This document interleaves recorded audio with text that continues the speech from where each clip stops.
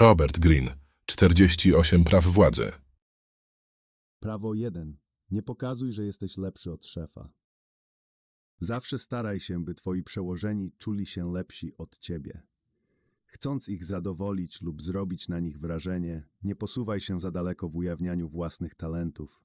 Możesz bowiem osiągnąć efekt odwrotny, wywołać u nich obawę oraz niepewność.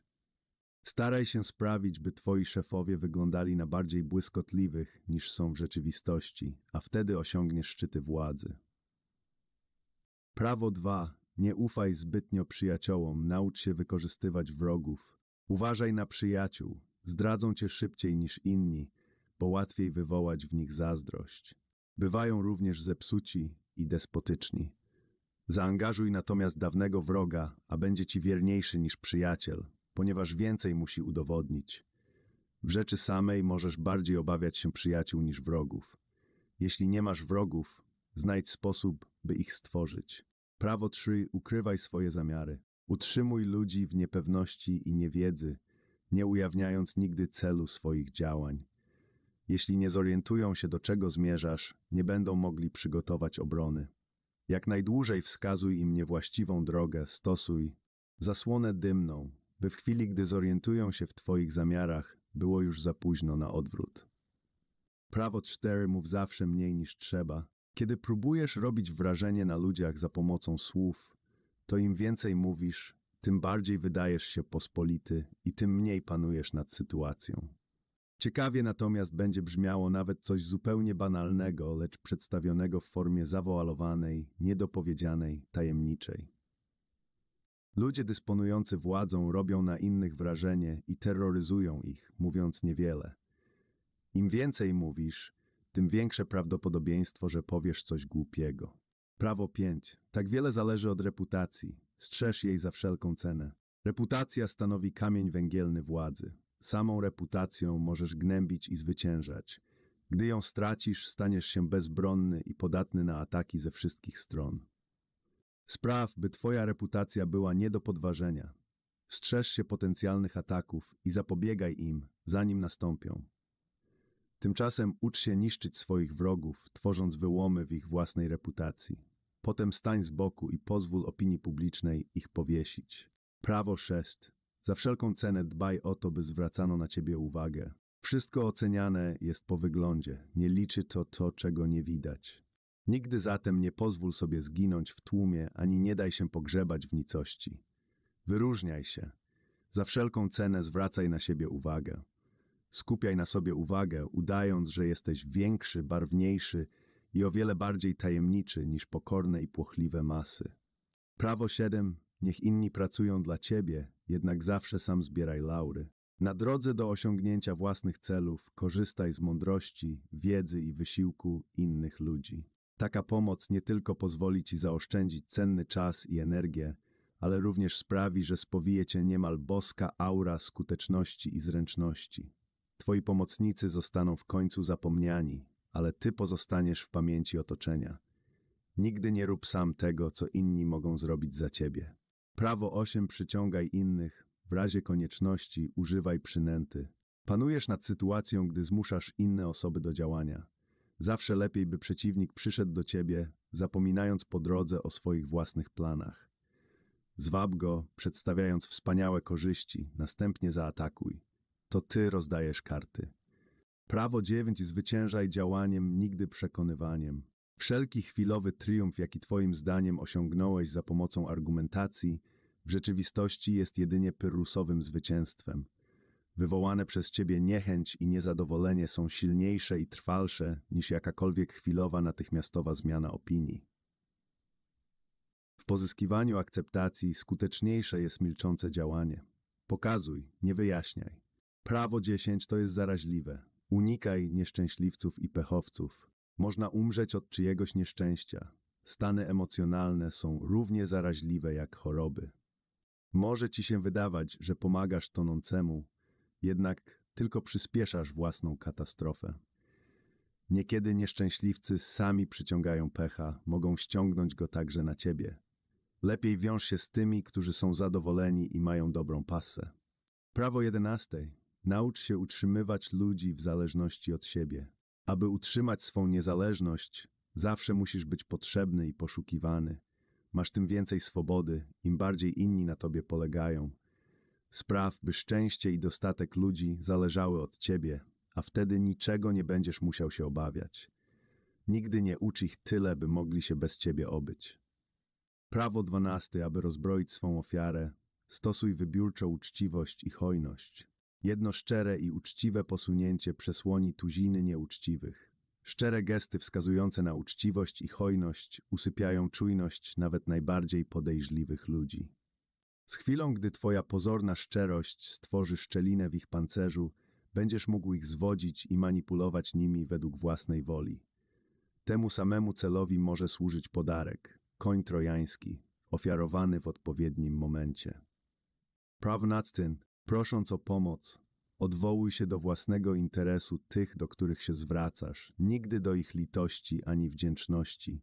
Gdy musisz zwrócić się o pomoc do sojusznika, nie próbuj przypominać mu o swych dawnych zasługach i dobrych uczynkach. Znajdzie sposób, aby cię zignorować. Zamiast tego określ, co w twojej prośbie lub w jego sojuszu z tobą przyniosłoby mu korzyść i wyolbrzymiaj to ponad miarę. Zareaguje entuzjastycznie, gdy zobaczy, że sam może na tym skorzystać. Prawo 14. Udawaj przyjaciela, pracuj jak szpieg. Wiedza na temat twoich rywali ma zasadnicze znaczenie. Korzystaj z usług szpiegów, by zebrać cenne informacje, które pozwolą ci być o krok przed nimi. Będzie jeszcze lepiej, jeśli sam zaczniesz odgrywać rolę szpiega. Ucz się sądować podczas miłych spotkań towarzyskich. Nie zadawaj pytań wprost, ale tak, by ludzie odsłaniali swe słabości i zamiary. Nie ma takiej sytuacji, która nie stanowiłaby okazji do twórczego szpiegowania.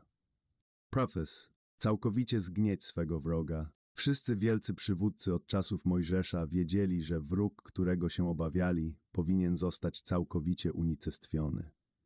Jeśli pozostawi się jedno tlące polano, bez względu na to, jak słabo się pali, w końcu wybuchnie z niego ogień. Więcej tracisz, zatrzymując się w pół drogi, niż dokonując całkowitego unicestwienia. Wróg odzyska siły i będzie szukał zemsty. Zgnieć nie tylko jego ciało, ale i duszę. Prawo 16. Dla wzmocnienia własnej pozycji i znaczenia dawkuj swą obecność. Zbyt duża podaż powoduje spadek ceny. Im częściej się ciebie widzi i słyszy, tym bardziej wydajesz się pospolity. Jeśli masz już ustaloną pozycję w grupie, to chwilowe jej opuszczenie sprawi, że więcej będzie się o tobie mówiło, a nawet cię podziwiało. Musisz wiedzieć, kiedy się wycofać. Twórz wartość poprzez niedobór. Prawo 17. Utrzymuj innych w napięciu, pielęgnuj atmosferę nieprzewidywalności. Ludzie to stworzenia o niezaspokojonej potrzebie dostrzegania podobieństwa w działaniach innych. Twoja przewidywalność daje im poczucie panowania nad sytuacją. Zmień taktykę. Z rozmysłem bądź nieprzewidywalny. Zachowanie pozornie niespójne lub bezcelowe sprawi, że stracą orientację i będą się głowili, próbując wyjaśnić Twoje posunięcia. W skrajnym przypadku taka strategia może zastraszać i terroryzować. Prawo 18. Nie buduj fortec dla własnej obrony. Izolacja jest niebezpieczna. Świat jest niebezpiecznym miejscem, a wrogowie są wszędzie. Każdy musi się bronić. Najbezpieczniejsza wydaje się forteca. Jednak izolacja bardziej naraża cię na niebezpieczeństwa, niż przed nimi chroni. Odcina cię od cennych informacji, czyni wyrazistym i łatwym celem. Lepiej krążyć wśród ludzi, szukać sojuszników, zgubić się w grupie. Tłum osłania cię przed wrogami. Prawoc, powinieneś wiedzieć, z kim masz do czynienia. Nie obrażaj tych, co nie trzeba. Na świecie żyje wiele różnych rodzajów ludzi i nie należy zakładać, że wszyscy będą reagowali na Twoje strategie w ten sam sposób. Oszukaj lub przechytrz niektórych z nich, a spędzą resztę życia szukając zemsty. To są wilki w owczej skórze. Zatem ostrożnie wybieraj swoje ofiary i przeciwników. Nigdy nie obrażaj ani nie oszukuj niewłaściwych ludzi. Prawo 20. Nie angażuj się w sprawy innych. Tylko głupiec zawsze staje po czyjejś stronie. Nigdy nie opowiadaj się za kimś, ani nie angażuj się w niczyje sprawy oprócz własnych. Zachowując niezależność, stajesz się panem innych. Wygrywając jednych przeciw drugim, powodujesz, że podążają za tobą. Prawo. Udawaj frajera, żeby złapać frajera. Wyglądaj na głupszego niż twoja ofiara. Nikt nie lubi czuć się głupszym od innych. Sztuczka polega zatem na tym, by twoim ofiarom zdawało się, że są nie tylko bystre, ale także bystrzejsze od ciebie. Z chwilą, gdy nabiorą takiego przekonania, nie będą nigdy podejrzewały, że możesz mieć jakieś ukryte zamiary. Prawo 22. Stosuj taktykę poddawania się, przekształć słabość w siłę. Nigdy nie walcz o honor, gdy jesteś słabszy, lepiej się poddaj. Poddanie się daje ci czas na zregenerowanie sił, czas na nękanie i denerwowanie tego, kto cię pokonał. Daje ci czas na przeczekanie, aż osłabnie. Nie dawaj mu satysfakcji z walki i pokonania ciebie. Lepiej się poddaj. Nadstawiając drugi policzek, denerwujesz go i wyprowadzasz z równowagi. Spraw, by kapitulacja stała się narzędziem władzy. Prawo 23. Skupiaj swoje siły. Dbaj o swoje siły i energię, skupiając je w najsilniejszym punkcie. Więcej zyskujesz, znajdując bogate złoże i głęboko kopiąc, niż przenosząc się z jednej płytkiej kopalni do drugiej. Intensywność zawsze pokona ekstensywność. Gdy poszukujesz dla siebie źródeł potęgi, które mogłyby cię wynieść, znajdź jednego kluczowego patrona, tę tłustą krowę, która na długo zapewni ci mleko. Prawo 24 odgrywaj rolę dworzanina doskonałego. W świecie, w którym wszystko obraca się wokół spraw władzy i politycznej sprawności, dworzanin doskonały czuje się jak ryba w wodzie. Opanował sztukę owijania w bawełnę, pochlebia, ulega zwierzchnikom, władzę zaś nad innymi przejmuje w nadwyraz zawoalowany i wdzięczny sposób. Ucz się i stosuj prawa obowiązujące na dworze, a nie będzie tam dla ciebie granic nie do przekroczenia. Prawo 25. Stwórz siebie na nowo. Nie przyjmuj ról, jakie narzuca ci społeczeństwo. Stwórz się na nowo, kształtując nową osobowość, taką, która zwraca uwagę i nigdy nie nudzi publiczności. Bądź panem własnego wizerunku, zamiast pozwalać innym, by go określali. Do swoich publicznych gestów i działań włącz elementy dramatyczne. Twoja władza wzrośnie, twój charakter zaś będzie się wydawał jeszcze wspanialszy. Prawo 26 zawsze miej czyste ręce. Musisz być postrzegany jako wzór kultury i skuteczności. Twoje ręce nie mogą być splamione pomyłkami i paskudnymi postępkami. Utrzymuj nieskazitelny wizerunek, wykorzystując innych jako kozły ofiarne i pionki, za którymi umiejętnie ukrywasz własne działanie. Prawo 27 graj na ludzkiej potrzebie wiary w celu stworzenia swoistego kultu. Ludzie bardzo chcą w coś wierzyć. Oferując im cel, nową wiarę, którą mogliby wyznawać, stań się ośrodkiem skupiającym takie pragnienia. To, co mówisz, niech będzie mętne, ale pełne obietnic. Z entuzjazmem podkreślaj znaczenie racjonalności i trzeźwego myślenia. Swoim nowym wyznawcom zapewnij rytuały, które mogliby celebrować. Proś ich, by się za ciebie poświęcali. Przy braku funkcjonującej religii i wielkich celów, twój nowy system wierzeń przyniesie ci niebywałą władzę. Prawo 28 odważnie wkraczaj do akcji. Nie zaczynaj działać, jeśli nie jesteś pewien kierunku. Twoje wątpliwości i wahania wpłyną na jakość wykonania. Niepewność jest niebezpieczna. Lepiej odważnie przystępować do działania. Wszelkie pomyłki wynikające z brawury są łatwo naprawialne dzięki jeszcze większej odwadze. Wszyscy podziwiają dzielnych, nikt nie szanuje strachliwych. Prawo 29 planuj wszystko aż do końca. Zakończenie stanowi o wszystkim. Cokolwiek planujesz, weź pod uwagę wszelkie możliwe konsekwencje, przeszkody i zakręty losu, które mogą zniweczyć Twą ciężką pracę i przynieść chwałę innym. Planując wszystko starannie, nigdy nie ulegniesz presji sytuacji i będziesz wiedział, kiedy zakończyć. Delikatnie kieruj fortuną, planując zaś z dużym wyprzedzeniem, wpływaj na przyszłość. Prawo 30. Sprawiaj wrażenie, że osiągnięcia przychodzą ci bez wysiłku. Działaj tak, jakby wszystko przychodziło ci w sposób naturalny i łatwy. Ukrywaj swój wkład pracy i doświadczenie, jak również wszelkie sprytne sztuczki, których użyłeś, aby wygrać. Kiedy działasz, działaj bez wysiłku, tak jakbyś mógł zrobić znacznie więcej. Unikaj pokusy wyjawiania tego, jak ciężko pracujesz, to tylko prowokuje do zadawania pytań. Nikogo nie ucz swoich sztuczek, bo mogą być wykorzystane przeciwko tobie. 31. Panuj nad możliwościami wyboru. Niech inni grają kartami, które ty rozdajesz. Najlepsze zmyłki dają innym pozorną możliwość wyboru. Twoim ofiarom wydaje się, że panują nad sytuacją, gdy tymczasem są jedynie marionetkami. Daj ludziom takie opcje, że cokolwiek wybiorą, będzie z korzyścią dla ciebie. Zmuś ich do dokonywania wyboru mniejszego zła, choć oba wyjścia będą w twoim interesie. Daj im alternatywę. W którąkolwiek jednak stronę się obrócą, trafią na zagrożenia. Prawo 32. Graj na ludzkich wyobrażeniach.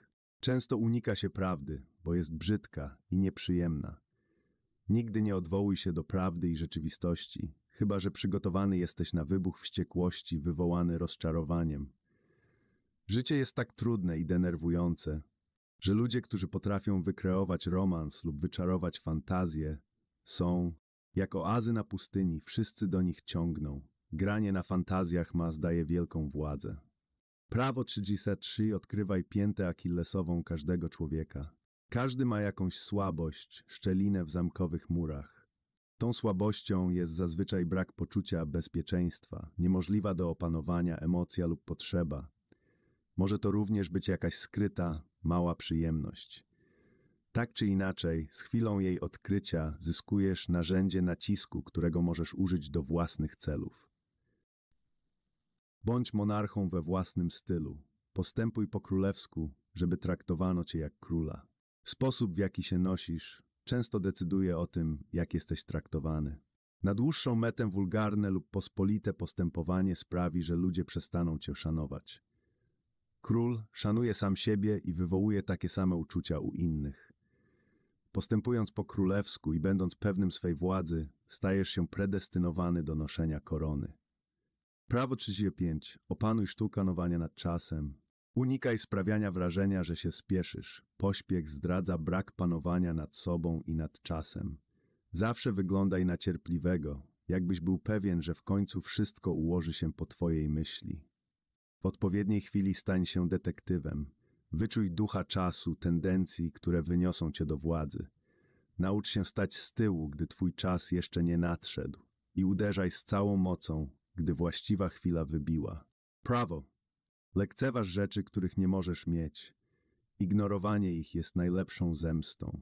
Przyjmując do wiadomości jakiś mały problem, powołujesz go do istnienia i uwiarygodniasz. Im więcej uwagi zwracasz na wroga, tym silniejszym go czynisz.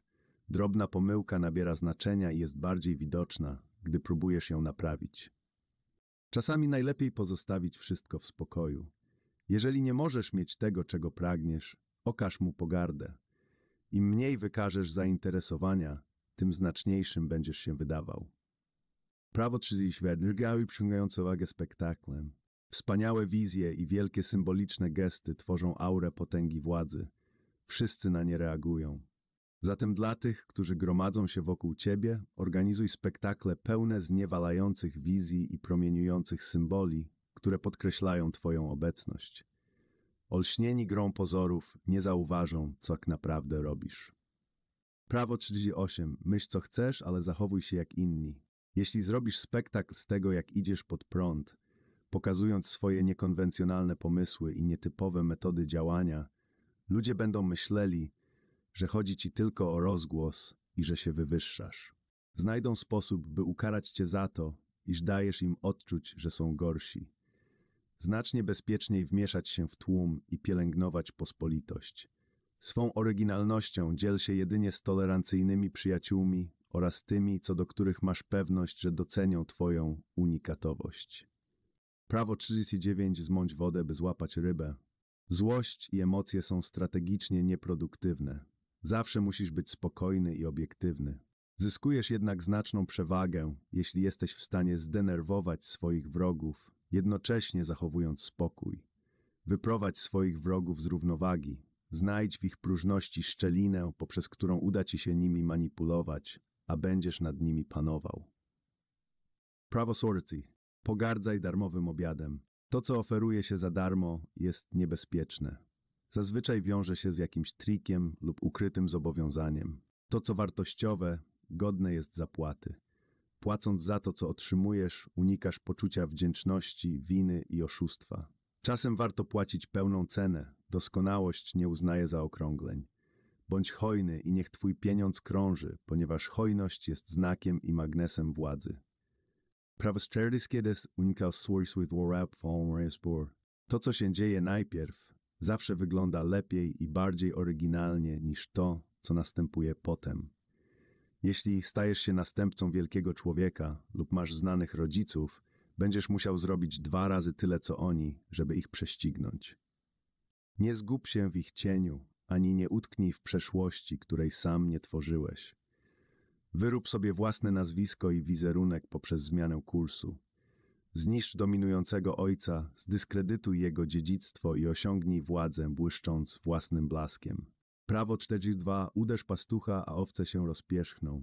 Istnienie pojedynczej, silnej jednostki, mąciciela, aroganckiego podwładnego, truciciela wolnej woli, często prowadzi do kłopotów.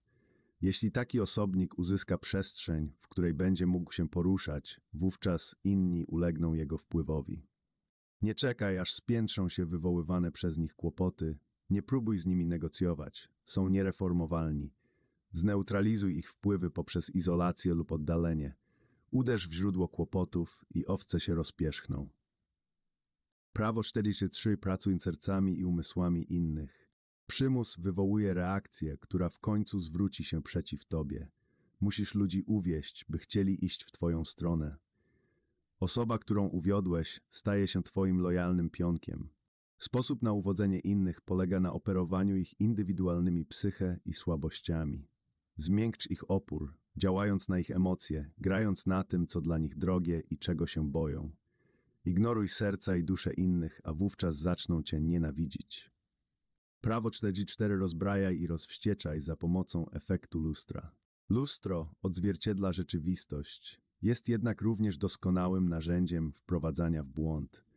Kiedy naśladujesz wrogów, robiąc dokładnie to, co oni, wówczas nie są w stanie rozgryźć twojej strategii. Efekt lustra, przedrzeźnianie i poniżanie ich, powoduje, że reagują przesadnie.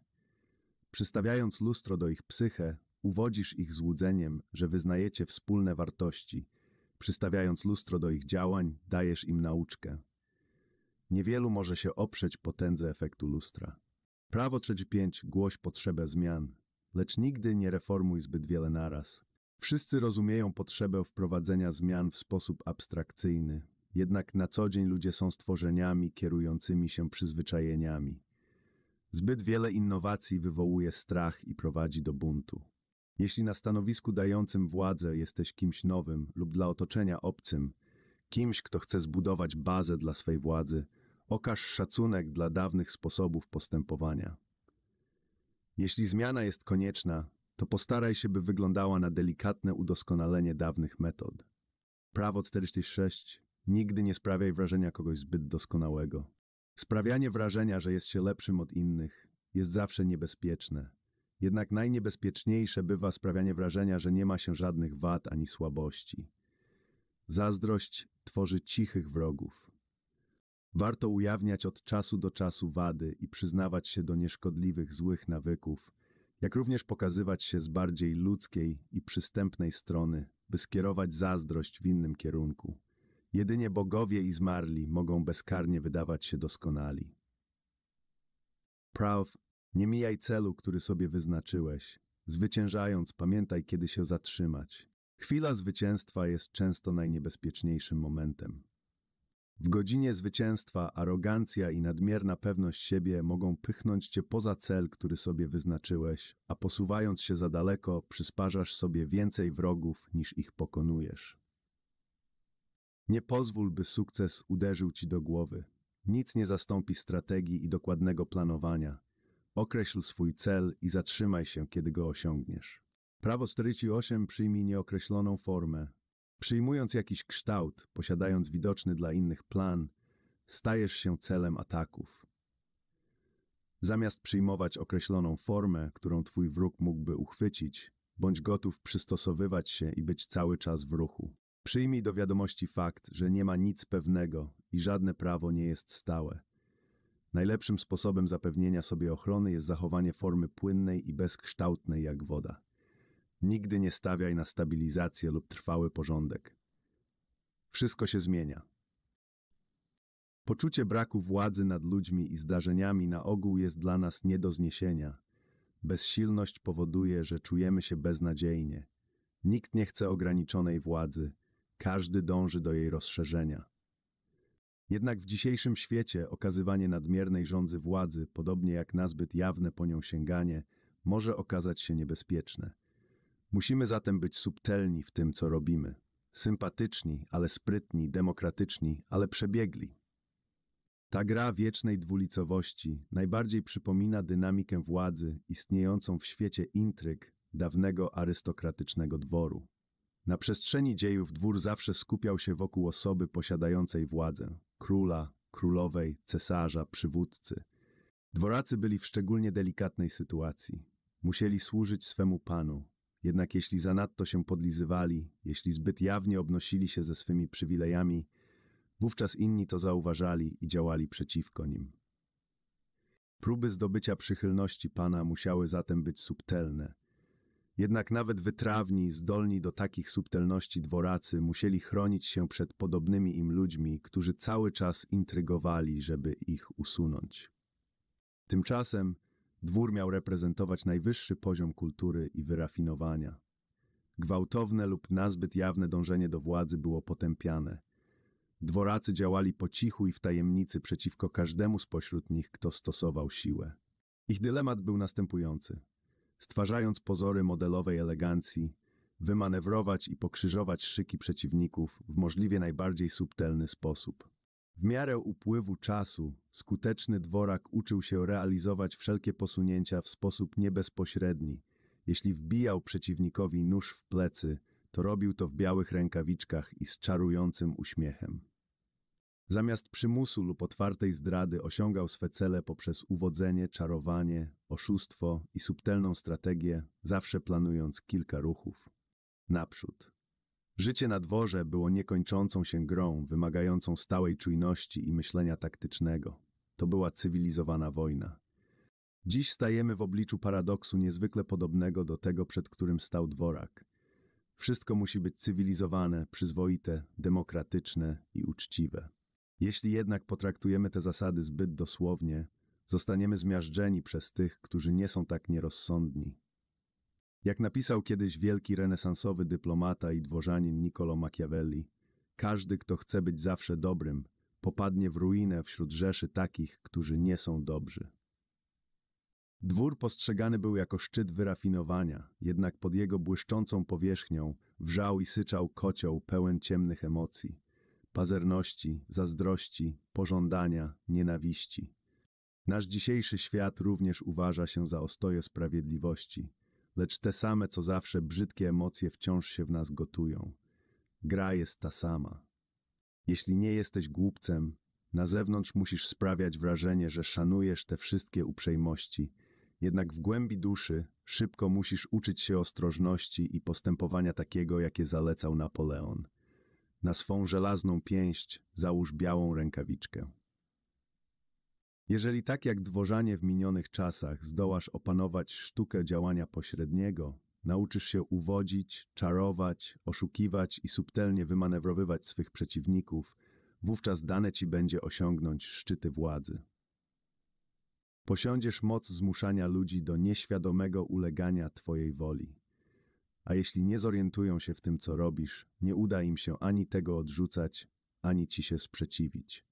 Potraktuj 48 praw władzy jako swego rodzaju podręcznik sztuki działania pośredniego. Studiując zawarte w tej książce prawa, zrozumiesz, czym jest władza i poznasz jej właściwości. Wykorzystując je w praktyce, rozkwitniesz we współczesnym świecie jako wzór przyzwoitości, będąc skończonym krętaczem. Prawo klucze do władzy. Każdy ma jakieś ułomności, kiedy pokażesz się światu i ujawnisz swoje talenty, w naturalny sposób wywołasz niechęć, zazdrość i inne objawy niepewności. Tego należy się spodziewać. Nie możesz spędzić życia na zamartwianiu się tym, co czują inni. Zupełnie inne podejście musisz mieć w stosunku do swych zwierzchników. Gdy chodzi o władzę, pokazanie, że jest się lepszym od swojego zwierzchnika, jest zapewne najgorszym z możliwych błędów. Nie oszukujmy się, wmawiając sobie, że życie bardzo się zmieniło od czasów Ludwika XIV i Medyceuszy. Ci, którzy osiągają wysoką pozycję, są jak królowie i królowe. Chcą czuć się bezpiecznie na swym stanowisku. Chcą czuć się lepsi od otoczenia pod względem inteligencji, dowcipu i uroku. Śmiertelnie niebezpieczne, ale powszechne nieporozumienie polega na przekonaniu, że chwalenie się swoimi umiejętnościami i talentami przysparza przychylności zwierzchnika. On może udawać, że cię docenia, ale przy pierwszej okazji zastąpi cię kimś mniej inteligentnym, mniej atrakcyjnym, mniej groźnym. Niniejsze prawo uwzględnia dwie zasady, o których musisz wiedzieć. Pierwsza z nich mówi, że możesz niechcący przyćmić swego zwierzchnika, będąc po prostu sobą. Istnieją zwierzchnicy bardziej niepewni swej pozycji niż inni, chorobliwie niepewni. Możesz przyćmić ich w sposób naturalny swym urokiem i wdziękiem. Jeśli nie jesteś w stanie zapanować nad urokiem, który roztaczasz, musisz nauczyć się unikać tego rodzaju próżnych potworów lub znaleźć sposób na stonowanie własnych zalet w ich obecności. Druga mówi: Nie myśl sobie, że jeśli twój przełożony lubi cię, to znaczy, że wolno ci robić wszystko, co ci się podoba. Można by napisać kilka ksiąg o faworytach, którzy wypadli z łask, bo im się zdawało, że ich pozycja jest niezachwiana, bo ośmielili się nadmiernie zabłysnąć.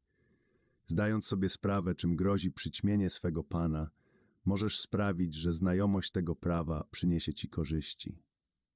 Po pierwsze, musisz schlebiać i kadzić swemu panu. Otwarte schlebianie może być skuteczne, jednak ma granice.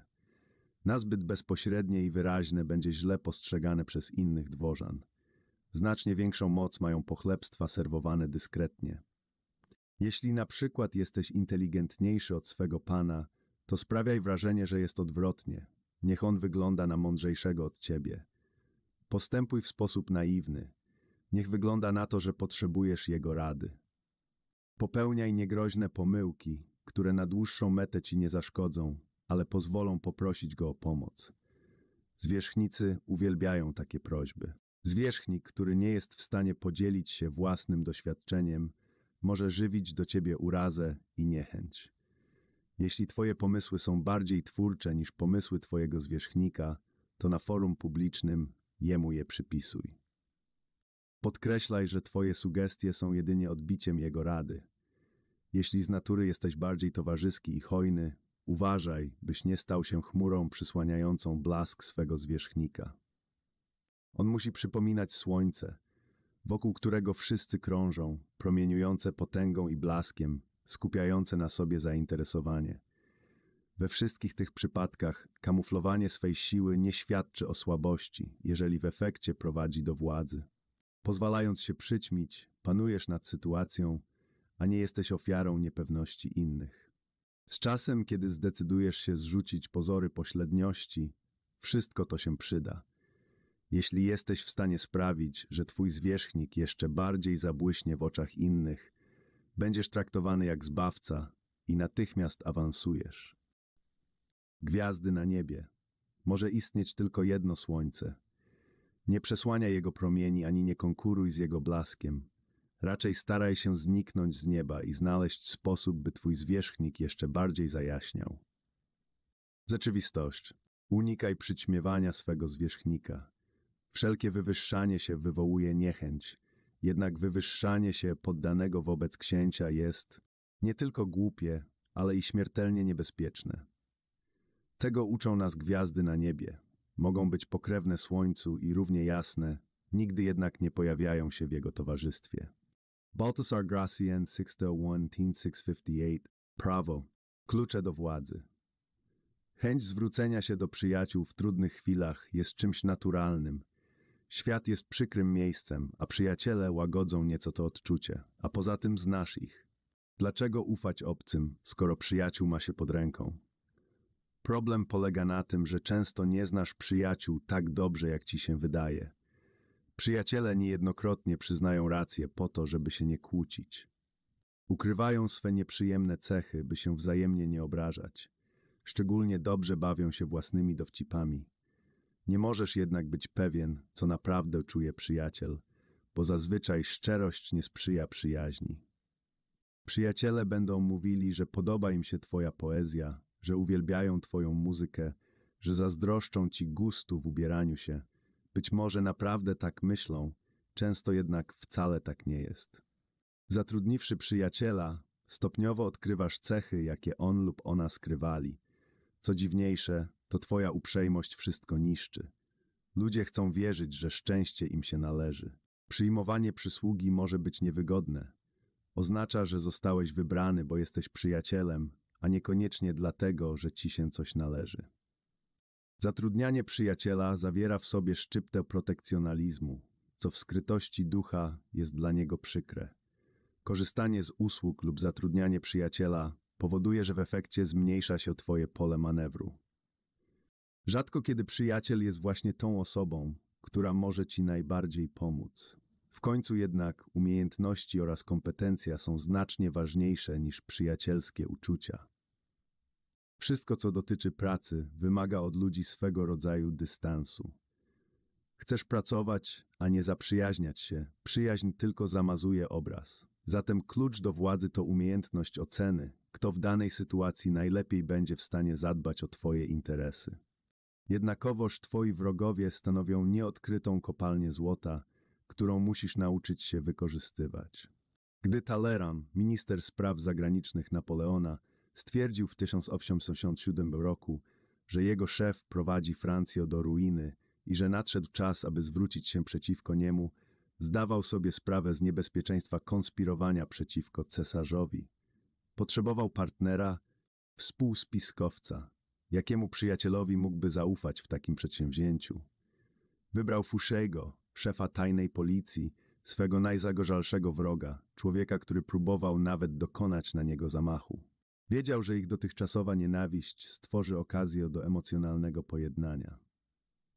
Zdawał sobie sprawę, że Fouché niczego po niem nie będzie się spodziewał, a w rzeczy samej będzie się starał wykazać, że jest godny wyboru dokonanego przez Talleyranda. Osoba, która musi coś udowodnić, poruszy dla ciebie góry. Talleyrand wiedział wreszcie, że związek z Fouchém może opierać się na wspólnych interesach i nie będzie zniekształcony osobistymi uczuciami.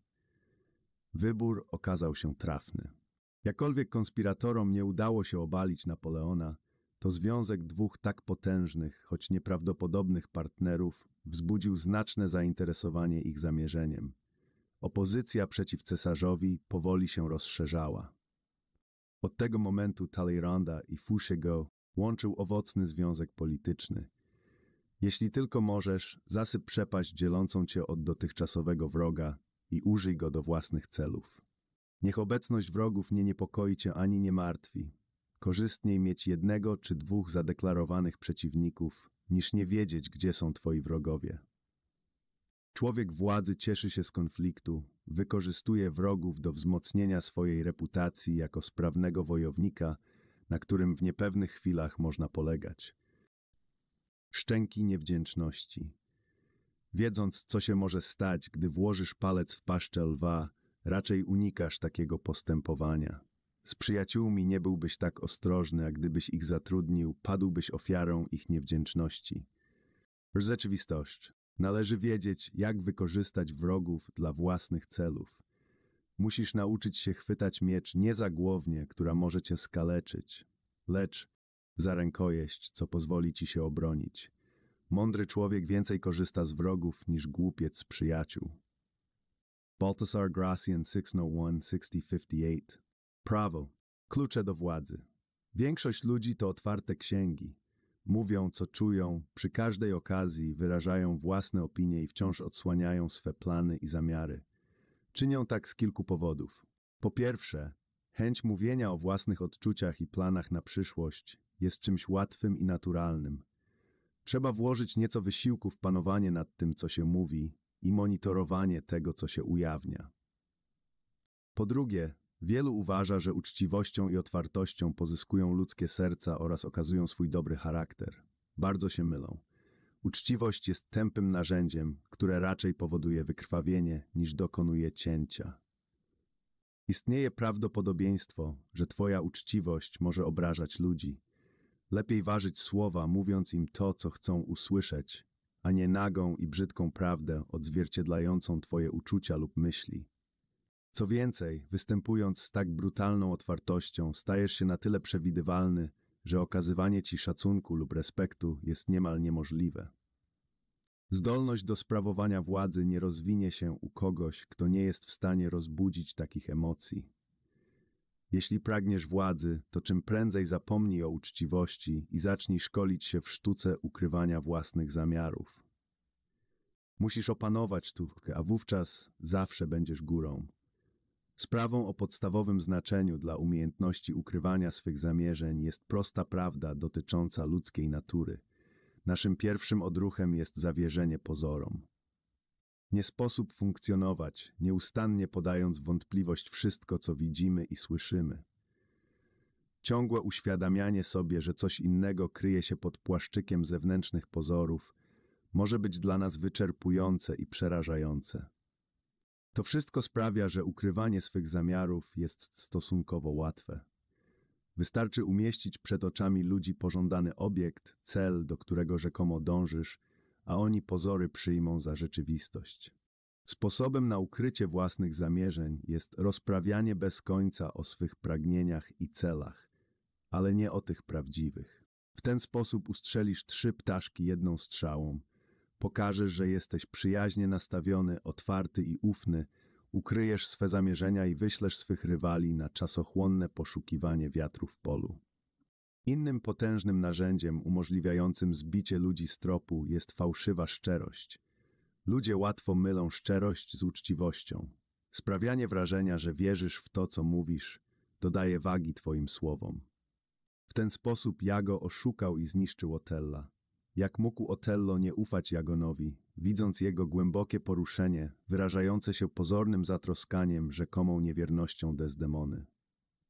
Jeśli ci się wydaje, że oszuści to barwne towarzystwo, które wprowadza w błąd za pomocą wyrafinowanych kłamstw i niebywałych opowieści, to bardzo się mylisz. Najlepsi oszuści wykorzystują rzeczy zwyczajne i niepozorne, nie przyciągające uwagi. Wiedzą, że ekstrawaganckie słownictwo i gesty natychmiast wzbudzają podejrzliwość. Oni przeciwnie ubierają swe cele w to, co znane, banalne, niegroźne. Ludzie nie zauważą podstępu szykowanego za ich plecami, gdy uśpisz ich czujność za pomocą tego, co jest im znane. Im bardziej szare i jednolite są opary wytworzonej przez ciebie zasłony dymnej, tym lepiej skrywa ona twoje zamiary. Najprostszą formą takiej zasłony jest odpowiedni wyraz twarzy. Za gładką, pozbawioną wyrazu maską można planować każdą niegodziwość bez obawy, że zostanie wykryta. To jest właśnie broń, którą udoskonalali najpotężniejsi ludzie w dziejach. Mówi się, że nikt nie był w stanie wyczytać czegokolwiek z twarzy Franklina Roosevelta.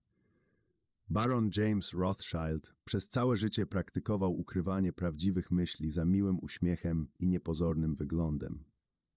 Pamiętaj, potrzeba cierpliwości i pokory, by zszarzyć jaskrawe kolory, by założyć maskę niepozorności. Nie martw się, że musisz nałożyć taką gładką maskę. Często właśnie tajemniczość przyciąga ludzi i sprawia, że wyglądasz na człowieka dzierżącego władzę. Niech nie przylgnie do ciebie miano kłamcy, nawet jeśli w dzisiejszych czasach trudno nim nie być. Niech twoja największa przebiegłość sprowadza się do ukrycia tego, co wygląda na przebiegłość. Baltasar Gracian, 601-58 Przemknij przez ocean w świetle dnia. Chodzi o stworzenie takich pozorów, które z czasem wytworzą atmosferę lub wrażenie czegoś znanego, w ramach czego stratek może się poruszać niezauważenie, gdy oczy wszystkich będą zwracały uwagę na to, co im znane. Z pracy 36 strategii cytowanej Thomas Cleary, Japońska sztuka prowadzenia wojny 1010. Owcza skóra, owca nigdy nie plądruje, owca nigdy nie oszukuje, owca jest doskonale niema i łagodna. Lis odziany w owczą skórę może przeniknąć do mezing, rzeczywistość. Czy kiedykolwiek słyszałeś o generale, który zamierza zaskoczyć cytadelę, informując wroga o swych planach? Przemilcz swoje cele i ukrywaj osiągnięty postęp. Nie odsłaniaj zakresu swych zamierzeń do czasu, gdy już nie będzie można się im przeciwstawić, aż walka dobiegnie końca. Staraj się osiągnąć zwycięstwo, zanim jeszcze wypowiesz wojnę. Jednym słowem, należy naśladować wojowników, których plany nie są znane nikomu z wyjątkiem splądrowanej krainy, przez którą przeszli. Ninon de L'Enclos Sessin 23 za 1706 Klucze do władzy Władza to na dobrą sprawę gra pozorów. Im mniej mówisz, tym częściej jesteś postrzegany jako ktoś wspanialszy i potężniejszy niż w rzeczywistości. Twoje milczenie sprawi, że inni poczują się nieswojo. Ludzie to maszyny bezustannie interpretujące i wszystkiego dociekające. Oni muszą wiedzieć, co myślisz. Nie poznają Twoich intencji ani znaczeń nadawanych przez Ciebie, jeśli potrafisz zapanować nad tym, co ujawniasz. Twoje krótkie odpowiedzi i milczenie ustawią ich w pozycji obronnej. Nerwowo wypełniając ciszę, będą wpadali z najróżniejszego rodzaju uwagami ujawniającymi cenne informacje o sobie i o swoich słabościach. Będą opuszczali zebranie w poczuciu, że zostali obrabowani i powrócą do domów, by analizować każde Twoje słowo. Skupienie ich uwagi na Twoich zwięzłych wypowiedziach jedynie doda Ci powagi. Andy Warhol jako młody człowiek doznał objawienia, uświadamiając sobie, że samym mówieniem na ogół nie można zmusić ludzi do postępowania w taki sposób, jakbyśmy tego chcieli. Ludzie zwrócą się przeciwko Tobie, zniszczą Twoje pragnienia, sprzeciwią Ci się ze zwykłego uporu. Warhol powiedział kiedyś przyjacielowi: Zrozumiałem, że w gruncie rzeczy większą siłą dysponujesz, gdy milczysz. Później, z dużym powodzeniem, wprowadzał tę strategię w życie. Jego wywiady stanowiły właśnie przykład mowy zawiłej. Mówił coś niejasnego, zawiłego, a prowadzący wywiad głowił się, próbując dojść o co mu chodziło, sądząc, że za jego, niekiedy zupełnie nic nieznaczącymi sformułowaniami kryje się głęboka myśl. Warhol rzadko kiedy mówił o swojej pracy, pozwalał innym ją interpretować. Im mniej mówił o swej sztuce, tym więcej ludzie o niej mówili. Im więcej zaś mówili, tym jego prace stawały się cenniejsze.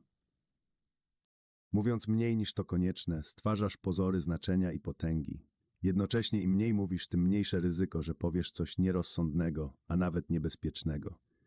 W 1825 roku nowy kar Mikołaj Pierstek objął tron Rosji. Natychmiast wybuchł bunt kierowany przez liberałów domagających się modernizacji kraju.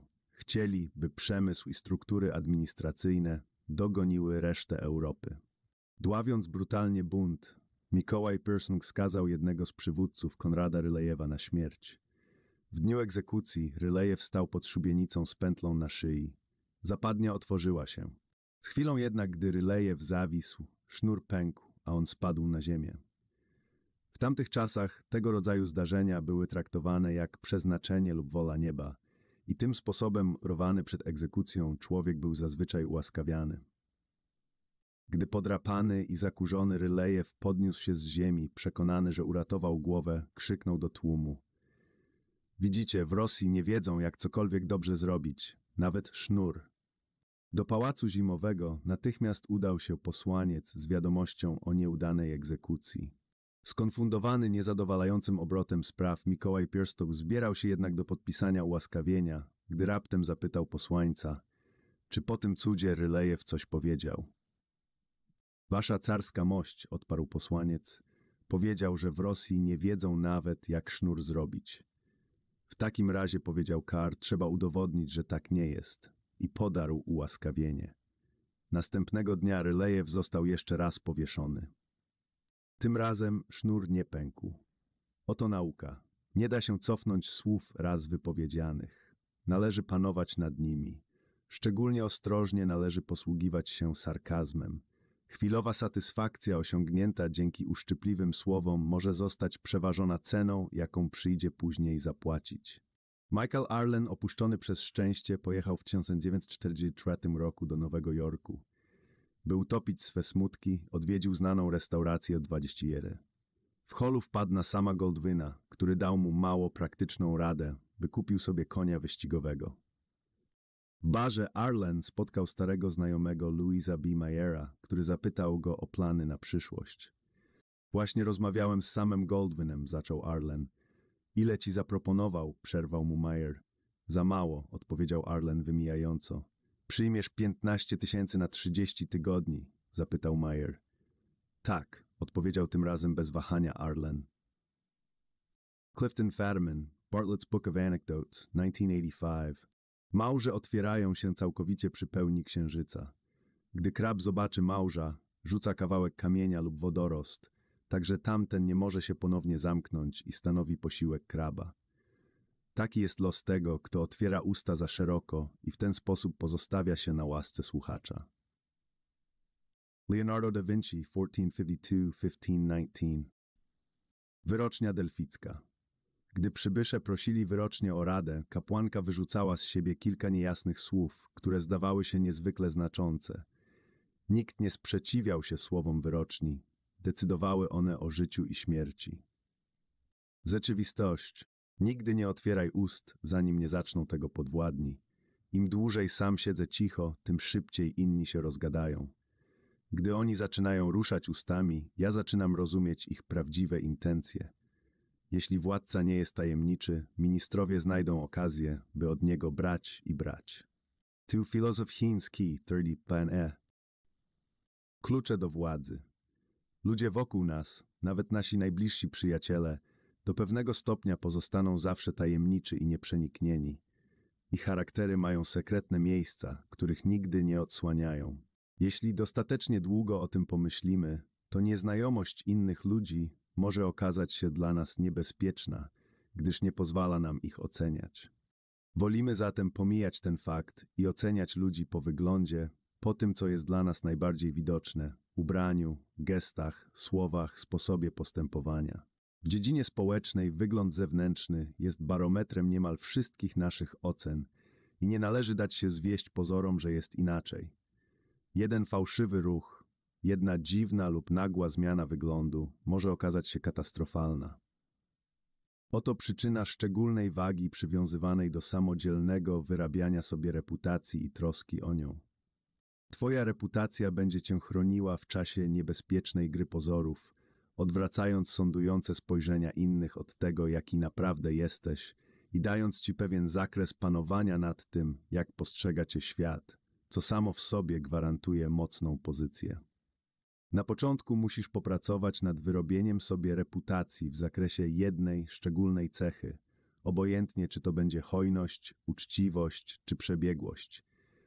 Ta cecha macie wyróżniać i sprawiać, że inni będą o tobie mówić.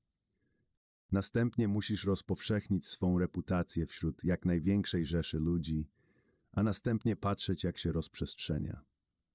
Solidna reputacja rozszerza zasięg Twojego oddziaływania i wzmacnia pozornie Twoją siłę bez większego wysiłku z Twojej strony. Może również stopniowo wytworzyć wokół Ciebie atmosferę szacunku, a nawet strachu.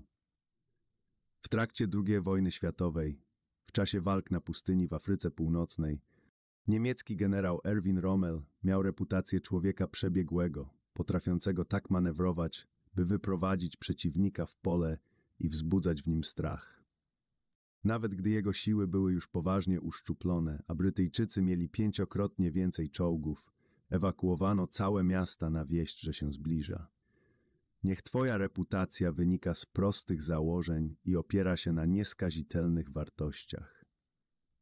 Taka pojedyncza cecha, niech to będzie skuteczność czy umiejętność uwodzenia, staje się swego rodzaju wizytówką, która informuje o Twojej obecności i bierze ludzi pod swój urok. Reputacja to skarb, który trzeba ostrożnie gromadzić.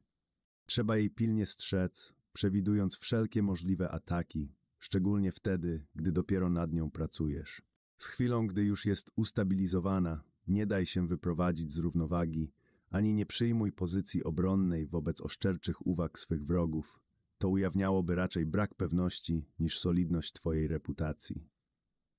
Przeciwnie, przyjmij postawę wyprostowaną i niech Twoja obrona nie sprawia wrażenia desperackiej. Atak na reputację innej osoby to potężna broń, szczególnie gdy sam dysponujesz mniejszą siłą niż ona. W takiej walce to przeciwnik ma więcej do stracenia, a twoja niewyrobiona dotąd reputacja stanowi dla niego mało istotny cel, gdyby chciał odpowiedzieć ogniem. Tego rodzaju taktyka musi być umiejętnie trenowana. Nie może wyglądać na to, że dałeś się ponieść pragnieniu drobnej zemsty. Jeśli nie zniszczysz reputacji swojego wroga w umiejętny sposób, to nieuchronnie stracisz własną. W atakach nie posuwaj się za daleko, bo zwróci to uwagę na Twoją chęć zemsty bardziej niż na osobę, którą obrzucasz błotem. Gdy Twoja własna reputacja ma już solidne podstawy, wówczas w celu osłabienia swego przeciwnika stosuj bardziej subtelną taktykę, taką jak satyra i ośmieszanie, a sam pozuj na uroczego drania. Potężny lew bawi się myszą, która weszła mu w drogę. Każda inna reakcja zaszkodziłaby jego reputacji groźnego zwierza.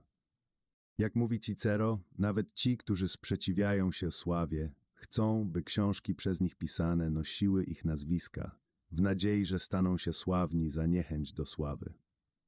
Cała reszta działa na zasadzie barteru.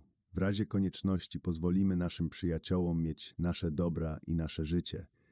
Jednak przypadek dzielenia się sławą i uczynienia komuś prezentu z naszej reputacji jest mało prawdopodobny. Montaigne 1533-1592 Łatwiej jest poradzić sobie z wyrzutami sumienia niż ze złą reputacją. Friedrich Nietzsche 1844-1900 Kopalnia pełna diamentów i rubinów. Szukałeś ich, znalazłeś i teraz twoje bogactwo jest ugruntowane. Strzeż go za wszelką cenę. Bandyci i złodzieje będą pojawiali się ze wszystkich stron. Nigdy nie bierz swego bogactwa zadane ci raz na zawsze. Wciąż odnawiaj je.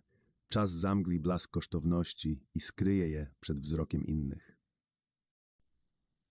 Powinienem zatem życzyć naszemu dworzaninowi podbudowania jego naturalnej wartości zdolnościami i przebiegłością i zapewnić, że kiedykolwiek przyjdzie mu udać się tam, gdzie będzie obcym, poprzedzi go dobra reputacja.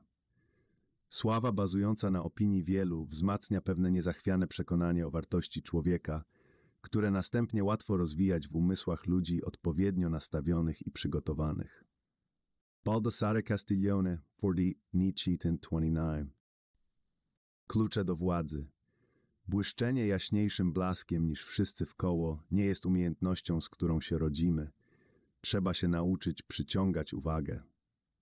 Na początku kariery należy powiązać nazwisko i reputację z jakością, stworzyć wizerunek, który wyróżnia cię od całej reszty. Może on sprowadzać się do charakterystycznego stylu ubierania lub zabawnej maniery, o której się mówi. Z chwilą utrwalenia wizerunku dysponujesz miejscem na niebie dla swojej gwiazdy. Powszechnym błędem jest przekonanie, że wizerunek nie powinien być kontrowersyjny, że podleganie atakom jest czymś złym. Nic bardziej mylnego. By uniknąć niepowodzenia oraz przyćmienia własnej popularności przez kogoś innego, nie możesz przebierać między różnymi rodzajami zainteresowania. W efekcie wszystkie jego formy będą działały na Twoją korzyść. Na dworze Ludwika XIX było wielu utalentowanych pisarzy, artystów, wielkich piękności oraz kobiet i mężczyzn o nieskazitelnych walorach, jednak o nikim nie mówiono tyle co o hrabim de Lauzun. Był on niskim, niemal karłowatym osobnikiem, skłonnym do najbardziej niestosownych zachowań. Sypiał z kochanką króla i otwarcie obrażał nie tylko innych dworzan, ale i samego króla. Niemniej Ludwik był tak omamiony ekscentrycznością hrabiego, że nie mógł znieść jego nieobecności na dworze. Prosta sprawa, dziwność charakteru hrabiego przyciągała uwagę. Wystarczyło mu oczarować ludzi, a za wszelką cenę chcieli mieć go w swoim otoczeniu. Społeczeństwo pragnie postaci wielkich, ludzi wyrastających ponad powszechną przeciętność. Zatem nie obawiaj się cech, które cię wyróżniają i przyciągają uwagę. Pielęgnuj spory, a nawet skandale. Naprawdę lepiej być atakowanym, nawet obrzucanym błotem, niż ignorowanym. Jeśli znajdziesz się w kiepskiej sytuacji, która nie daje okazji do zwracania na siebie uwagi, skutecznym zabiegiem jest zaatakowanie najbardziej widocznej, najbardziej znanej, najpotężniejszej osoby, jaką możesz znaleźć. Gdy Pietro Aretino, rzymski służący z pierwszej połowy XVI wieku, chciał zwrócić uwagę na siebie jako na poetę, postanowił wydać serię satyrycznych wierszy ośmieszających papieża i jego przywiązanie do domowego słonia. Atak natychmiast zwrócił na Aretina publiczną uwagę. Podobny skutek może odnieść zaatakowanie kogoś będącego u władzy. Pamiętaj jednak, by po zwróceniu na siebie uwagi tego rodzaju taktykę stosować ostrożnie, bo traci na znaczeniu. Z chwilą znalezienia się w świetle rampy stale podsycaj zainteresowanie swoją osobą, używając coraz to nowszych sposobów. Jeśli nie będziesz tego robił, publiczność znuży się, przyjmie twoje istnienie za coś oczywistego i zainteresuje się następną gwiazdą. Ta gra wymaga stałej czujności i kreatywności. Pablo Picasso nigdy nie pozwolił sobie na zniknięcie w tle, jeśli jego nazwisko za mocno przylgnęło do jakiegoś stylu, celowo denerwował publiczność nową serią obrazów, idących pod prąd wszelkim oczekiwaniom. Uważał, że lepiej stworzyć coś brzydkiego i niepokojącego, niż pozwolić ludziom przywyknąć do swej pracy. Należy zrozumieć, ludzie czują przewagę nad tym, kogo postępowanie mogą przewidzieć. Jeśli działając wbrew ich oczekiwaniom, pokażesz im, kto jest górą, zarówno zdobędziesz ich szacunek, jak i wzmocnisz zanikające zainteresowanie własną osobą. Osa zwana czubek szpilki od dawna poszukiwała sposobu na wieczną sławę. Pewnego dnia wleciała do królewskiego pałacu i mocno urządliła leżącego w łóżku małego księcia. Książę obudził się z krzykiem. Król i dworzanie pobiegli sprawdzić, co się stało. Książę krzyczał, a osa żądliła go wciąż na nowo. Dworzanie chcieli złapać osę, lecz każdy z nich też został urządlony. Przybył cały dwór królewski, wieść się rozeszła i ludzie zaczęli się schodzić do pałacu. Miasto wrzało, zaprzestano prowadzenia wszelkich interesów. Osa, zanim padła z wycieńczenia, powiedziała sobie: Imię bez sławy to jak ogień bez płomienia. Nie ma nic lepszego niż zwracanie na siebie uwagi za wszelką cenę. Hinduska opowieść. Osiągam swą porcję sławy, nawet gdy mnie poniewierają. Pietro Aretino, 1492-1556. Światła rampy. Aktor, który staje w jaskrawym świetle, jest bardziej widoczny. Wszystkie oczy zwrócone są na niego. W wąskim świetle reflektora jest miejsce tylko na jednego aktora. Czyń wszystko, co się da, by skupić uwagę na sobie. Niech twoje gesty będą tak szerokie, zabawne i skandalizujące, by światło oświetlało ciebie, podczas gdy inni aktorzy pozostają w cieniu. Rzeczywistość. Postępuj ostentacyjnie i tak, by cię widziano. To, czego nie widać, jakby nie istnieje. Właśnie światło sprawiło, że wyłoniły się wszystkie stworzenia. Ujawnianie się wypełnia wszelkie ubytki, skrywa wszelkie braki i daje wszystkiemu nowe życie, szczególnie gdy poparte jest prawdziwym osiągnięciem. Baltasar Gracian, 601-58 Klucze do władzy. Świat władzy rządzi się prawami dżungli. Istnieją ci, którzy żyją, polując i zabijając, ale istnieje także ogromna liczba stworzeń, które żywią się tym, co upolują inni. Ci drudzy to typy o mniejszej wyobraźni, często nie są w stanie robić rzeczy koniecznych przy budowaniu potęgi władzy, a jednak rozumieją, że jeśli poczekają odpowiednio długo, zawsze znajdzie się inne zwierzę, które wykona za nich robotę. Nie bądź naiwny. W tej właśnie chwili, kiedy zażynasz się, realizując jakiś projekt, w górze krążą sępy zastanawiające się, jak przetrwać, a nawet zyskać na Twojej kreatywności. Nie ma sensu skarżyć się na to ani popadać w rozpacz. Znacznie lepiej znaleźć sposób obrony i włączyć się do gry. Kiedy już zorganizujesz swoje zaplecze, sam zostań sępem, a zaoszczędzisz sobie dużo czasu i energii.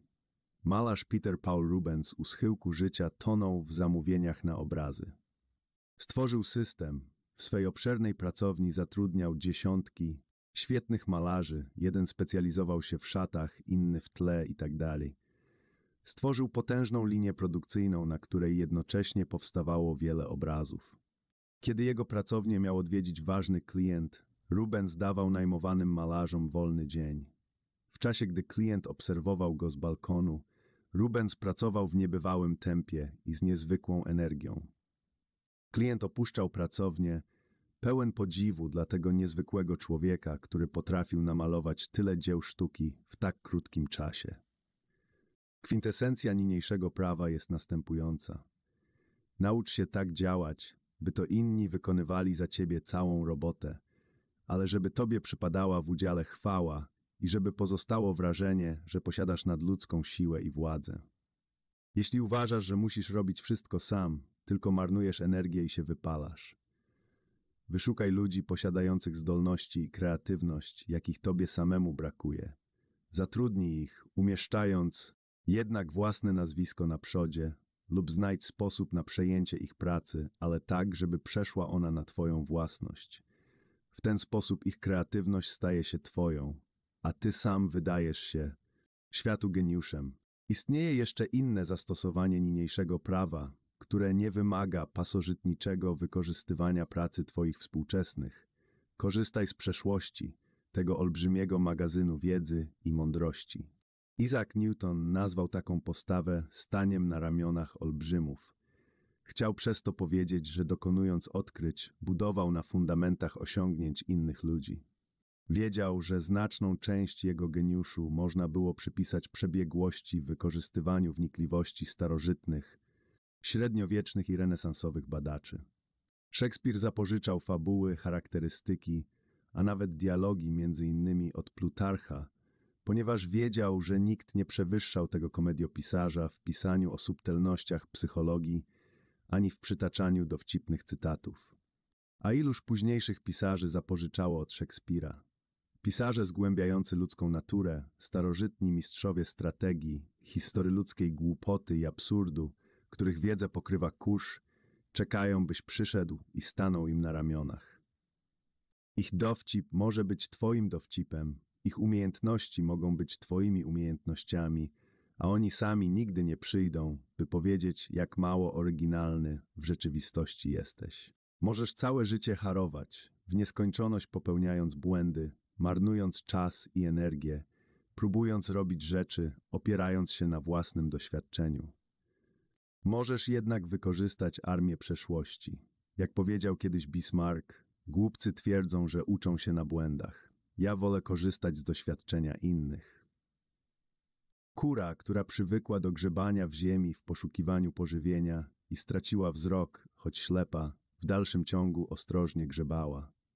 Jaki pożytek miał z tego zapracowany głupiec? Inna, doskonale widząca kura oszczędzała swe delikatne nogi, nie ruszała się z miejsca i bez grzebania korzystała z owoców tego, co wypracowała ta druga. Rzecz w tym, że zawsze, gdy tamta coś wygrzebała, ta spostrzegawcza połykała. Gotthold Lessing Bajki 1729-1781 Jeśli myśliwy polega na bezpiecznym schronieniu w powozie, wykorzystuje nogi sześciu koni i sprawia, że Wang Liang trzyma ich lejce, nie zmęczy się i stwierdzi, że łatwo jest wyprzedzić szybkie zwierzęta. A teraz wyobraźmy sobie, że odrzucił przewagę, jaką dawał mu powóz, zrezygnował z przydatnych nóg koni oraz sprawności Wang Lianga, spieszony ruszył za zwierzętami, wówczas nawet mając nogi równie zwinne co Liu Qi, nie zdążyłby wyprzedzić zwierząt. W rzeczy samej, jeśli wykorzystujesz dobre konie i mocne powozy, to zwykli słudzy i służki starczą do łapania zwierząt. Chainski filozof Turnen E.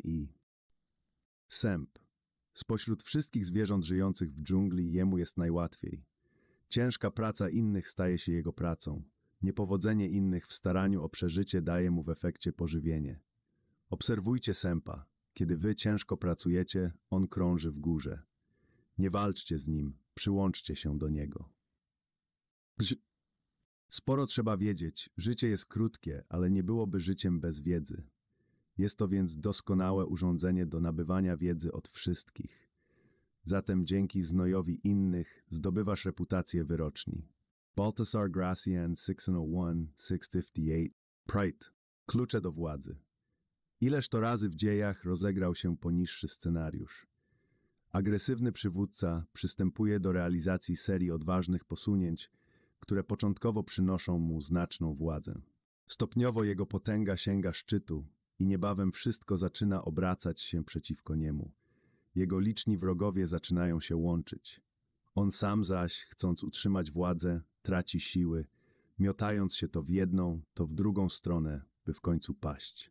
Przyczyna takiego rozwoju wydarzeń sprowadza się do tego, że rzadko kiedy osoba agresywna w pełni panuje nad sytuacją. Nie jest w stanie przewidzieć więcej niż kilka ruchów naprzód, nie myśli o konsekwencjach swych odważnych posunięć. Jej agresywna energia zwraca się przeciwko niej samej, ponieważ bezustannie zmuszana jest do reagowania na posunięcia stale rosnącej liczby wrogów oraz na nieprzewidziane konsekwencje własnych, raptownych działań.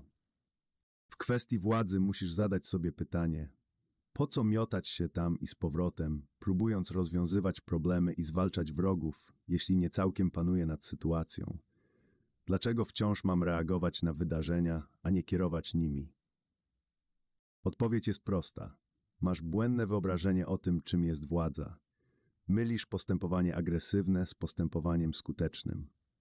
Najczęściej zaś najskuteczniejszym postępowaniem jest wstrzymanie się od działania, zachowanie spokoju i sprawienie, że to inni niepokoją się pułapkami zastawionymi przez ciebie w twoim dążeniu do uzyskania trwałej władzy, a nie natychmiastowego zwycięstwa.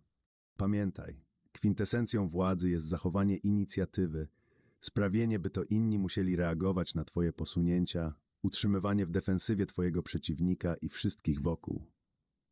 Stajesz się panem sytuacji, gdy ludzie zaczynają przychodzić do ciebie, a władzę ma ten, kto panuje nad sytuacją. Dwie rzeczy muszą się wydarzyć, by ustawić cię w takiej pozycji. Najpierw sam musisz nauczyć się panować nad własnymi emocjami i nigdy nie dać się ponieść złości. Równocześnie musisz jednak nauczyć się grać na naturalnym ludzkim odruchu reagowania złością na popychanie i szczucie. Na dłuższą metę umiejętność sprawiania, że to inni przychodzą do ciebie, jest znacznie potężniejszą bronią niż jakiekolwiek narzędzie agresji. Dodatkową korzyścią płynącą z faktu, iż twój przeciwnik przychodzi do ciebie, jest to, że musi działać na twoim terytorium. Znalezienie się na wrogim terytorium sprawia, że ze zdenerwowania zacznie postępować pospiesznie i tym samym będzie popełniał błędy. Dobrze jest prowadzić negocjacje i spotkania na własnym terytorium lub terytorium przez siebie wybranym i tam zwabiać innych. Znasz swoje położenie, natomiast dla nich wszystko jest obce, co delikatnie ustawia ich w defensywie. Manipulowanie jest niebezpieczną grą. Jeśli tylko ktoś zacznie podejrzewać, że jest manipulowany, usztywnia się i staje się trudniejszy do opanowania. Jeśli jednak spowodujesz, że twój przeciwnik przychodzi do ciebie, wówczas stwarzasz wrażenie, że to on panuje nad sytuacją. Znany XIX-wieczny wyzyskiwacz Daniel Drew był mistrzem gry na giełdzie. Rzadko kiedy posuwał się do działania wprost, windując lub obniżając cenę akcji, gdy chciał je kupić lub sprzedać. Do jego trików należało przemykanie przez jeden z ekskluzywnych klubów w pobliżu Wall Street z oczywistym zamiarem udania się na giełdę i wyciąganie po drodze czerwonej chusty, by zetrzeć pot z brwi. Z chusty wypadał wtedy kawałek papieru, czego zdawał się nie zauważać. Członkowie klubu starający się przewidzieć jego posunięcia, rzucali się na upuszczony papierek, który bez wątpienia musiał zawierać poufną informację giełdową.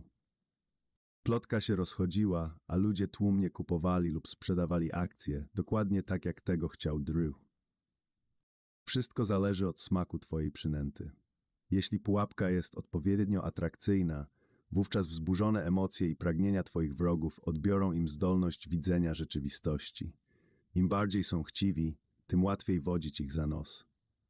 Założywszy przynętę dla jelenia, nie strzelam do pierwszej łani, jaka się pojawi, ale czekam, aż przyjdzie całe stado.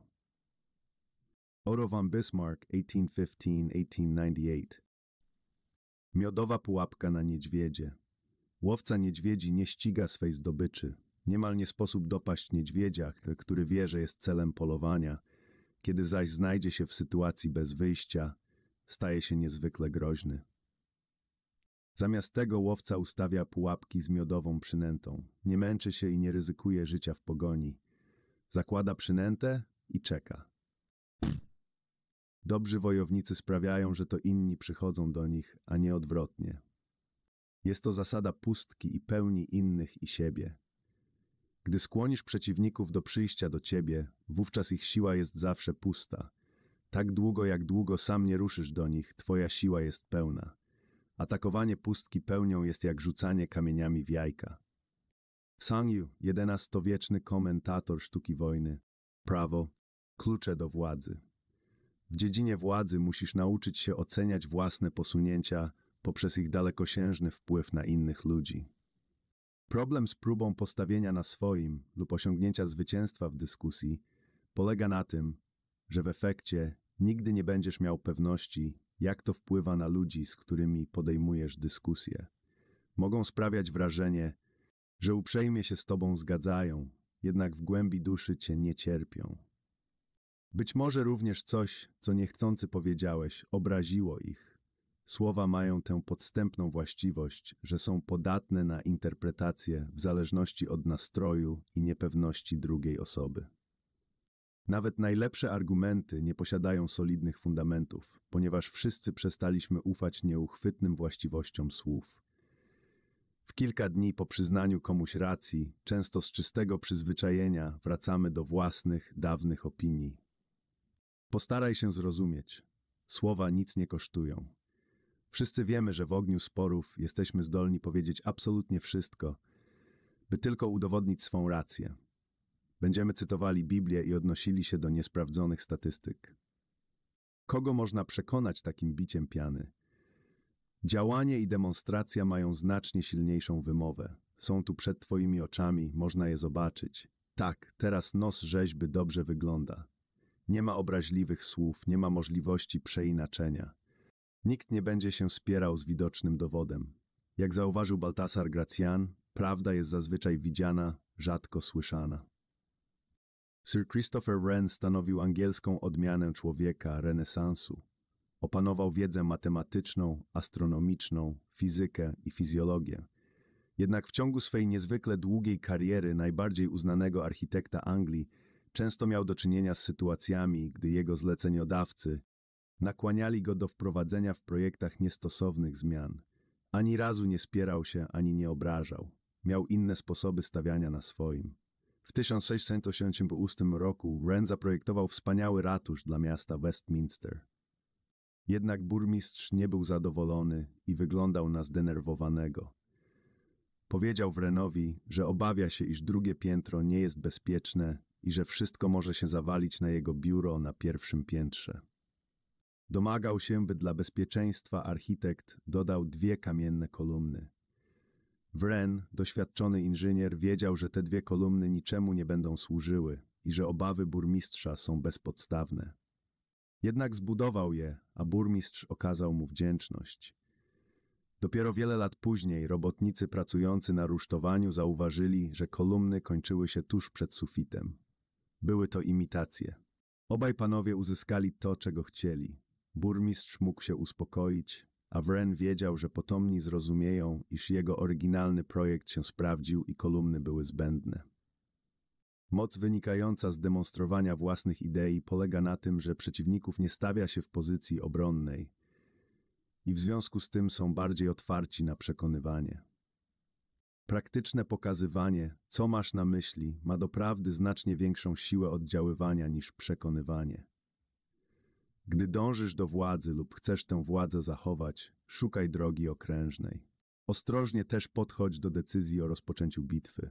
Jeśli zaś na dłuższą metę bez znaczenia jest to, czy druga osoba zgadza się z tobą, lub jeśli upływ czasu i jej własne doświadczenie sprawią, że zrozumie twoje stanowisko, naprawdę nie warto niczego udowadniać. Oszczędź energię i odejdź. Karuzela. Dyskutanci są raz górą, raz dołem i do niczego szybko nie dochodzą. Zejdź z karuzeli i bez kopania lub popychania pokaż im, o co ci chodzi. Pozostaw ich na górze i pozwól grawitacji sprowadzić ich delikatnie na ziemię. Rzeczywistość. Nigdy się nie spierać. W społeczeństwie nie należy niczego poddawać dyskusji. Ważne są wyniki.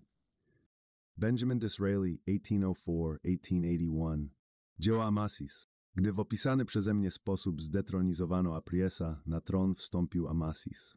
Należał do dystryktu Sais i pochodził z miasta o nazwie Siup.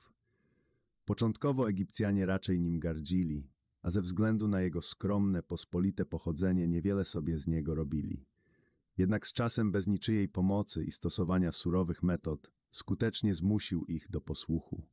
Wśród swych niezliczonych skarbów miał złotą miednicę, z której on i jego goście czasami korzystali przy myciu nóg.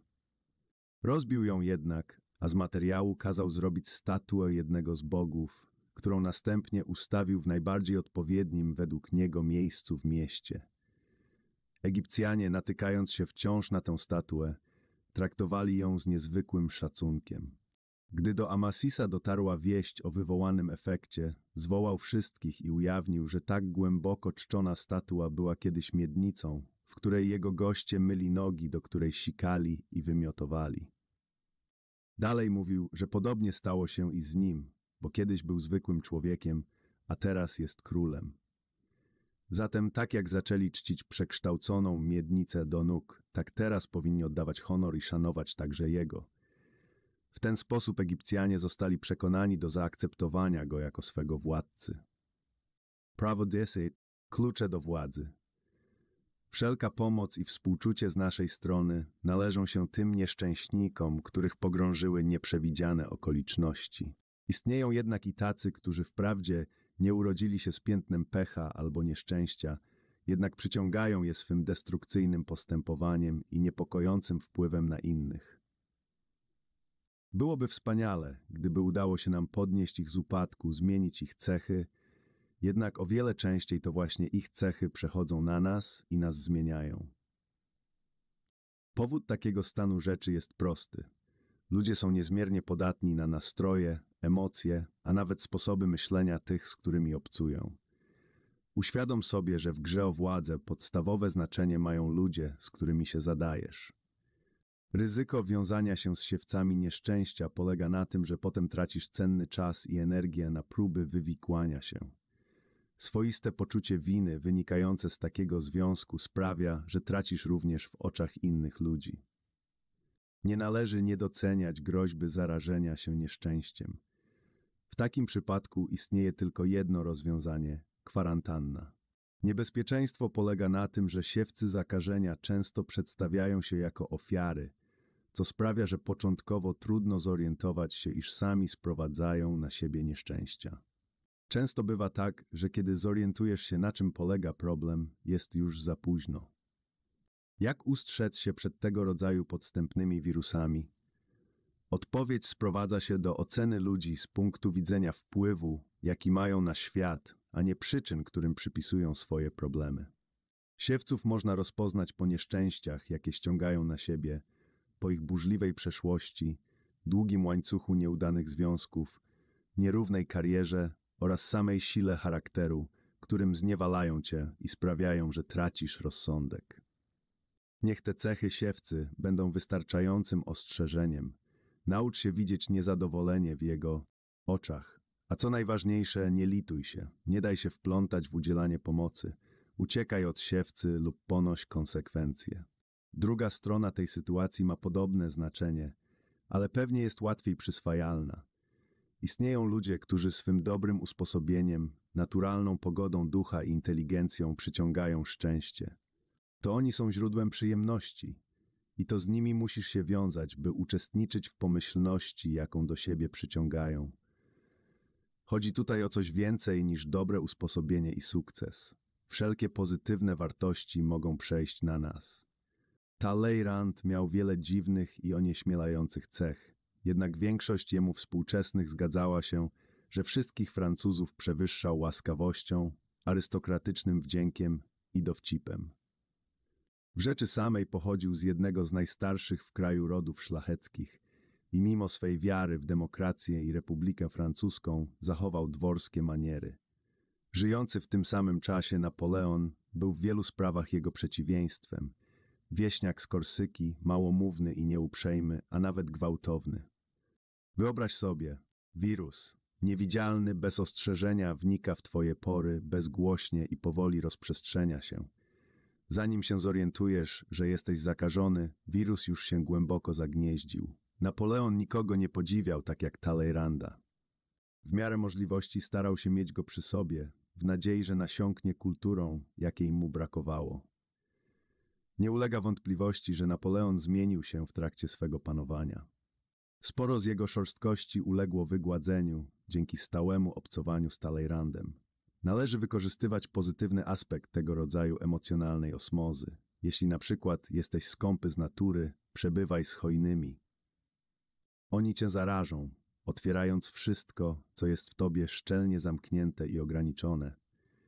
Jeśli jesteś ponury, staraj się wejść w orbitę kogoś, kto jest radosny. Jeśli masz skłonność do izolowania się, zmuś się do obcowania z kimś towarzyskim. Nie wiąż się z nikim, kto ma te same przypadłości, wzmocnią bowiem to wszystko, co ciebie ogranicza. Należy wchodzić jedynie w związki o pozytywnym przyciąganiu. Niech to będzie twoją życiową zasadą, a przyniesie ci więcej pożytku niż wszystkie terapie świata. Rzeczywistość. Zorientuj się, gdzie są szczęściarze, by móc do nich dołączyć i gdzie są pechowcy, by ich unikać. Pech jest zazwyczaj zbrodnią szaleństwa, a wśród tych, którzy na nią cierpią, nie ma dolegliwości bardziej zaraźliwej. Nie otwieraj drzwi nawet najmniejszemu pechowi, bo jeśli to uczynisz, przyjdą następne. Nie umieraj za nieszczęścia innych. Baltasar Gracian 1601-6658 Traf chciał, że orzech znalazł się na wysokiej dzwonnicy zaniesiony tam przez kruka, ale potem, spadając do szczeliny, uniknął strasznego losu. Leżąc na dole, uprosił ścianę, by go osłaniała. Wzywał Boga, chwalił jej wysokość, piękno i szlachetny ton dzwonów. Mój Boże, ciągnął orzech, nie dane mi było spaść pod zielone gałęzie mojego starego ojca i spoczywać na ugorze pod powłoką jego opadłych liści, to może przynajmniej ty mnie nie opuścisz. Kiedy znalazłem się w dziobie okrutnego kruka, przysiągłem sobie, że jeśli uda mi się ujść cało, to skończę życie w małej dziurze. Na te słowa wzruszona ściana ucieszyła się, że może dać schronienie orzechowi w miejscu, gdzie spadł. W krótkim czasie orzech otworzył się, jego korzenie sięgnęły szczelin w kamieniach i zaczęły je rozsuwać. Kiełkujące pędy kierowały się ku niebu. Niebawem przerosły budynek, a gdy tylko wijące się korzenie nabrały tężyzny, zaczęły rozsadzać ściany i przemieszczać starożytne kamienie z ich odwiecznych legowisk. Dopiero wtedy ściana zaczęła lamentować nad przyczyną swego zniszczenia, ale było już za późno i płakała nadaremnie. Wkrótce popadła w ruinę. Leonardo da Vinci 1452-1519 Prawo onast. Klucze do władzy. Najwyższa władza to taka, dzięki której ludzie postępują zgodnie z Twoim życzeniem. Jeśli możesz tego dokonać bez zmuszania i krzywdzenia ludzi, jeśli sami dają Ci to, czego sobie życzysz, wówczas Twoja władza jest nietykalna.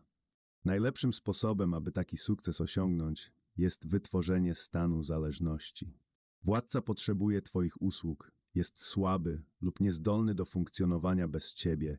Tak bardzo jesteś uwikłany w jego pracę, że trudno byłoby mu poradzić sobie bez Ciebie, a każda zmiana oznaczałaby stratę cennego czasu na wypróbowywanie Twojego następcy.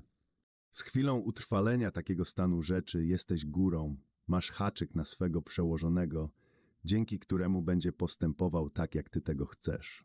To właśnie klasyczny przykład człowieka stojącego za tronem sługi, który w rzeczy samej panuje nad królem.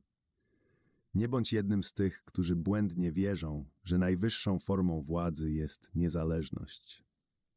Władza obejmuje stosunki między ludźmi. Zawsze będziesz potrzebował innych jako sojuszników, pionki, a nawet słabych zwierzchników, służących ci za pierwszą linię frontu.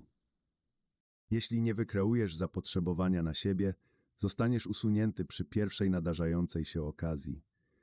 Zastąpi cię ktoś młodszy, świeższy, tańszy, stanowiący mniejsze zagrożenie. Nie ryzykuj, niech inni będą od ciebie uzależnieni.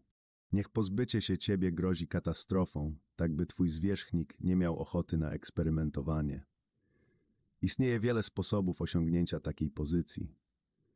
Najlepszym jest posiadanie talentów i zdolności twórczych, których po prostu nie da się zastąpić. Nie musisz być geniuszem, musisz mieć jakąś umiejętność wyróżniającą cię z tłumu. Powinieneś stworzyć sytuację, która pozwoli ci łatwo przylgnąć do innego zwierzchnika lub patrona, pozostawiając dotychczasowemu zwierzchnikowi problem ze znalezieniem innego sługi posiadającego zdolności podobne do twoich. Jeśli więc faktycznie nie jesteś nie do zastąpienia, powinieneś znaleźć sposób na to, by stworzyć wrażenie, że jesteś.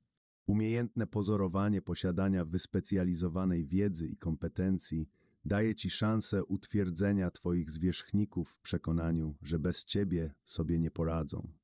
Henry'emu Kissingerowi udało się przetrwać liczne czystki zdarzające się w Białym Domu Nixona, nie dlatego, iż był najlepszym dyplomatą, na jakiego Nixon natrafił.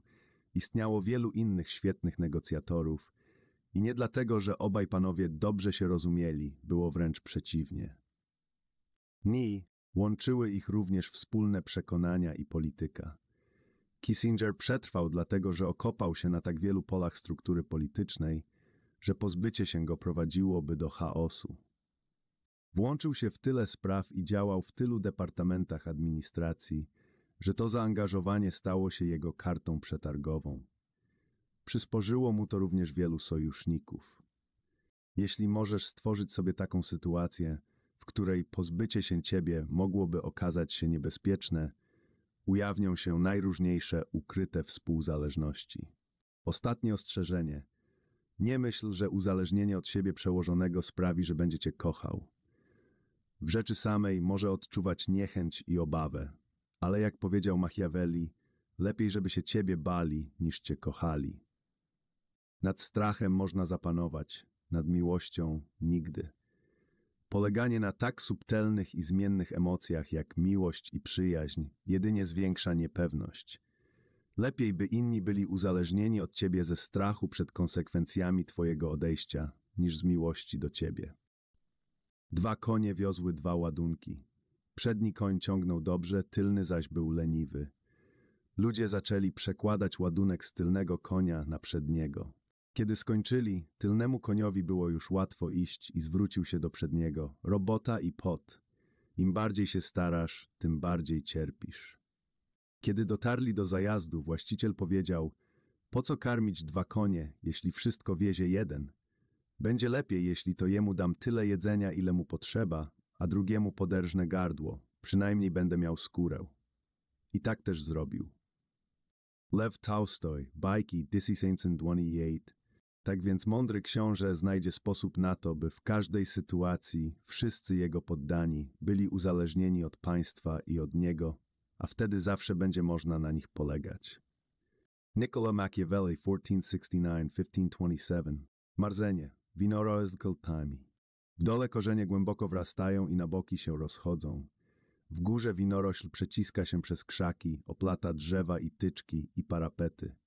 Pozbycie się jej kosztowałoby wiele wysiłku i krwi, więc łatwiej pozwolić jej się piąć. Spraw, by ludzie byli od ciebie uzależnieni.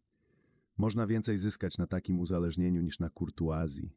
Kto zaspokoi pragnienie, szybko odwraca się od studni, już jej nie potrzebując.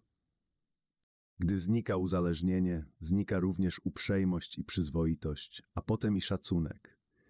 Pierwsze, czego powinno nauczyć cię doświadczenie, to podtrzymywanie, lecz nie zaspokajanie nadziei, stałe podtrzymywanie zapotrzebowania na swoje usługi nawet u królewskiego patrona.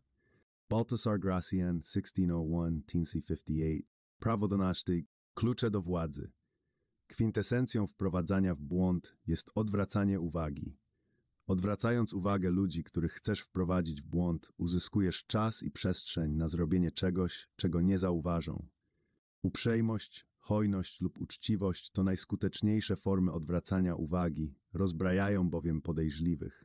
Zmieniają ich w dzieci ochoczo przyjmujące wszelkie przejawy przyjaźni. W starożytnych Chinach nazywano tą zasadę dawaniem. Zanim weźmiesz, dawanie sprawia, że drugiej osobie trudno jest dostrzec fakt brania. Jest to narzędzie praktycznie o nieograniczonym zastosowaniu. Jawne zabieranie komuś czegoś jest niebezpieczne nawet dla najpotężniejszych. Ofiara będzie knuła zemstę. Niebezpiecznie jest również po prostu prosić o coś, czego potrzebujesz, niezależnie od tego, co czynisz. Osoba, do której się zwracasz, może być niechętna Twoim potrzebom, chyba że sama będzie widziała w tym jakąś korzyść. Naucz się dawać, zanim weźmiesz. To zmiękcza grunt, tępi ostrość Twojej przyszłej prośby lub po prostu odwraca uwagę. No i dawanie może przybrać różne formy. Faktycznego podarunku, hojnego czynu, uprzejmej przysługi, uczciwego przyznania się, w zależności od potrzeb. W trakcie pierwszego spotkania najlepiej zastosować wybiórczą uczciwość. Wszyscy jesteśmy stworzeniami postępującymi zgodnie z przyzwyczajeniami i pierwsze wrażenie zawsze jest najtrwalsze. Jeśli na początku obcowania z kimś sprawisz, że nabierze on przekonania o twojej uczciwości, potrzeba będzie sporo wysiłku, by to zmienić. To stwarza ci pole manewru. Czasami nie wystarcza pojedynczy przykład uczciwości. To, czego potrzeba, to reputacja osoby uczciwej zbudowana na podstawie wielu nawet drobnych uczynków. Kiedy wyrobisz sobie reputację, podobnie jak pierwsze wrażenie, trudno będzie ją zmienić. W starożytnych Chinach książę Wu Zcheng uznał, że czas przejąć władzę nad rosnącym w siłę królestwem Hu. Nie mówiąc nikomu o swoim planie, wydał córkę za władcę Hu. Następnie wezwał radę i zapytał ministrów. Rozważam podjęcie operacji wojskowej. Który kraj powinniśmy najechać? Zgodnie z oczekiwaniem jeden z jego ministrów odpowiedział, należy najechać na Hu. Książę udał złość i powiedział, Hu jest teraz krajem zaprzyjaźnionym. Czemu proponujesz, by go najechać? Kazał stracić ministra za jego niemądrą uwagę. Usłyszał o tym władca Hu i wziąwszy pod uwagę inne dowody uczciwości Wu oraz małżeństwo z jego córką, nie podjął żadnych przygotowań obronnych przeciw Cheng. Kilka tygodni później wojska Sheng jak burza przeszły przez Hu, zajmując kraj, by już go nie opuścić. Uczciwość to jeden z najlepszych sposobów, jakkolwiek nie jedyny, na rozbrojenie osobnika ostrożnego. Może temu służyć każdy rodzaj szlachetnego, pozornie bezinteresownego uczynku. Prawdopodobnie jednak najlepszym jest okazanie hojności. Mało kto może się oprzeć przyjęciu podarunku nawet od najbardziej zatwardziałego wroga, co często jest doskonałym sposobem na rozbrojenie ludzi. Podarunek budzi w nas dziecko, natychmiast obniżając nasze zdolności obronne. Jakkolwiek często postrzegamy postępowanie innych w sposób szczególnie cyniczny, rzadko widzimy w podarunku makiaweliczny element kryjący motywy, które później wychodzą na jaw. Podarunek jest doskonałym obiektem, w którym można skryć zwodniczy ruch. Opisaną taktykę należy jednak stosować ostrożnie. Jeśli ludzie ją przejrzą, ich zawiedzione uczucia wdzięczności i ciepła przekształcą się w najgwałtowniejsze przejawy nienawiści i nieufności. Nie baw się ogniem, jeśli nie potrafisz sprawić, by twoje gesty wyglądały na szczere i płynące z serca. Francesco Borri, dwozanin Sarlatan. Francesco Giuseppe Borri z Mediolanu, którego śmierć w roku 1695 przypadła na sam koniec XVII wieku, był zwiastunem szczególnego rodzaju szarlatańskich, łowców przygód, dworaków lub fałszywych rycerzy. Prawdziwy okres jego sławy rozpoczął się wraz z przeprowadzką do Amsterdamu. Przybrał tam tytuł Medico Universale, utrzymywał wielki dwór i jeździł powozem zaprzężonym w sześć koni. Pacjenci tłumnie się do niego schodzili, a niektórych inwalidów niesiono w lektykach do Amsterdamu aż z Paryża. Borri nie brał opłat za konsultacje, wielkie sumy rozdawał biednym i nie słyszano, by otrzymywał jakiekolwiek pieniądze za pośrednictwem poczty lub czeków. Ponieważ mimo to żył na wysokiej stopie, przypuszczano, że posiada kamień filozoficzny. Niespodziewanie ten dobroczyńca zniknął z Amsterdamu. Odkryto wówczas, że zabrał ze sobą pieniądze i brylanty, jakie powierzono mu na przechowanie. Grady de Francesco, The Power of the Charlatan, 1939. Koń trojański.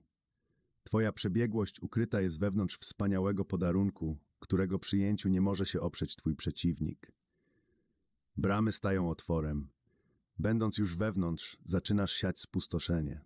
Rzeczywistość, gdy książę Księskin przymierzał się do najechania Yu, podarował im jadeity i zaprzęg konny. Kiedy książę Ci zamierzał najechać Hou-Yu, podarował im wspaniałe rydwany. Stąd powiedzenie, kiedy zamierzasz coś wziąć, najpierw powinieneś dać. Chinthi filozof, Thurstaber Pianli, Perhyd Tuk, klucze do władzy. W trakcie swych starań o zdobycie władzy będziesz nieustannie znajdował się w pozycji proszącego potężniejszych od siebie o pomoc. Zwracanie się o pomoc to sztuka polegająca na umiejętności zrozumienia osoby, z którą masz do czynienia, oraz niemieszania potrzeb własnych i drugiej osoby. Większość ludzi nie potrafi tego zrobić, ponieważ pogrążeni są w pułapce własnych pragnień i rządz. Zaczynają od przyjęcia założenia, że ci, do których się zwracają, czują bezinteresowną potrzebę pomagania. Zwracają się tak, jakby ich potrzeby miały znaczenie dla innych, chociaż w rzeczywistości nic ich pewnie nie obchodzą. Czasami odwołują się do szerszych zagadnień, ważnych spraw lub silnych emocji, jak miłość czy wdzięczność. Sięgają do uogólnień, gdy tymczasem prosta, codzienna rzeczywistość może odnieść większy skutek. To, z czego nie zdają sobie sprawy, to fakt, że nawet najpotężniejszy człowiek funkcjonuje w obrębie własnych potrzeb i że jeśli nie odniesiesz się do jego osobistego interesu, potraktuje cię jak desperata lub w najlepszym razie natręta, narażającego go na stratę czasu. Kluczowym krokiem w tym procesie jest zrozumienie psychologii drugiej osoby. Czy jest próżna, czy dba o własną reputację lub pozycję społeczną, czy ma wrogów, w których pokonaniu mógłbyś okazać się przydatny, czy jej jedyną motywacją są pieniądze i władza. Gdy w XII wieku Mongołowie najechali Chiny, zagrozili zniszczeniem kultury, jaka rozwijała się od ponad dwóch tysięcy lat. Ich wódz Dżingis nie widział w Chinach nic poza krainą, w której brakowało pastwisk dla jego koni, więc postanowił zniszczyć wszystko, równając z ziemią miasta, ponieważ najlepiej będzie wyciąć w pień Chińczyków i posiać trawę. Od nieszczęścia uratował naród chiński nie żołnierz, nie generał ani też król, ale człowiek o nazwisku Jelu Chucai. Choć był obcokrajowcem, doceniał wspaniałość chińskiej kultury. Został zaufanym doradcą Dżingis Hana i przekonał go, że będzie mógł zbierać wielkie bogactwa z podbitej krainy, jeśli zamiast niszczyć ją, po prostu opodatkuje wszystkich mieszkańców. Han uznał mądrość Shu Tsai i postąpił zgodnie z jego radą. Gdy po długim oblężeniu Chan zajął miasto Kaifeng i postanowił wyciąć w pień jego ludność, Shu Tsai powiedział mu, że do Kaifeng uciekli najlepsi chińscy rzemieślnicy i inżynierowie i że lepiej byłoby ich wykorzystać. Kaifeng zostało ocalone. Nigdy przedtem Dżingis Khan nie okazał takiej litości, ale w rzeczywistości to nie litość ocaliła Kaifeng. Hucaj dobrze poznał Shana. Ten wieśniak barbarzyńca za nic miał kulturę i wszystko, co nie służyło wojnie i praktycznym celom. Hucaj postanowił odnieść się do jedynych emocji, jakie działały na tego człowieka do chciwości. Własny interes jest czynnikiem, który może pobudzić ludzi do działania. Jeśli tylko uzmysłowisz im, w jaki sposób możesz przyczynić się do zaspokojenia ich własnych potrzeb lub pomóc w zbliżeniu się do celu, ich opór wobec Twojej prośby o pomoc w magiczny sposób zniknie. Na każdym etapie zdobywania władzy musisz poznawać sposoby myślenia drugiej osoby, musisz widzieć jej potrzeby i interesy, musisz pozbyć się zasłony własnych odczuć zniekształcających prawdę.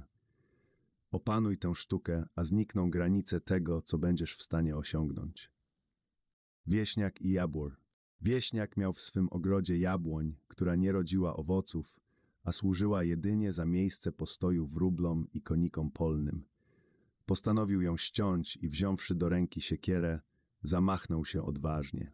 Koniki polne i wróble błagały go, żeby nie ścinał drzewa, które dawało im schronienie, by oszczędził je, a będą mu śpiewać i umilać pracę. Wieśniak nie zwracał jednak uwagi na ich prośby i ponownie uderzył siekierą. Gdy dotarł do pustego, środka drzewa zobaczył ul pełen miodu. Posmakowawszy plastra, odrzucił siekierę, popatrzył na drzewo jak na świętość i otoczył je wielką opieką. Niektórych ludzi do działania pobudza własny interes. Większość ludzi jest tak całkowicie subiektywna, że nie interesuje jej nic poza czubkiem własnego nosa. Zawsze, gdy padnie jakakolwiek uwaga, osoby te myślą tylko o własnej sprawie, a ich uwaga skupia się i jest pochłonięta możliwością najmniejszego nawet odniesienia do czegoś, co osobiście może ich dotyczyć, obojętnie jakby było odległe.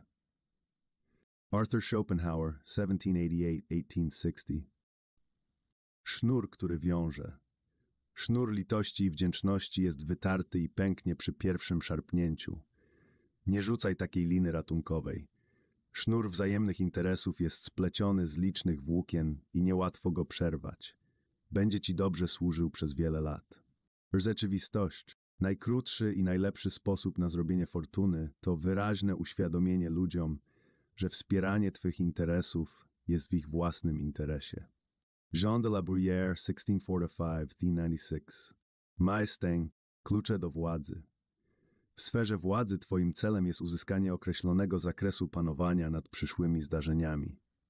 Część problemu, z jakim masz do czynienia, sprowadza się zatem do tego, że ludzie nie wyjawiają Ci wszystkich swoich myśli, emocji i planów. Kontrolując to, co mówią, często ukrywają różne elementy swego charakteru, swe słabości, motywacje odnoszące się do przyszłości, obsesje. W rezultacie nie jesteś w stanie przewidzieć ich posunięć i cały czas trwasz w niewiedzy. Sztuka polega więc na tym, żeby znaleźć sposób wysądowania ich, odkrycia ich tajemnic i skrywanych intencji bez ujawniania własnych zamiarów. Nie jest to tak trudne, jak mogłoby się wydawać. Przyjazne oblicze pozwoli ci skrycie zbierać informacje w równej mierze o przyjaciołach, jak i wrogach. Niech inni szukają odpowiedzi w horoskopach i czytają karty tarota. Ty masz bardziej konkretne sposoby patrzenia w przyszłość. Najpowszechniejszym sposobem szpiegowania jest wykorzystywanie innych ludzi. Metoda jest prosta, skuteczna, ale ryzykowna. Z pewnością uda ci się zebrać informacje, jednak w nieznacznym tylko stopniu będziesz panował nad ludźmi wykonującymi tę pracę. Może nieopatrznie ujawnią, że szpiegujesz, a nawet potajemnie zwrócą się przeciwko tobie. Znacznie lepiej samemu być szpiegiem, udawać przyjaciela i jednocześnie potajemnie zbierać informacje. Francuski polityk Talleyrand był jednym z najlepszych realizatorów tej sztuki. Posiadał tajemniczą zdolność wyłuskiwania z ludzi tajemnic podczas kurtuazyjnej rozmowy. W ciągu całego życia Talleyranda wszyscy twierdzili, że był wspaniałym rozmówcą, choć sam niewiele mówił. Nigdy nie opowiadał o własnych pomysłach, skłaniał innych do odkrywania swoich. Czasami ujawniał coś, co sprawiało wrażenie tajemnicy, a następnie obserwował reakcje słuchaczy. Zwracaj uwagę na wszystko, co się dzieje w trakcie różnych zebrań i niezobowiązujących spotkań. Wtedy właśnie ludzie tracą czujność. Prowokując ich do mówienia, możesz sprawić, że sporo ujawnią. Genialność tego manewru polega na tym, że Twoje zainteresowanie będą brać za przyjaźń, dzięki czemu uzyskasz nie tylko informacje, ale również sojuszników. Powyższą taktykę należy jednak ćwiczyć ostrożnie i z namaszczeniem. Ludzie zaczną was unikać, jeśli nabiorą podejrzeń, że pod pozorem prowadzenia rozmowy wyciągacie z nich tajemnice. Należy podkreślać przyjacielską formę rozmowy, a nie wagę informacji. Poszukiwanie perełek informacyjnych nie może być zbyt oczywiste. W przeciwnym razie bowiem pytania sądujące mogą więcej zdradzić o tobie samym i o twoich zamiarach, niż ujawnią zdobyte przez ciebie informacje. Pewna sztuczka, którą można wypróbować podczas szpiegowania, pochodzi od La Rochefoucauld, który napisał Szczerość jest cechą charakterystyczną dla niewielu osób i często bywa stosowana jako jedna z najsprytniejszych sztuczek. Ktoś może być szczery tylko po to, by wyciągnąć z drugiej osoby poufne informacje oraz tajemnice. Innymi słowy, udając otwieranie serca przed drugą osobą, zwiększasz prawdopodobieństwo, że zdradzi ona swoje tajemnice. Podziel się z kimś fałszywym wyznaniem, a usłyszysz od niego prawdziwe. Inną sztuczkę ujawnił filozof Arthur Schopenhauer. Zaproponował zdecydowane spieranie się z ludźmi, z którymi prowadzisz rozmowę, jako sposób na irytowanie ich, na pobudzanie w takim stopniu, by tracili panowanie nad tym, co mówią. W swej emocjonalnej reakcji ujawnią wówczas różne prawdy o sobie, prawdy, które później będziesz mógł wykorzystać przeciwko nim. Jeśli masz powód, by podejrzewać, że twój rozmówca kłamie, sprawiaj wrażenie, że wierzysz w każde jego słowo. To upewni go potrzebie kontynuowania, w swych wyznaniach będzie bardziej zdecydowany, a na koniec sam się zdradzi. I odwrotnie, jeśli uznasz, że twój rozmówca coś przed tobą ukrywa, choć udaje mu się to tylko częściowo, sprawiaj wrażenie, że mu nie wierzysz. Opór z twojej strony sprowokuje go do wprowadzenia do walki swych rezerw prawdy i przystąpienia do ataku na twą nieufność całą siłą swych rzeczywistych argumentów. Arthur Schopenhauer, 1788-1860 Władcy patrzą oczyma swych szpiegów, tak jak krowy węchem, bramini inskrypcjami, a reszta ludzi własnymi oczami. Kaut Theotius Fi and E. Trzecie oko szpiega. W krainie dwuocznych trzecie oko daje ci władzę Boga. Widzisz dalej niż inni i głębiej niż inni. Nikt poza tobą nie może się ukryć przed tym okiem. Rzeczywistość, zdolność przewidywania sytuacji wroga jest przyczyną, dla której genialny władca i mądry generał opanowują wrogie terytoria, zawsze gdy ruszają do boju, a ich osiągnięcia przewyższają wszystko, na co stać zwykłego człowieka. Ta zdolność przewidywania nie pochodzi od duchów ani od bogów, ani nie wynika z analogii do dawnych zdarzeń, ani z wyliczeń astrologicznych. Musi pochodzić od ludzi znających sytuację wroga, od szpiegów. Jens Sumszcztua Wordprokt. Prawo. Klucz do władzy. W swych zmaganiach o zdobycie władzy pobudzisz rywalizację i stworzysz sobie wrogów. Będziesz miał do czynienia z ludźmi, których nie da się przeciągnąć na twoją stronę, którzy pozostaną wrodzy bez względu na wszystko. Tacy wrogowie życzą ci najgorszego. Niczego nie pragną bardziej niż twojego unicestwienia. Jeśli w swych zmaganiach z nimi zatrzymasz się w pół drogi, a nawet tuż przed finiszem, z litości lub w nadziei na pojednanie, staną się jeszcze bardziej zdeterminowani, bardziej wściekli i pewnego dnia zechcą wziąć odwet. Przez pewien czas mogą pozorować przyjaźń, ale tylko dlatego, że zostali przez ciebie pokonani. Nie mają wyboru, muszą cierpliwie czekać na odpowiednią okazję. Rozwiązanie: nie miej litości. Nie traktuj osobiście ich nienawiści. Wroga musisz unicestwić równie bezwzględnie, jak on unicestwiłby ciebie.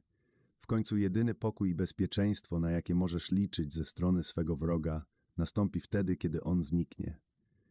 Mao Zedong rozumiał wagę tego prawa. Ten komunistyczny przywódca, by w 1933 roku uciec wraz z 75 tysiącami słabo wyposażonych żołnierzy przed znacznie potężniejszą armią Chiang Kai-sheka, schronił się w bezludnych górach zachodnich Chin. Od tego czasu to wydarzenie znane jest jako Długi Marsz. Chiang był zdecydowany zlikwidować wszystkich komunistów i po kilku latach Mao miał już mniej niż 10 tysięcy żołnierzy. W rzeczy samej, gdy Japonia najechała Chiny w roku 1937, Xiang uważał, że komuniści nie stanowią już zagrożenia. Zdecydował się przerwać pościg i skoncentrować na Japończykach. Dziesięć lat później komuniści odzyskali siły w wystarczającym stopniu, by przegonić armię Xianga. Mądrość mówiąca o tym, że wroga należy całkowicie zniszczyć, uleciała z pamięci Xianga, ale nie Mao. Xiang był tak długo ścigany, aż on sam i cała jego armia uciekli na wyspę Tajwan. W Chinach kontynentalnych do dziś nie pozostał najmniejszy ślad po jego reżimie. Cel, jakim jest totalne zwycięstwo, stanowi założenie nowoczesnej wojny i został opisany przez pierwszego filozofa wojny Karla von Clausewitza. Przeanalizowawszy kampanię Napoleona, Clausewitz napisał: Twierdzimy, że naszą uwagę musimy skupiać przede wszystkim na jednoznacznym unicestwieniu sił wroga. Z chwilą osiągnięcia znaczniejszego zwycięstwa nie można pozwolić sobie na gadanie o odpoczynku, o chwili oddechu. Trzeba kontynuować pościg, ponownie nacierać na wroga, zająć jego stolicę, atakować rezerwy i wszystko, co może przynieść pomoc i ulżyć sytuacji jego kraju. Jest tak dlatego, że po zakończeniu wojny przychodzi czas na negocjacje i podział terytorium. Jeśli osiągniesz jedynie częściowe zwycięstwo, to bez wątpienia w trakcie negocjacji stracisz wszystko to, co zyskałeś w wyniku działań wojennych. Rozwiązanie jest proste. Nie pozostawić wrogowi żadnego wyboru. Musisz go unicestwić, a przejmiesz jego terytorium. Celem władzy jest całkowite zapanowanie nad wrogami, zmuszenie ich do wykonywania Twojej woli. Nie możesz sobie pozwolić na zatrzymanie się w pół drogi. Wrogowie będą musieli przystać na Twoje żądania, jeśli nie pozostawisz im wyboru. Opisane prawo ma zastosowanie wychodzące daleko poza obszar pól bitewnych. Negocjacje są jak zdradliwa, jadowita żmija, która pożre Twoje zwycięstwo, więc nie pozostawiaj swemu wrogowi nic, co mogłoby podlegać negocjacjom, żadnej nadziei, żadnego pola manewru. Musi być unicestwiony i tyle. Spójrz prawdzie w oczy. Nigdy nie będziesz czuł się bezpiecznie, jeżeli swym wrogom nie okażesz bezwzględności. Jeśli zaś nie jesteś w stanie pozbyć się ich ani wykluczyć ze swojego otoczenia, to przynajmniej musisz mieć świadomość, że knują przeciw tobie i nie zwracać uwagi na żadne pozory przyjaźni z ich strony. Twoją jedyną bronią w takiej sytuacji jest własna ostrożność. Resztki sił wroga mogą się uaktywnić tak jak niewyleczona choroba lub niedogaszony pożar. Stąd wniosek, że należy je całkowicie zlikwidować. Nie można nie doceniać wroga, nawet wiedząc, że jest słaby. Z czasem może stać się niebezpieczny, podobnie jak iskra rzucona w snopek. Kautilja Philos PNE. Aby osiągnąć ostateczne zwycięstwo, należy być bezwzględnym. Napoleon Bonaparte 1769-1821 Zmiażdżona nogą, ale jeszcze żywa żmija spręży się, by cię ugryźć, częstując podwójną dawką jadu. Niedobitki wroga są jak wpółżywa żmija, którą kurujesz, by wróciła do zdrowia. Jad staje się z czasem mocniejszy. Należy zauważyć, że ludzi trzeba albo pieścić, albo eliminować. Zemszczą się za doznane drobne rany, ale nie będą w stanie tego zrobić za rany poważne. Zatem rana, jaką zadajemy człowiekowi, musi być taka, byśmy nie musieli obawiać się jego zemsty. Niccolo Machiavelli, 1469-1527 Zesajść klucze do władzy. Wszystko na świecie zależy od tego, czy cię widać, czy nie. Wyrazista obecność sprzyja władzy i wzbudzaniu zainteresowania, jaśniej blaskiem mocniejszym niż ci, którzy są wokół ciebie. Zdarza się jednak, że nadmierna obecność wywołuje odwrotny skutek. Im więcej cię widać i słychać, w tym większym stopniu tracisz na wartości. Twoja obecność staje się czymś oczywistym. Powoli, bez wyraźnej przyczyny, ludzie zaczynają darzyć cię coraz mniejszym szacunkiem, niezależnie od tego, jak bardzo starasz się wyróżniać. Musisz nauczyć się wycofywać w odpowiednim momencie, zanim inni ludzie nieświadomie sami cię odepchną. To jak zabawa wchowanego. Prawdę wynikającą z tego prawa najlepiej widać w przypadku miłości i zalotów. W pierwszym okresie romansu nieobecność kochanka pobudza umysł, tworząc wokół niego lub niej niezwykłą atmosferę. Atmosfera ta zanika, gdy dowiadujesz się za dużo, gdy twoja wyobraźnia nie ma już więcej przestrzeni do buszowania. Ukochana osoba staje się takim samym człowiekiem jak każdy inny, kimś, kogo obecność jest czymś naturalnym. Aby tak się nie stało, należy tę drugą osobę niejako przegłodzić. Należy wymusić szacunek groźbą odejścia na dobre. Napoleon miał na uwadze właśnie to prawo odnoszące się do publicznej obecności i nieobecności, kiedy powiedział: Ludzie przestaną mnie zauważać, jeśli zbyt często będą widywali mnie w teatrze. Dziś w świecie zalewanym powodzią obrazów gra w wycofywanie się nabiera jeszcze większego znaczenia. Rzadko kiedy zdajemy sobie sprawę z tego, że nadszedł czas, by się wycofać. Zanikła sfera prywatności, to też zadziwia nas każdy, kto potrafi zniknąć wtedy, kiedy zechce. Dzięki umiejętności znikania tacy pisarze jak J.D. Salinger oraz Thomas Pynchon stworzyli swego rodzaju kult mający licznych naśladowców. Inna, bardziej powszednia strona tego prawa, jeszcze dosadniej demonstrująca zawartą w nim prawdę, to ekonomiczna zasada niedoboru. Wycofując towar z rynku, podnosimy jego wartość. W XVII-wiecznej Holandii członkowie rodziny królewskiej chcieli uczynić z tulipana coś więcej niż tylko piękny kwiat. Zapragnęli przekształcić go w symbol statusu społecznego. Sprawiając, że kwiat ten stał się rzadkością i był prawie niedostępny, wywołali swojego rodzaju tulipomanię. Jednocześnie wartość pojedynczego kwiatu była wyższa niż jego waga w złocie. Rozciągnij zatem prawo niedoboru na swoje własne zdolności. Spraw, że to, co masz światu do zaoferowania, jest rzadkie i trudno dostępne, a natychmiast wzrośnie jego wartość. Zawsze jednak nadchodzi taki moment, gdy ci, którzy są u władzy, przeciągają strunę. Jesteśmy nimi zmęczeni, tracą nasz szacunek. Stają się w naszych oczach tacy sami jak reszta ludzkości. Zaczynamy porównywać ich aktualny obraz z wyidealizowanym wcześniejszym wizerunkiem. Wiedza o tym, kiedy się wycofać, jest sztuką. Właściwie stosowana pomaga odzyskać utracony szacunek i zachować chociaż część władzy. Jeśli jednak Twoja publiczna obecność stanie się zbyt częsta, to stworzona przez Ciebie atmosfera władzy ulotni się. Zmień sytuację. Spraw, że będziesz trudniej osiągalny, a natychmiast zwiększysz wartość swej osoby. Wielbłąd i pływający kij. Pierwszy człowiek, który zobaczył wielbłąda, uciekł. Drugi zaryzykował podejście na pewną odległość. Trzeci odważył się zarzucić mu powróz na szyję. Znajomość rzeczy sprawia, że stają się one przyjazne, choć początkowo mogły wydawać się straszne bądź dziwne. Stają się pospolite, gdy nasze oczy przyzwyczają się do nich. Skoro już poruszyłem ten temat, to wspomnę o strażniku, któremu przydzielono posterunek na plaży. Zobaczywszy coś pływającego w oddali, nie mógł się powstrzymać i krzyknął: Żaglowiec, żaglowiec! Potężny okręt wojenny.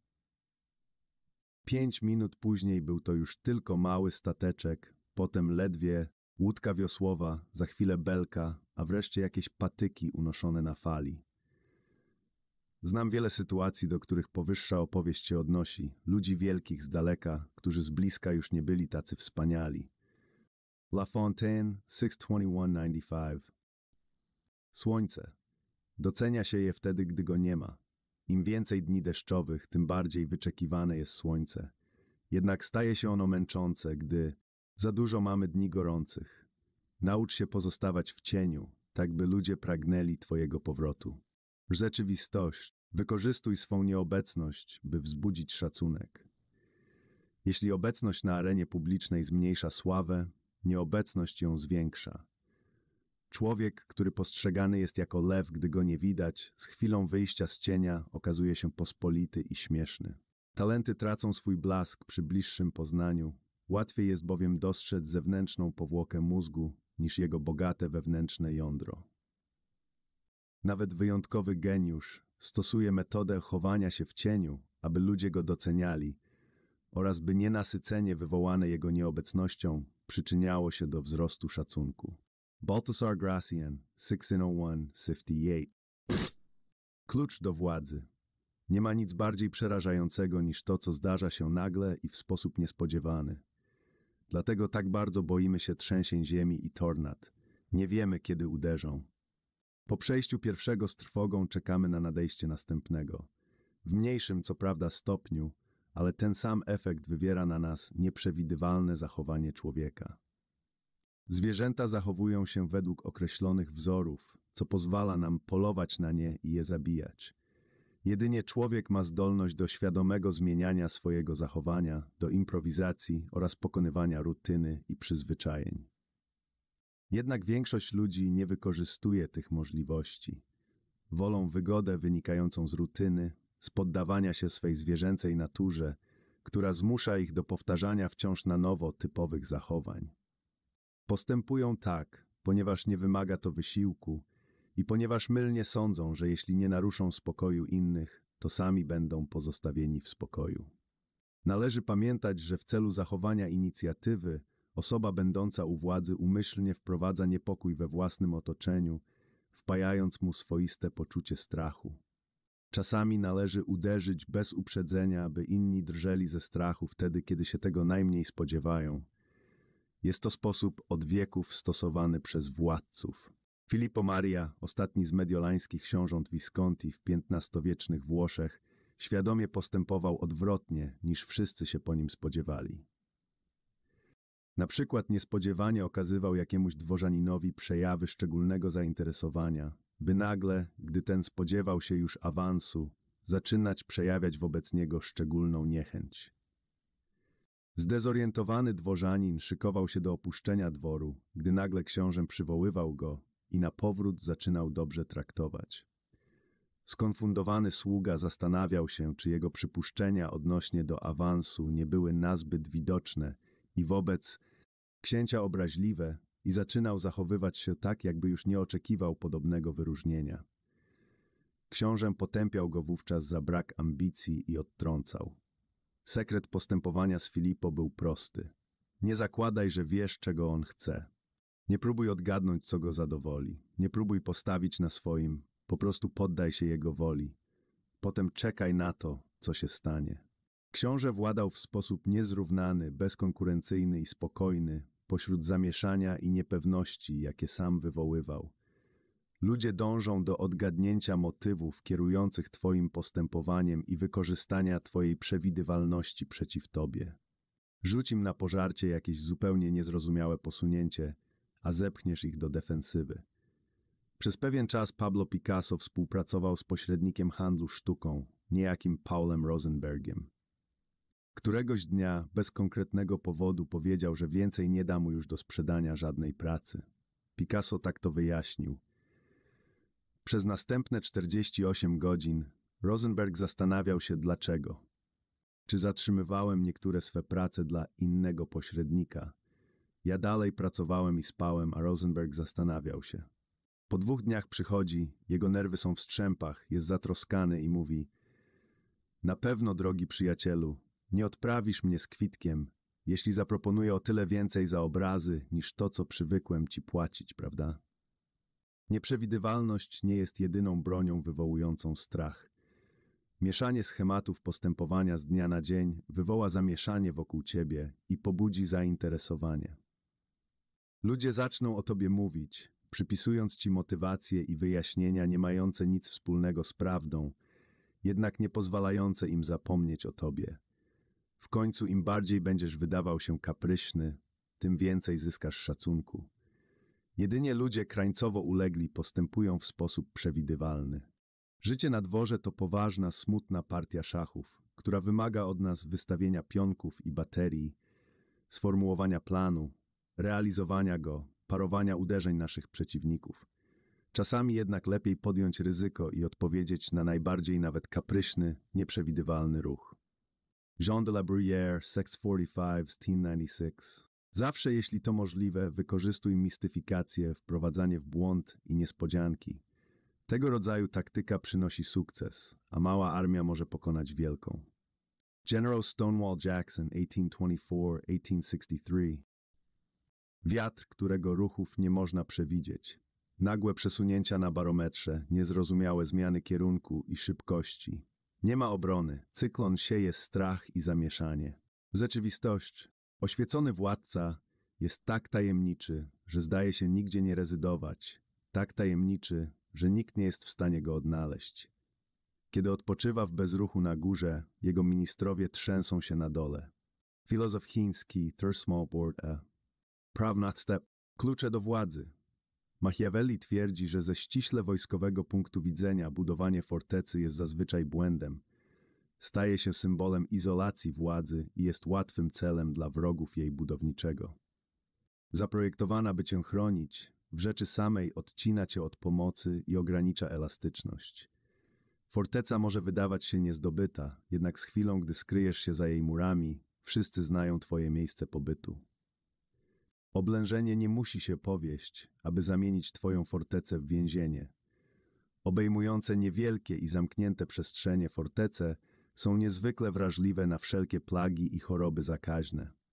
Izolacja fortecy w sensie strategicznym nie zapewnia ochrony, ale tak naprawdę stwarza więcej problemów niż ich rozwiązuje. Ze względu na to, że ludzie są stworzeniami z natury społecznymi, władza jest uzależniona od współdziałania społecznego i od krążenia w społeczeństwie. By stać się potężnym, należy znaleźć się w centrum zdarzeń.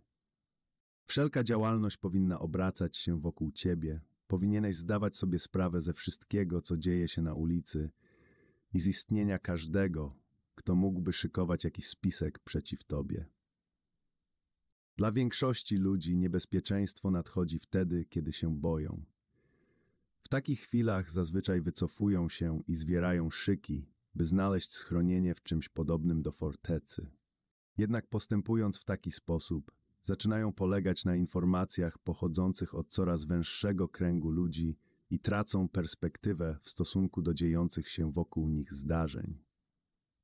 Tracą zdolność manewrową i stają się łatwym celem, a ich izolacja sprawia, że popadają w paranoję. Podobnie jak w czasie wojny oraz w większości gier strategicznych, izolacja prowadzi często do przegranej i śmierci. W chwilach niepewności oraz niebezpieczeństwa należy zwalczać pragnienie zamknięcia się w sobie. Przeciwnie, należy stać się bardziej dostępnym, odnajdywać dawnych sojuszników i pozyskiwać nowych, zmuszać się do wchodzenia w coraz nowsze kręgi. Od wieków była to sztuczka ludzi władzy. Cyceron, rzymski mąż stanu, urodził się w rodzinie drobnej szlachty i miał niewielką szansę na sięgnięcie po władzę, chyba żeby mu się udało zdobyć miejsce pośród panującej w mieście arystokracji. Udało się to znakomicie. Poznał ludzi mających wpływy i odkrył, jakie panują między nimi relacje. Wszędzie się wkręcił, wszystkich znał i miał tak olbrzymią sieć powiązań, że wróg w jednym miejscu mógł być doskonale zrównoważony sojusznikiem w innym.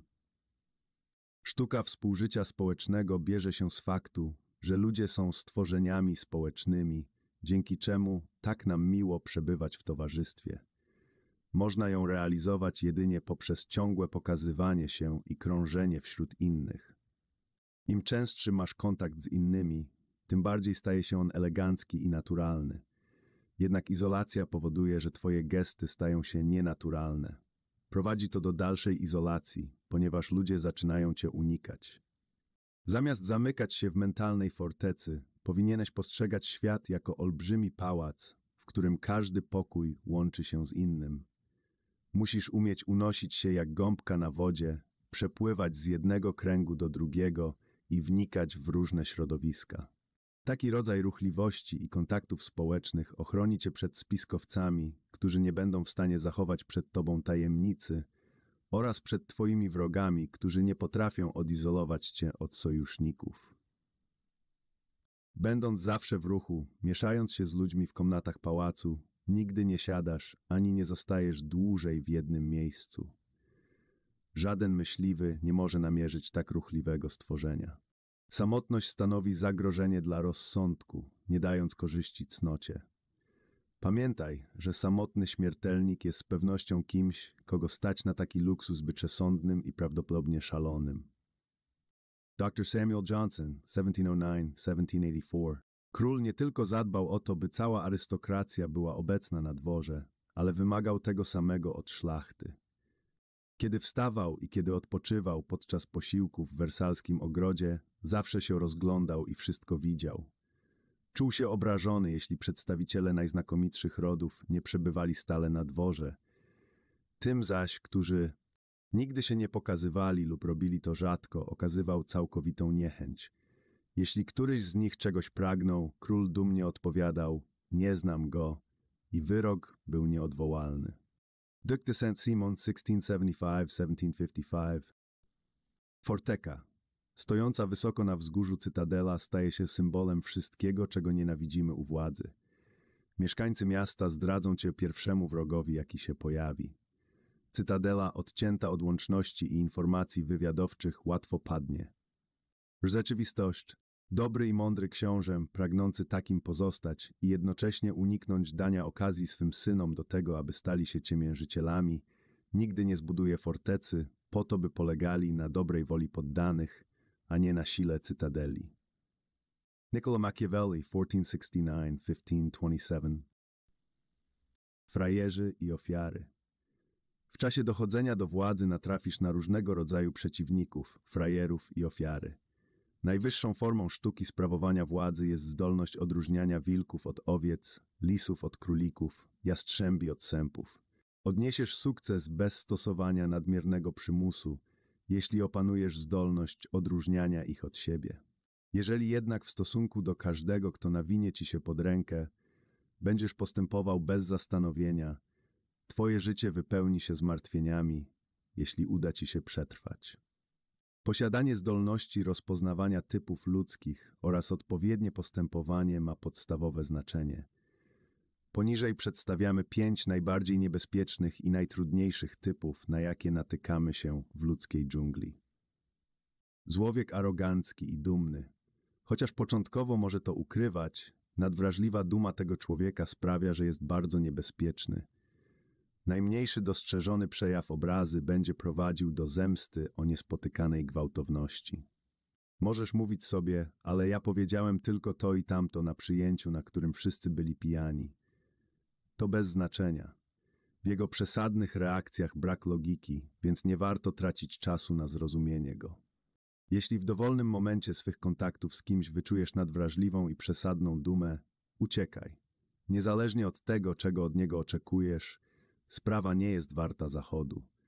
Beznadziejnie niepewny człowiek. Skoligacony z wiekiem dumnym i aroganckim, ale mniej gwałtowny i trudniejszy do rozpoznania. Jego ego jest kruche, brak mu pewności siebie, a jeśli poczuje się oszukiwany lub zaatakowany, wówczas wpadnie we wściekłość. Zacznie cię atakować w taki sposób, że miną wieki, zanim zauważysz, że jesteś atakowany. Jeśli zorientujesz się, że oszukałeś lub zraniłeś takiego człowieka, postaraj się zniknąć na dłuższy czas.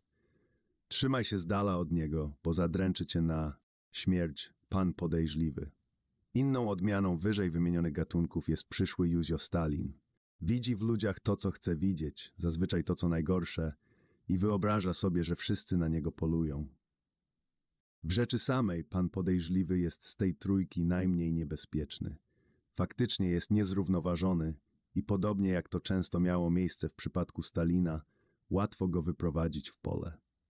Wystarczy pograć na jego podejrzliwej naturze, by nastawić go przeciwko innym ludziom. Jeśli jednak zdarzy ci się zostać celem jego podejrzliwości, miej się na baczności. Wąż o długiej pamięci. Nawet jeśli zostanie zraniony lub oszukany, nie będzie okazywał złości na zewnątrz, będzie kombinował i czekał. W pewnym momencie, kiedy sytuacja pozwoli mu zmienić front, dokona zemsty cechującej się przebiegłą bezwzględnością. Takiego człowieka można poznać po jego kombinacjach i przebiegłości w rozmaitych sferach życia. Zazwyczaj jest zimny i beznamiętny. W stosunku do węża należy być szczególnie ostrożnym, a jeśli w jakiś sposób go zraniłeś, to albo zmiażdż go całkowicie, albo pozbądź się z pola widzenia. Człowiek prosty, skromny i mało inteligentny. Nadstawiasz uszy na wieść o tak ponętnej ofierze. Jednak znacznie trudniej ją zwieść niż ci się wydaje.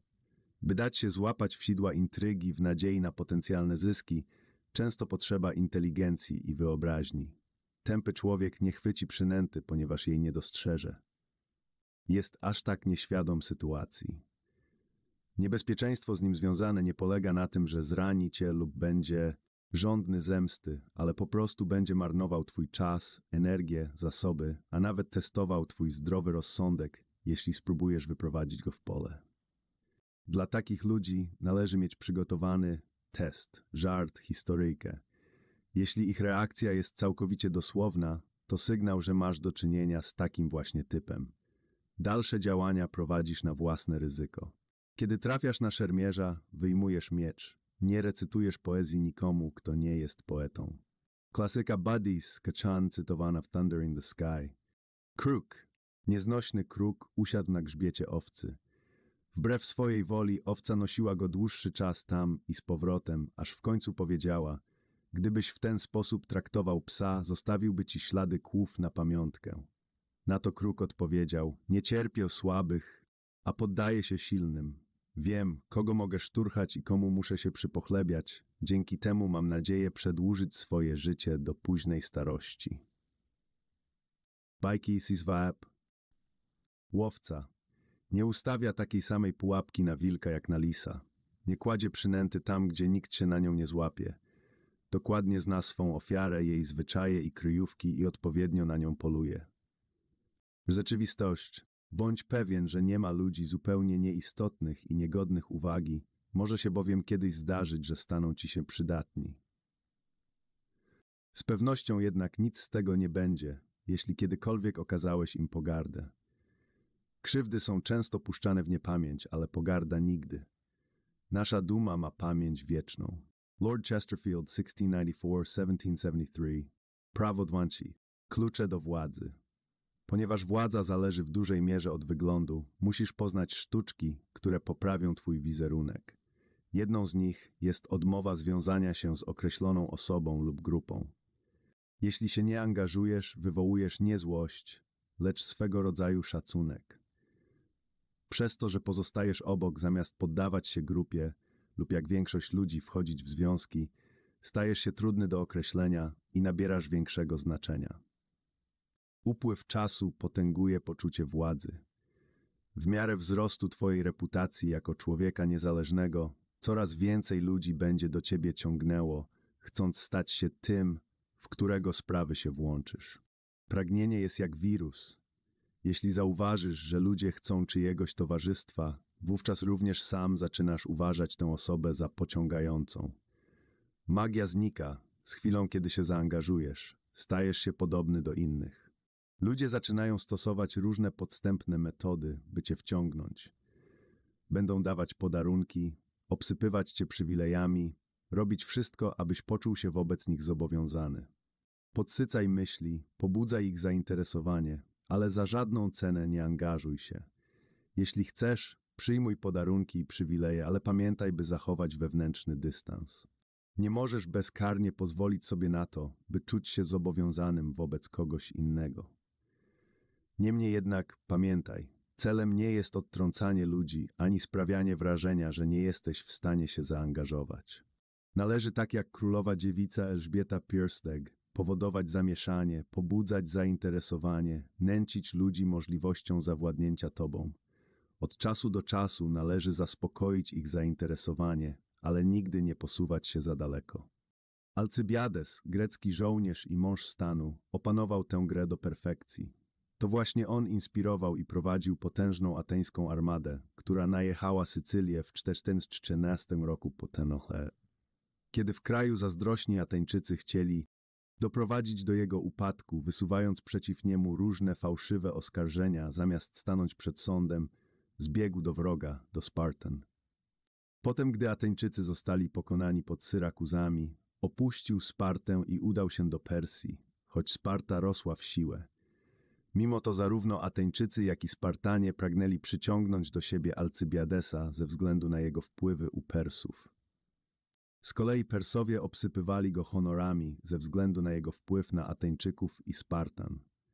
Składał obietnice każdemu, ale nie wiązał się z nikim i w efekcie trzymał wszystkich w szachu. Jeśli dążysz do osiągnięcia władzy i wpływów, spróbuj zastosować taktykę Alcybiadesa. Ustaw się pomiędzy konkurującymi potęgami. Przyciągnij jednych obietnicą pomocy. Drudzy, którzy zawsze chcą być lepsi od swych wrogów, też będą starali się ci dogodzić. Kiedy obie strony będą konkurowały o twoje względy, zaczniesz sprawiać wrażenie osoby o wielkich wpływach i przez to bardzo pożądanej. Osiągniesz większą władzę niż wtedy, gdybyś pospieszył się z zaangażowaniem po jednej stronie. Podczas francuskiej rewolucji lipcowej roku 1830, po trzech dniach zamieszek, mąż stanu, Talleyrand, człowiek już w podeszłym wieku, siedział przy swym paryskim oknie i wsłuchiwał się w dźwięk dzwonów ogłaszających koniec rozruchów. Zwróciwszy się do asystenta, powiedział: Ach, dzwony, wygrywamy. Jacy my, Mon Prince? zapytał asystent. Nakazując mu, żeby się uciszył, Talleyrand odpowiedział: Ani słowa więcej. Jutro powiem ci, kto to my. Dobrze wiedział, że tylko głupcy się spieszą, że ten, kto angażuje się zbyt prędko, traci pole manewru. Ludzie mają do niego mniejszy szacunek. Myślą, że być może jutro równie szybko zaangażuje się po stronie kogoś innego. Zaangażowanie się po jednej stronie pozbawia cię przewagi czasu oraz komfortu oczekiwania. Niech inni zakochują się w tej czy innej grupie. Sam się nie spiesz, nie trać głowy. Zawiści. Do biednej kobiety sprzedającej na rynku ser podszedł kot i porwał kawałek. Pies zobaczył złodziejaszka i chciał mu odebrać łup. Kot stanął do walki. Rzucili się na siebie. Pies warczał i gryzł. Kot syczał i drapał, jednak nie potrafili doprowadzić do rozstrzygnięcia. W końcu kot zaproponował: chodźmy do lisa i niech on rozstrzygnie sprawę. Zgoda, odrzekł pies. Poszli więc do lisa. Lis wysłuchał ich argumentacji z powagą sędziego. Głupie zwierzęta zganił je. Po co to ciągnąć? Jeśli się zgodzicie, podzielę ser na dwie części i obaj będziecie zadowoleni. Zgoda, odpowiedzieli kot i pies. Lis wyjął swój nóż i przekroił ser na dwie części, ale zamiast przekroić go wzdłuż, przekroił go wszerz. Moja połowa jest mniejsza, zaprotestował pies. Lis spojrzał badawczo na przynależną psu część spod swoich okularów. Masz rację, absolutną rację, przyznał i odgryzł kawałek z części przypadającej kotu. To wyrówna części, powiedział. Kiedy kot zobaczył, co zrobił rozjemca, zaczął miauczeć. Tylko spójrz, teraz moja część jest mniejsza. Lis ponownie założył okulary i uważnie przyjrzał się kawałkowi przypadającemu kotu. Rzeczywiście, masz rację, powiedział. Zaraz to naprawię. I odgryzł kawałek psiego sera. I tak ciągnęło się to do momentu, kiedy na oczach kota i psa lis zjadł cały ser. Ze skarbca żydowskiego folkloru pod redakcją Nathana aus Ubela, Tisz 4 Centrum uwagi, pragnień i uwielbienia. Dziewicza królowa, nigdy nie ulegająca ani jednemu, ani drugiemu zalotnikowi, ale zachęcająca ich do walki ze sobą sprawia, że wszyscy krążą wokół niej jak planety niezdolne do opuszczenia jej orbity, ale też nigdy nie zbliżające się do niej. Rzeczywistość, nie angażuj się po niczyjej ani niczego stronie, bo to by oznaczało niewolnictwo, niewolnictwo w stosunku do każdego człowieka. Niezależność jest cenniejsza niż podarunek, w zamian za który została utracona. Powinno ci raczej zależeć na tym, żeby wiele osób było uzależnionych od ciebie, a nie byś sam był uzależniony od jakiejkolwiek pojedynczej osoby. Nade wszystko staraj się powstrzymywać od wszelkiego zaangażowania i jakichkolwiek zobowiązań. Są to bowiem sposoby innych ludzi na to, by wziąć cię pod swą zwierzchność. Baltasar Gracian, 1601-658 Twój syn. Klucze do władzy. Uczucie, że ktoś jest inteligentniejszy niż my, jest niemal nie do wytrzymania. Zazwyczaj staramy się uzasadniać to w inny sposób. On ma wiedzę tylko książkową, podczas gdy ja mam prawdziwą.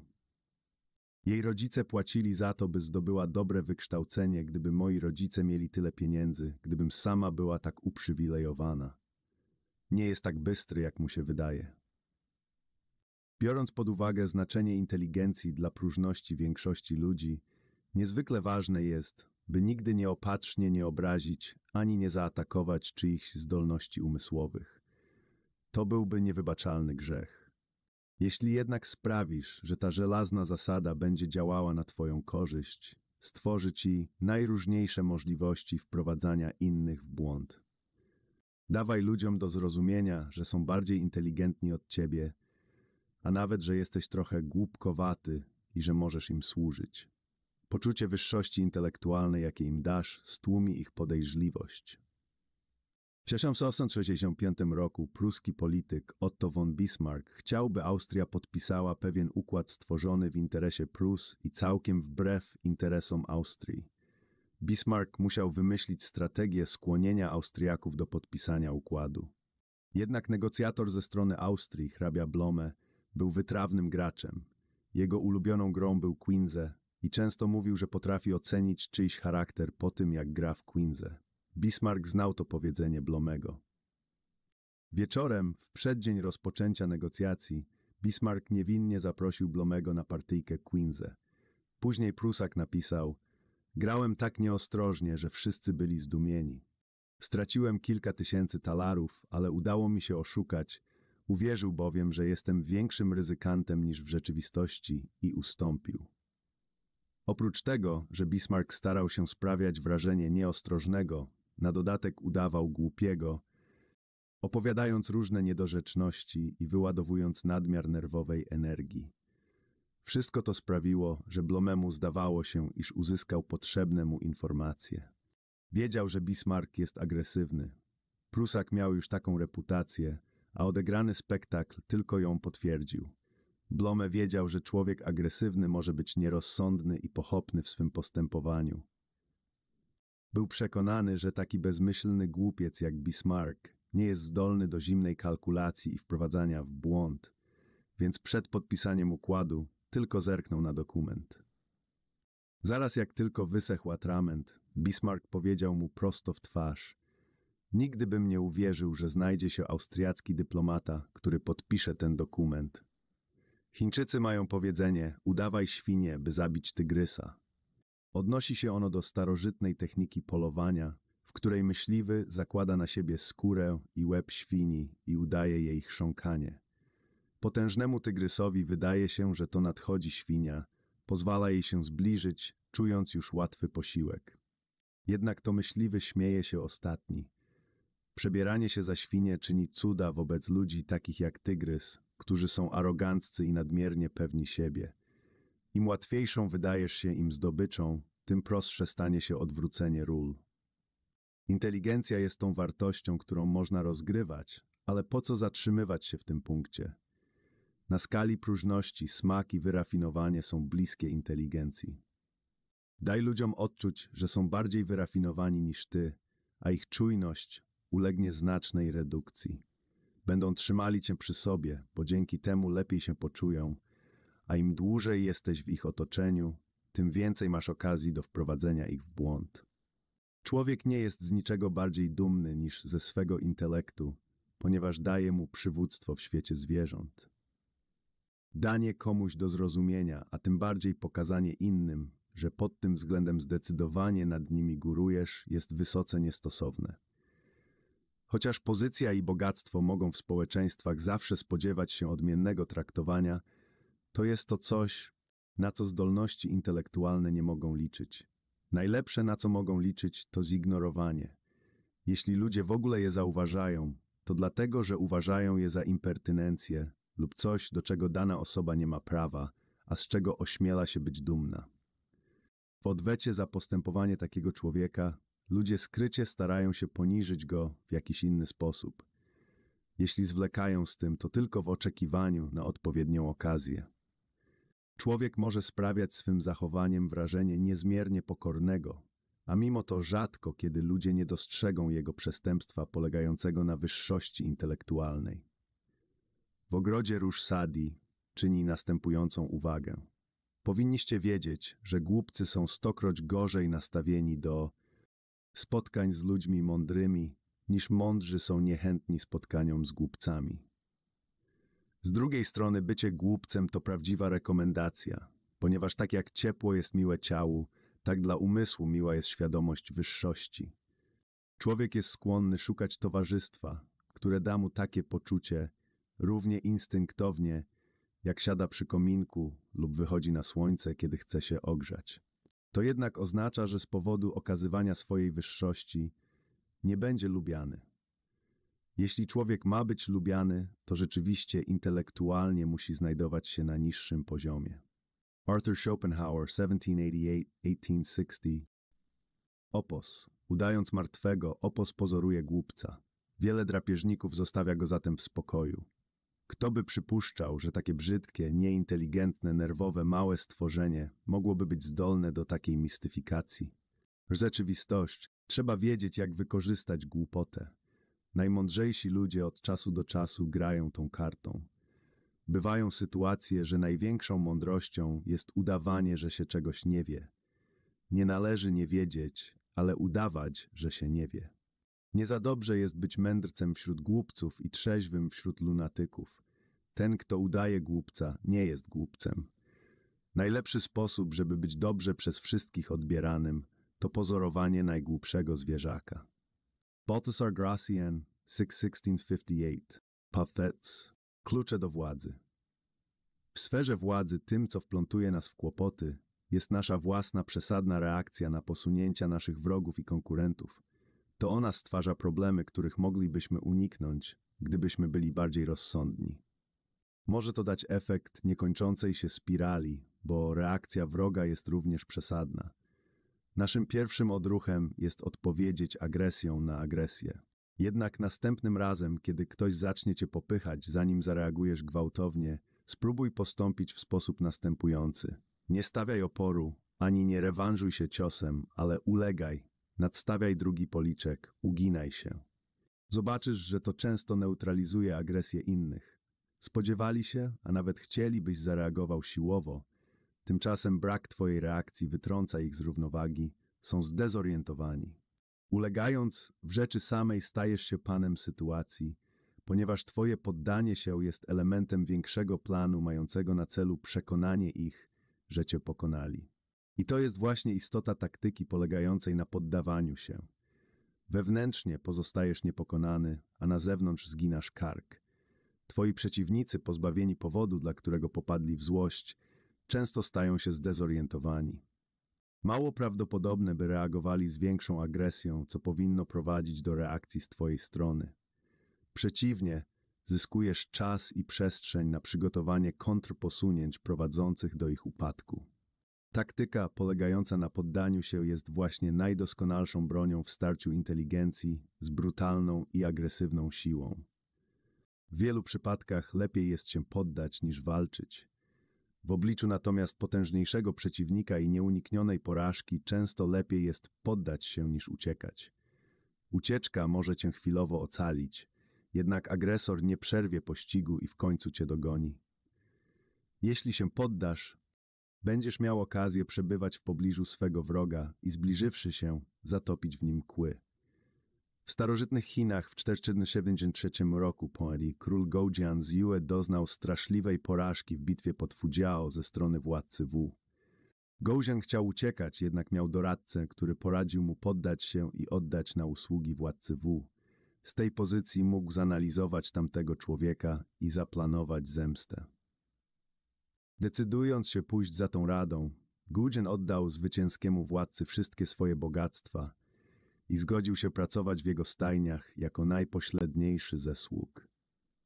Przez trzy lata pozwalał się poniżać swojemu wrogowi, aż ten, przekonany w końcu o jego lojalności, pozwolił mu wrócić do domu. W głębi duszy jednak Gudzian pozostał twardy, zbierając przez trzy lata informacje i planując zemstę. Gdy królestwo W zostało dotknięte straszną suszą, a państwo było osłabione wewnętrznymi zamieszkami, zgromadził armię, dokonał najazdu i z łatwością zwyciężył. Na tym polega siła poddania się. Daje ci czas i elastyczność do planowania miażdżącego przeciwuderzenia. Gdyby Gudzin uciekł, straciłby tę okazję. Władza jest ulotna, a ponieważ ze swojej natury znajduje się w ciągłym ruchu oraz jest areną zmagań, więc ci, którzy ją posiadają, w końcu zaczynają ją tracić. Jeśli zdarzy się zaś, że chwilowo będziesz osłabiony, wówczas doskonałe zastosowanie znajdzie taktyka kapitulacji, która w końcu pomoże ci się podnieść, skryje twoje ambicje, nauczy cię cierpliwości i samokontroli, kluczowych umiejętności w tej grze, a wreszcie ustawi cię w możliwie najlepszej pozycji do wykorzystania niespodziewanego potknięcia się ciemiężyciela. Na dłuższą metę nie byłbyś w stanie zwyciężyć, gdybyś uciekał lub walczył. Jeśli się poddasz, to prawie na pewno zwyciężysz. Gdy przechodzi wielki pan, mądry wieśniak głęboko się kłania i cicho pierdzi. Przysłowie etiopskie. W czasach, gdy nastroje antyfrancuskie były najgłębsze, Voltaire żył na wygnaniu w Londynie. Pewnego dnia przechadzając się ulicami, został otoczony przez wściekły tłum. Powiesić go, powiesić Francuza, krzyczano. Voltaire spokojnie zwrócił się do tłumu następującymi słowy. Mieszkańcy Anglii, chcecie mnie zabić, dlatego, że jestem Francuzem. Czyż nie dość zostałem ukarany przez samo to, że nie urodziłem się Anglikiem? Tłum radośnie powitał jego mądre słowa i bezpiecznie odprowadził na kwaterę. Clifton Fadiman, Bartlett's Book of Anecdotes, 1985 Dąb, Opierający się wiatrowi dąb traci po kolei wszystkie swoje gałęzie i nic już go nie chroni, kiedy w końcu pęka pień. Dąb, który się ugina, żyje dłużej, jego pień staje się szerszy, a korzenie rosną głębiej i mocniej trzymają. Rzeczywistość. Słyszałeś, co powiedziano, oko za oko, ząb za ząb. Ja ci jednak powiadam, nie opieraj się złu, a jeśli ktoś uderzy cię w prawy policzek, nadstaw również i drugi. A jeśli ktoś oskarży cię przed sądem i zabierze ci płaszcz, oddaj mu też kurtkę. A jeśli ktoś zmusi cię do przejścia mili, idź dwakroć tak daleko. Jezus Chrystus, Ewangelik Mateusza 4:34 Prawo w klucze do władzy. Świat jest zatruwany coraz to nowymi podziałami w ramach krajów, grup politycznych, rodzin, a nawet poszczególnych grup ludzi. Wszyscy znajdujemy się w stanie totalnego zamieszania i rozproszenia, nie mogąc skupić swej uwagi na jednym kierunku, bo jest odwracana przez tysiąc innych. Poziom skonfliktowania współczesnego świata jest najwyższy w dziejach, a my przenieśliśmy ten konflikt w nasze własne życie. Rozwiązaniem jest wycofanie się do wewnątrz, do przeszłości, do bardziej skoncentrowanych form myślenia i działania. Napoleon znał wartość koncentrowania sił w najsłabszym punkcie wroga. To było tajemnicą jego sukcesów na polach bitew. Jego siła woli i umysł w równym stopniu kształtowały się, opierając się na tej zasadzie. Jednomyślność w kwestii zamiarów, całkowite skupienie się na celu oraz wykorzystanie tych wartości przeciw ludziom mniej skupionym, ludziom pogrążonym w chaosie, taka strzała zawsze znajdzie swój cel i powali wroga. Kasanowa przypisywał swoje powodzenie w życiu zdolności koncentracji na pojedynczym celu i naciskania nań aż do osiągnięcia uległości. To właśnie jego zdolność do całkowitego oddania się kobietom, których pragnął, sprawiła, że był tak niesamowicie uwodzicielski. Kiedy jakaś kobieta znajdowała się w kręgu jego zainteresowania, całymi tygodniami i miesiącami nie myślał o nikim innym. Gdy uwięziono go w niebezpiecznych kazamatach pałacu Dożów w Wenecji, w więzieniu, z którego nigdy dotąd nie udało się nikomu zbiec, dzień w dzień był skupiony na jedynym celu, jakim była ucieczka.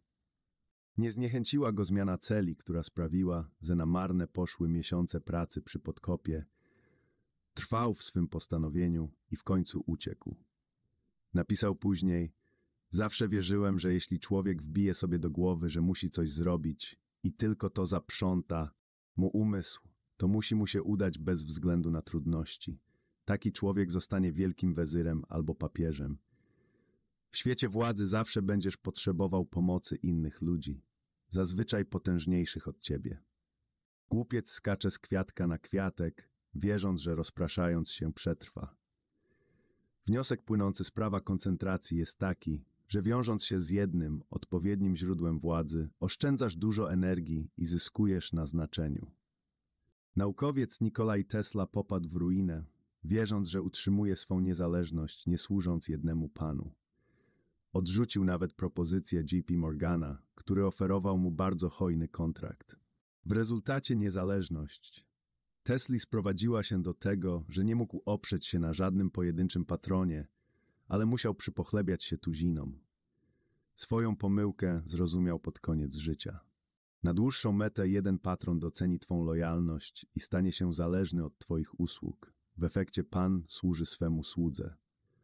Wreszcie władza jako taka zawsze istnieje w formie skoncentrowanej. W każdej organizacji sznurkami porusza mała grupa ludzi. Często nie są to ci, którzy mają tytuły. Musisz zorientować się, kto kieruje działaniami, kto za kulisami jest prawdziwym szefem. Jak odkrył Richelieu na początku swojej kariery, w pierwszej połowie XVII wieku, na francuskiej scenie politycznej to nie król Ludwik XVII dzierżył władzę, lecz matka króla. Związał się zatem z nią i przeskoczył wszystkich dworzan w drodze na sam szczyt. Wystarczy tylko raz odkryć ropę, a będziesz miał bogactwo i władzę zapewnione do końca życia. Najlepszą strategią jest być silnym, wpierw ogólnie, potem w decydującym miejscu. Nie istnieje lepsze i prostsze prawo strategii niż zachowanie koncentracji sił. W skrócie, pierwszą zasadą jest działać w największym skupieniu. Karl von Clausewitz o wojnie 1730 Strzec się rozpraszania sił, zawsze dążyć do ich skupienia. Geniusz uważa, że może robić wszystko, co robią inni, jednak będzie żałował każdego źle ocenionego wydatku. Johann Wolfgang von Goethe 1749-1832 Marzenie. Strzała. Nie da się trafić dwóch celów jedną strzałą. Nie trafisz w serce wroga, jeśli będziesz myślał o czym innym. Myśl i strzała muszą stać się jednym. Tylko przy takiej koncentracji władz umysłowych i fizycznych twoja strzała trafi w cel i przebije serce. Rzeczywistość. Należy cenić intensywność bardziej niż ekstensywność. Doskonałość tkwi w jakości, nie w ilości. Sama ekstensywność nigdy nie wyrośnie ponad przeciętność. Nieszczęściem ludzi o szerokich zainteresowaniach jest to, że choć chcą wszędzie wciskać swoje trzy grosze, nie udaje im się to nigdzie. Intensywność wiedzie do znaczenia i wynosi do bohaterstwa w szlachetnych sprawach. Baltasar Gracian, 6658. Prawo, klucze do władzy. Prawa polityki dworskiej. Unikaj ostentacji. Paplanie na swój temat, podobnie jak zwracanie uwagi na własne postępowanie, jest bardzo nierozsądne. Im więcej mówisz o swoich działaniach, tym większą wzbudzasz podejrzliwość. Jednocześnie wywołujesz taką zazdrość u równych sobie, że prowokuje ona do zdrady i prowadzi do wbicia noża w plecy. Działaj nonsalancko. Nie sprawiaj wrażenia, że zbyt ciężko pracujesz. Twój talent musi ujawniać się w sposób naturalny, bez wysiłku, powodując, że ludzie będą widzieli w tobie geniusza, a nie pracoholika. Lepiej, żeby podziwiali wdzięk, z jakim osiągnąłeś swe sukcesy, niż by zastanawiali się, czemu wymagało to tyle wysiłku. Oszczędnie z pochlebstwami. Może się wydawać, że twoim przełożonym nigdy dość pochlebstw, jednak nadmiar nawet tego, co najlepsze, powoduje utratę jego wartości. Naucz się stosować pochlebstwa pośrednie, na przykład pomniejszając własny wkład, aby twój pan lepiej wypadł. Staraj się być zauważonym. Mamy do czynienia z paradoksem. Nie należy pokazywać się zbyt ostentacyjnie, ale jednocześnie trzeba być zauważonym. Nie będziesz miał szansy na awans, jeśli w tłumie dworaków władca nie zauważy właśnie ciebie. Jest to wielka sztuka. Początkowo to kwestia faktycznego pokazania się. Zwracaj uwagę na swój wygląd, a następnie znajdź sposób, by stworzyć wyróżniający, delikatnie wyróżniający styl i wizerunek. Zmieniaj styl i język w zależności od osoby, z którą masz do czynienia. Pseudowiara w równość, pogląd, że jednakowy sposób mówienia i postępowania z każdym, niezależnie od stanowiska, czyni z ciebie wzór człowieka kulturalnego, to tragiczna pomyłka. Ludzie, którzy ci podlegają, uznają to za formę poklepywania po plecach, czym faktycznie jest, twoi zwierzchnicy zaś poczują się obrażeni, choć mogą tego nie okazać. Musisz zmieniać styl i sposób mówienia, tak by dopasować je do każdej osoby. To nie kłamstwo, to gra, a gra jest sztuką, nie darem Bożym. Nie bądź posłańcem przynoszącym złe wieści. Król zabija posłańca, który przybywa ze złymi informacjami. To banał, który jednak zawiera ziarno prawdy. Musisz bardzo się starać i w razie konieczności kłamać oraz oszukiwać, by mieć pewność, że rola posłańca przynoszącego złe wieści przypadnie koledze, nigdy tobie. Nie zaprzyjaźniaj się i nie zbliżaj z przełożonym. On nie chce, by jego podwładny był przyjacielem. On chce mieć podwładnego. Nie podchodź do niego w swobodny, przyjacielski sposób, ani nie postępuj tak, jakbyście byli w zażyłych stosunkach. To jego prerogatywa. Nie krytykuj bezpośrednio swych przełożonych. Może to wydawać się czymś oczywistym, jednak często zdarza się, że konieczna jest jakaś forma krytyki. Brak reakcji czy udzielenia rady może stworzyć innego rodzaju ryzyko. Niemniej jednak musisz nauczyć się przekazywania swych rad i krytyki w sposób możliwie jak najbardziej pośredni i uprzejmy. Oszczędnie proś przełożonych o przysługi. Nic nie irytuje przełożonego, bardziej niż konieczność odrzucenia czyjejś prośby. Wywołuje to poczucie winy i dyskomfortu. O przysługi należy prosić możliwie jak najrzadziej i trzeba wiedzieć, kiedy przestać. A co najważniejsze, nie prosić o przysługę w imieniu kogoś innego, a tym bardziej przyjaciela. Nie żartuj z wyglądu ani smaku. Dobry dworzanin musi charakteryzować się bystrym umysłem i dowcipem, a zdarza się, że ma do czynienia z wulgarnością. Należy jednak unikać wszelkich dowcipów na temat wyglądu lub smaku, dwóch tematów, na punkcie których przełożeni są szczególnie przeczuleni. Nie bądź dworskim cynikiem, wyrażaj uznanie dla dobrej pracy innych. Jeśli będziesz nieustannie krytykować swych kolegów lub podwładnych, część tej krytyki wróci do ciebie, krążąc nad tobą jak ciężka szara chmura wszędzie, gdzie się udasz. Ludzie zaczną szemrać, słysząc nowe cyniczne komentarze, a ty sam będziesz ich irytować. Wyrażając umiarkowany podziw dla osiągnięć innych ludzi, paradoksalnie zwrócisz uwagę na własne. Bądź krytyczny wobec siebie. Lustro jest cudownym wynalazkiem, bez niego popełniałbyś straszne grzechy przeciwko pięknu i dobremu smakowi. Również w odniesieniu do swych działań potrzebujesz lustra. Takim lustrem mogą niekiedy być opinie innych, jednak nie jest to metoda najbardziej wiarygodna. Sam musisz być sobie lustrem, ćwicząc umysł, byś potrafił tak postrzegać samego siebie, jak widzą cię inni. Czy nie jesteś nazbyt uniżony, czy nazbyt gorliwie nie próbujesz zadowolić innych, Bądź krytyczny wobec siebie, a unikniesz mnóstwa błędów. Opanuj swe emocje. Tak jak aktor w wielkiej sztuce, musisz nauczyć się płakać i śmiać na zawołanie oraz wtedy, kiedy wymaga tego sytuacja. Musisz być w stanie zarówno skrywać swą złość i frustrację, jak i pozorować zadowolenie i zgodę. Musisz być panem własnej twarzy. Dopasuj się do ducha czasów. Delikatne zamiłowanie do dawnych czasów może być urocze, pod warunkiem, że wybrałeś sobie okres sprzed co najmniej 20 lat. Ubieranie się w stroje sprzed lat 10 wywołuje śmieszność, chyba że lubisz rolę dworskiego klauna. Twój duch i sposób myślenia muszą iść z duchem czasów, nawet jeśli jest to wbrew Twoim odczuciom. Jednak zbytnie wyprzedzanie czasów może sprawić, że nikt nie będzie Cię rozumiał. Bądź źródłem przyjemności. To, że uciekamy od wszystkiego, co nieprzyjemne i niesmaczne, podczas gdy jak ćmę do ognia przyciągają nas rzeczy urokliwe i obiecujące przyjemność, to bardzo ważna sprawa. To naturalne prawo ludzkiej natury. Nie każdy może grać rolę faworyta, ponieważ nie każdy jest obdarzony urokiem i bystrością umysłu. Wszyscy jednak możemy panować nad nieprzyjemnymi cechami i w razie konieczności tłumić je. Człowiek, który orientuje się w mechanizmie działania dworu, jest panem swoich gestów, swych oczu i twarzy, jest tajemniczy i nieprzenikniony, skrywa złe uczynki, uśmiecha się do wrogów, panuje nad nerwami, kamufluje swe namiętności, oszukuje serce, mówi i postępuje wbrew swym uczuciom. Jean de la Bruyère, 1645-1696 Warto być uprzejmym, tym samym nieuprzejmość jest głupotą.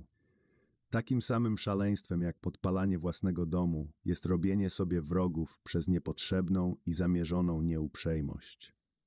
Uprzejmość jest jak żeton, jawnie fałszywa moneta, której głupio skąpić.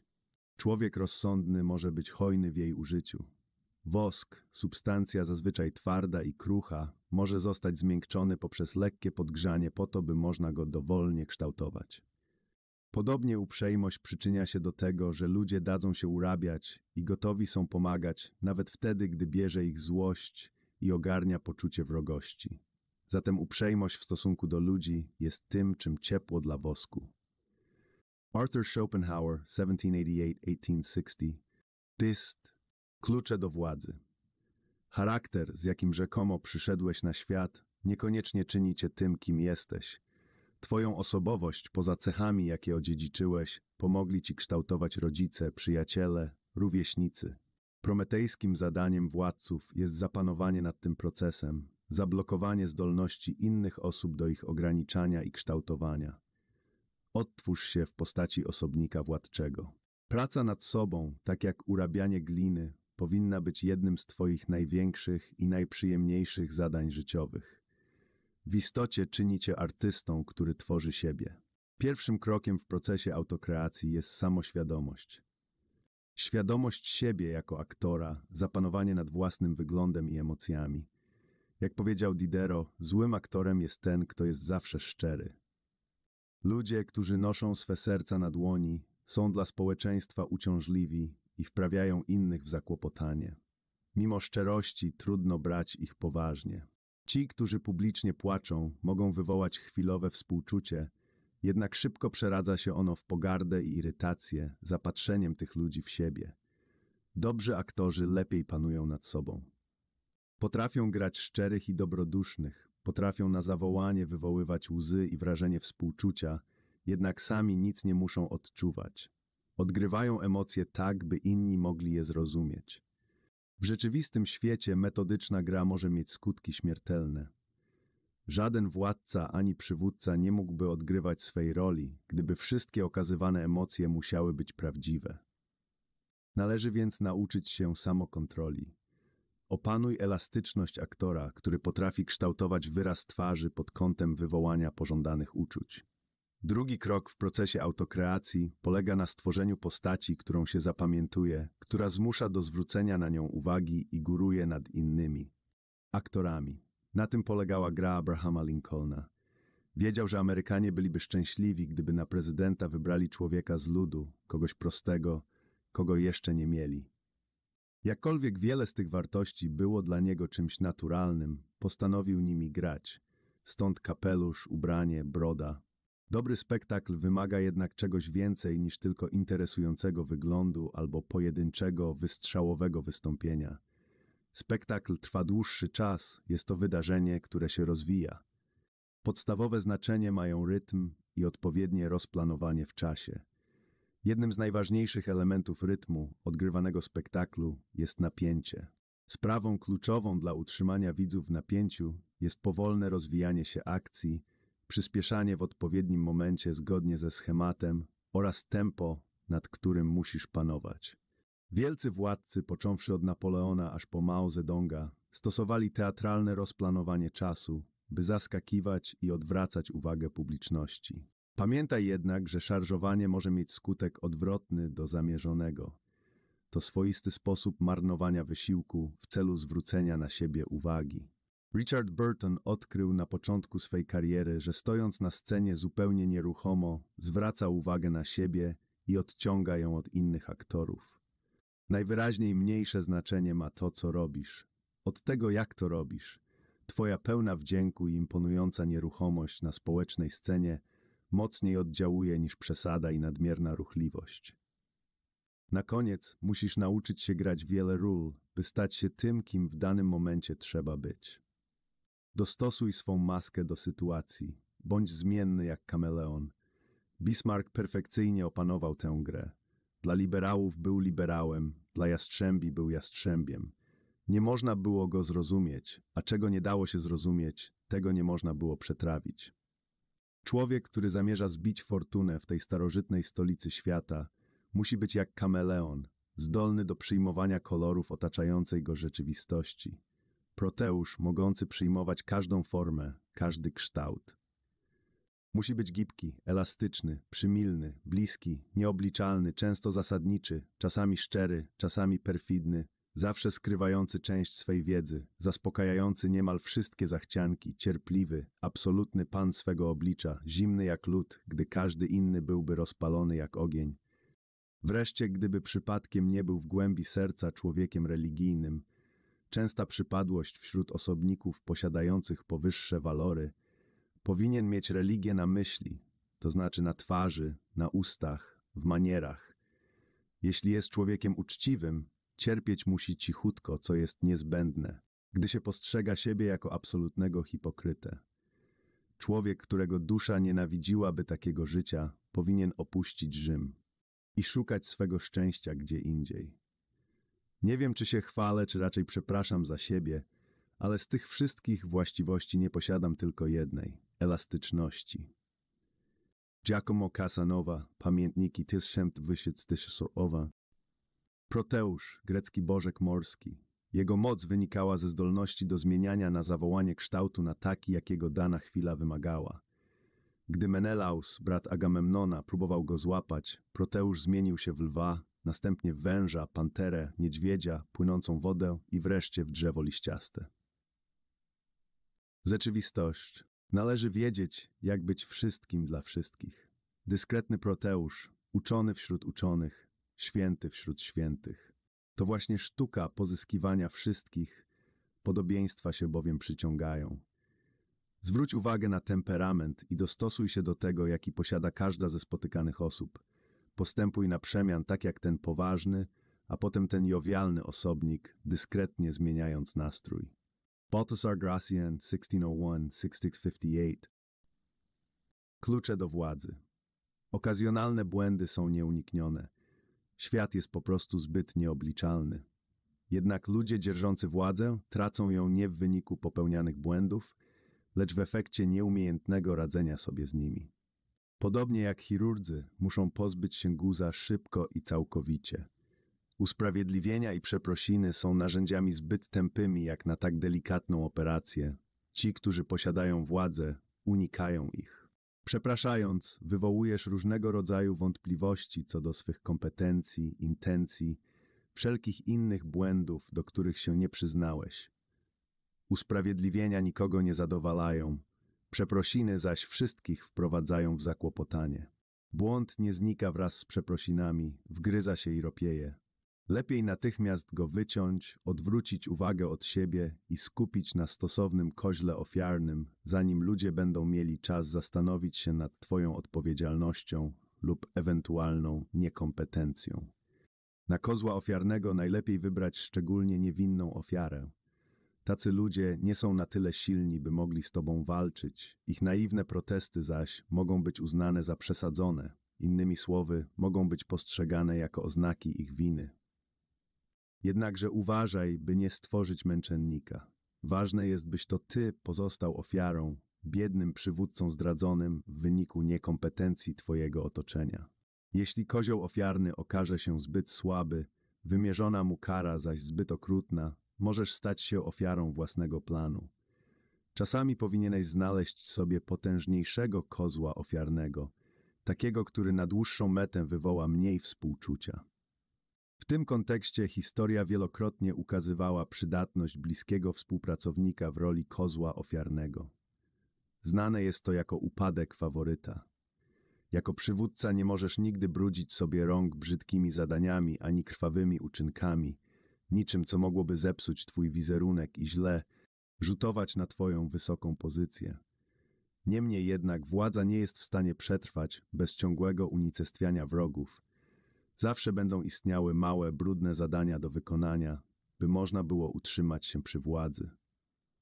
To, czego potrzeba, to jakiś frajer, który wykona za ciebie brudną, niebezpieczną robotę. Podobnie jak kozioł ofiarny, frajer pomoże ci utrzymać twoją nieskazitelną reputację. Zazwyczaj frajerem będzie osoba spoza twojego bezpośredniego otoczenia, która raczej nie zorientuje się, do czego jest wykorzystywana. Takich głupców znajdziesz wszędzie. To ludzie, którzy uwielbiają oddawać przysługi, szczególnie gdy rzucisz im w zamian najmniejszą kość lub dwie. W miarę wykonywania zadań, w ich mniemaniu zupełnie niewinnych, a przynajmniej całkowicie uzasadnionych, będą oczyszczali twoje przedpole, rozsiewając wpojone im informacje, podminowując ludzi, o których rywalizacji z tobą nie mają pojęcia, w niezamierzony sposób wspierając twoją sprawę, brudząc sobie ręce, podczas gdy twoje pozostają czyste. Najłatwiejszy i najbardziej skuteczny sposób wykorzystania frajera polega często na podaniu mu informacji, które on później udostępni osobie będącej na twoim celowniku. Fałszywa lub zaszczepiona informacja to potężne narzędzie, szczególnie jeśli jest rozpowszechniana przez głupca, którego nikt nie podejrzewa. Zobaczysz, jak łatwo grać niewiniątko i kamuflować się, będąc tak naprawdę źródłem wiedzy.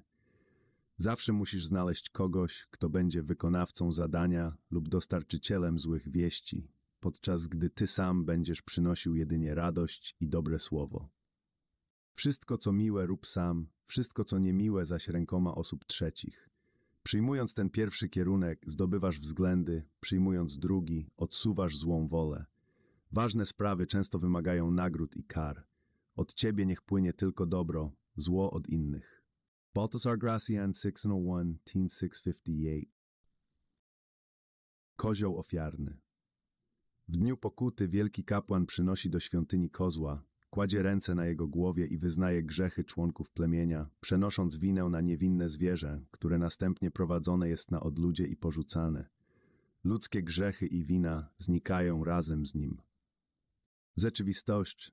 Na głupotę składa się nie samo popełnienie głupoty, lecz niezdolność do jej ukrycia. Wszyscy ludzie popełniają błędy, jednak mądrzy ukrywają je, podczas gdy głupcy rozpowszechniają. Reputacja bardziej zależy od tego, co zostało ukryte, niż od tego, co widać. Jeśli nie możesz być dobry, bądź ostrożny. Baltasar Gracian 1601-1058 Pięć łatwych kroków do stworzenia kultu. W swych nieustannych poszukiwaniach sposobu osiągnięcia jak największej władzy, jak najmniejszym kosztem zorientujesz się, że jedną z najskuteczniejszych metod jest stworzenie czegoś na kształt kultu. Posiadanie znacznego poparcia otwiera różnego rodzaju możliwości wprowadzania ludzi w błąd. Twoi wyznawcy będą cię nie tylko wielbić, ale także bronić przed wrogami i dobrowolnie podejmować próby przekonania innych do twojego nowego kultu. Ten rodzaj władzy wyniesie cię na inny poziom. Już nie będziesz musiał walczyć lub stosować sztuczek, by przeforsować swą wolę. Odtąd będziesz adorowany i nie możesz uczynić żadnego zła. Stworzenie takiego poparcia może ci się wydawać gargantuicznym zadaniem, jednak w rzeczywistości jest to dosyć proste. Ludzie pragnący w coś wierzyć będą tworzyli świętych i wyznania z niczego. Nie pozwól, by ta naiwność się marnowała. Sam stań się obiektem uwielbienia. Spraw, aby ludzie, bazując na pięciu prostych krokach, stworzyli wokół ciebie kult. Krok jeden ma być tajemniczo i prosto. Aby stworzyć kult, musisz po pierwsze zwrócić na siebie uwagę. Powinieneś uczynić to nie poprzez działania, które są zbyt jasne i czytelne, lecz słowami, które są mgliste i zwodnicze. Twoje pierwsze wystąpienia, rozmowy i wywiady muszą uwzględniać dwa elementy. Z jednej strony obietnicę czegoś wielkiego i wprowadzającego zmiany, a z drugiej całkowitą mglistość. Ta właśnie kombinacja będzie rozbudzała wszelkiego rodzaju mgliste marzenia u Twoich słuchaczy, którzy sami ben, będą sobie dopowiadali różne rzeczy i widzieli to, co będą chcieli widzieć. Postaraj się, by przedmiot Twojego kultu był czymś nowym i świeżym, tak aby niewielu go rozumiało. Prawidłowo zrealizowana kombinacja niejasnych obietnic, mglistych, lecz kuszących pomysłów i ognistego entuzjazmu zamiesza w ludzkich duszach i dzięki temu wokół ciebie powstanie grupa. Krok 2. Uwydatniaj to, co widoczne i odczuwalne, zamiast tego, co wymaga myślenia. Z chwilą, gdy ludzie zaczną się skupiać wokół ciebie, pojawią się dwa zagrożenia: znudzenie i sceptycyzm. Znudzenie sprawi, że ludzie pójdą gdzie indziej. Sceptycyzm pozwoli im na dystans umożliwiający racjonalne przemyślenie tego, co im oferujesz, rozwianie mygły tak twórczo przez ciebie rozsnutej i odsłonięcie twoich pomysłów w całej krasie. Musisz rozpraszać nudę i oddalać cyników. Najlepszym sposobem na to jest teatr lub inny środek tego typu. Otocz się luksusem, olśniewaj swych wyznawców zewnętrznymi przejawami przepychu, zasnuj ich oczy wizją spektaklu. To nie tylko zasłoni przed nimi bezsensowność Twoich pomysłów, nieścisłości w Twoim systemie wiary, ale również przyciągnie uwagę kolejnych wyznawców. Krok 3. W celu stworzenia struktury grupy zapożyczaj formy od zorganizowanej religii. Grono wyznawców Twojego kultu rozszerza się, czas stworzyć formy organizacyjne. Znajdź drogę na jego uwznioślenie i złagodzenie. Zorganizowane religie od dawna cieszyły się niekwestionowanym autorytetem wśród szerokich rzesz ludzi i w dalszym ciągu się nim cieszą w naszym rzekomo świeckim stuleciu.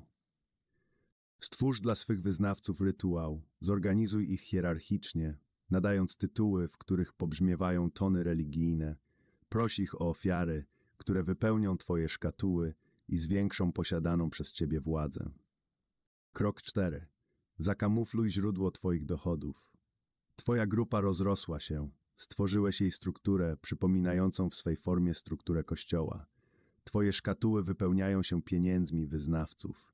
W żadnym jednak wypadku nie powinieneś pokazać się jako człowiek pazerny na pieniądze i osiąganą dzięki nim władzę.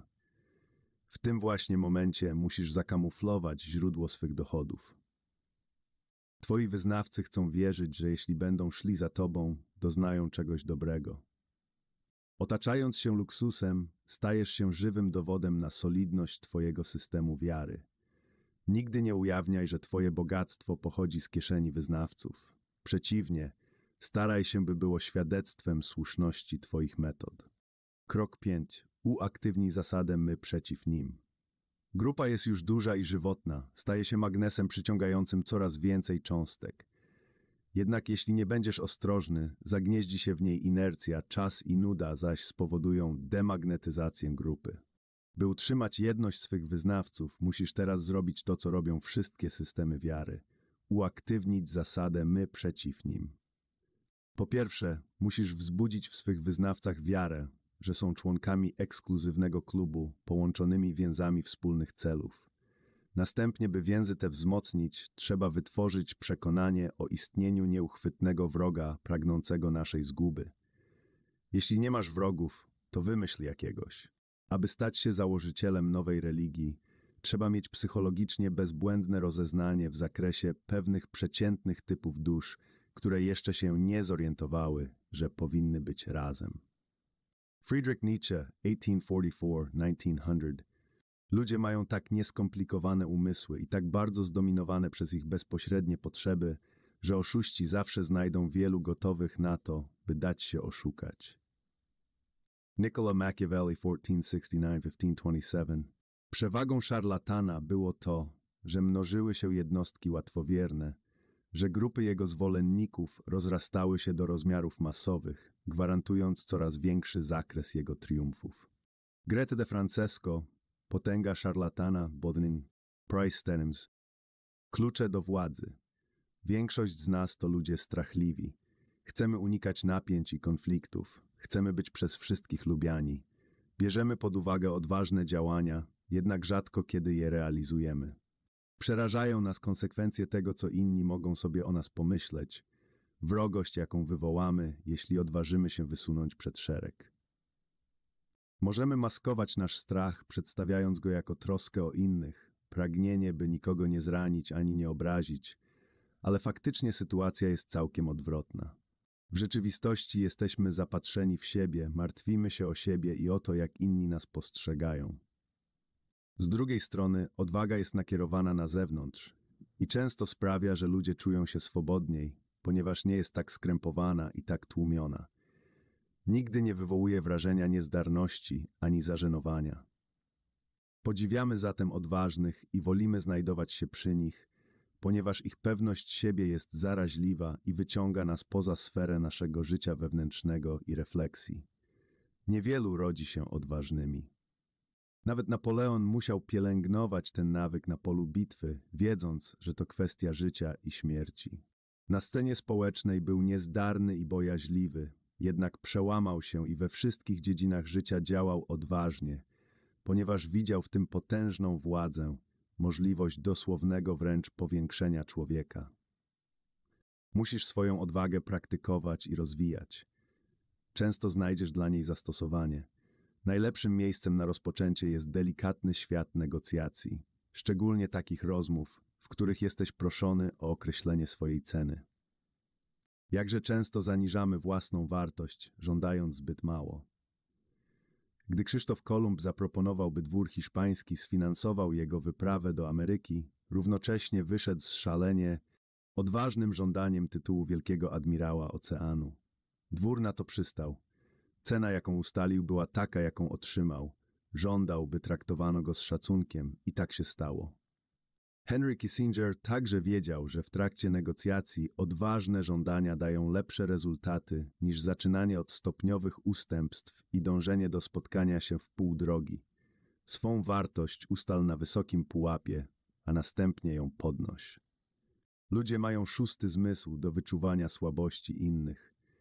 Jeśli w czasie pierwszego spotkania wykażesz gotowość do kompromisu, do cofania się, wówczas nawet w ludziach, którzy z natury nie są krwiożerczy, obudzisz duszę lwa. Wszystko zależy od postrzegania. Jeśli raz zostaniesz uznany za osobę szybko przechodzącą do defensywy, która gotowa jest negocjować i ugiąć się, będziesz bezlitośnie popychany. Zawsze lepiej już, już przy pierwszym wystąpieniu stworzyć odpowiednie wrażenie, odważnie przystąpić do działania. Odważne posunięcia sprawiają, że wydajesz się większy i potężniejszy, niż w rzeczywistości jesteś. Jeśli twój ruch nadchodzi niespodziewanie, bezszelestnie i ze zwinnością węża, wówczas wywołuje jeszcze większy strach. Zastraszając za pomocą odważnych posunięć, tworzysz precedens. Przy każdym następnym spotkaniu ludzie będą w defensywie, czekając z obawą na twoje następne uderzenie. Jak zwyciężać w miłości? Zauważyłam, że jesteście nieśmiali wobec kobiet, które poruszyły wasze serca. Taka właściwość może mieć wpływ na burżuja, jednak serce kobiety światowej musicie atakować inną bronią. Mówię wam w imieniu kobiet. Nie ma wśród nas takiej, która nie wolałaby w podejściu do niej nieco szorstkości niż nadmiernego nadskakiwania. Mężczyźni tracą, bałamucąc więcej serc niż cnota ratuje – im bardziej nieśmiały jest wobec nas kochanek, w tym większym stopniu nasza duma każe nam go drażnić. Im więcej ma szacunku dla naszego oporu, tym więcej szacunku od niego żądamy. Chętnie byśmy wam, mężczyznom, powiedziały: Ach, na Boga nie myślcie, że jesteśmy aż tak cnotliwe. Zmuszacie nas, byśmy w tym przesadzały. Wciąż staramy się ukryć fakt, że pozwoliłyśmy sobie na to, żeby nas kochano. Postawcie kobietę w sytuacji, gdy mówi, że ulega jedynie gwałtownikowi lub w wyniku zaskoczenia. Przekonajcie ją, iż nieprawdą jest, że jej nie doceniacie, a wtedy wezmę odpowiedzialność za jej serce. Nieco więcej odwagi z waszej strony ułatwiłoby wam obojgu sprawę. Czy pamiętacie, co powiedział ostatnio M. de la Rochefoucauld? Zakochany, rozsądny mężczyzna może postępować jak człowiek szalony, nie powinien jednak, a nawet nie może, zachowywać się jak idiota. Life, Letters and Epicurean Philosophy of Ninon de l'Enclos 1623-1706 Manie, nie ma luk w postępowaniu lwa, jego ruchy są zbyt zwinne, jego szczęki zbyt szybkie i potężne. Nieśmiały zając zrobi wszystko, by uniknąć niebezpieczeństwa, jednak w swej spiesznej ucieczce wpada w pułapkę i wskakuje prosto w paszczę lwa. Rzeczywistość. Zdecydowanie sądzę, że lepiej być porywczym niż ostrożnym. Fortuna bowiem jest kobietą i jeśli chce się ją posiąść, należy zrobić to siłą. Łatwo zauważyć, że prędzej pozwoli sobie na to, by ulec odważnemu niż takiemu, który działa na zimno. A zatem, tak jak w przypadku kobiety, zawsze sprzyja młodym, bo są mniej ostrożni, bardziej gwałtowni i biorą ją z większą zuchwałością. Nicola Machiavelli, Fort 69, 1527. Praw. Klucze do władzy. Według kosmologii starożytnych Greków bogowie potrafili dokładnie przewidzieć przyszłość. Widzieli z najdrobniejszymi szczegółami wszystko, co ma się zdarzyć.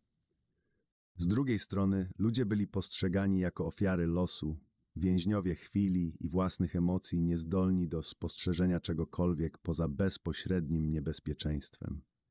Bohaterowie tacy jak Odyseusz, którzy potrafili wyjść poza teraźniejszość i planować kilka kroków naprzód, zdawali się przeciwstawiać losowi i w swej zdolności do określania przyszłości zbliżali się do bogów. To porównanie jest wciąż na czasie. Ci spośród nas, którzy potrafią patrzeć dalej w przyszłość oraz cierpliwie wprowadzają swoje plany w życie, zdają się mieć jakąś boską moc. Jednak większość ludzi jest zbyt mocno uwięziona w chwili, by planować z takim wyprzedzeniem, i dlatego ich zdolność do ignorowania bezpośredniego zagrożenia i przyjemności przekształca się w siłę. To siła wywodząca ze zdolności do pokonywania naturalnej ludzkiej tendencji do reagowania na zdarzenia wtedy, kiedy mają miejsce, i do nauczenia się powstrzymywania własnej reakcji w przewidywaniu znaczniejszych zdarzeń, nabierających kształtu poza bezpośrednim zasięgiem wzroku.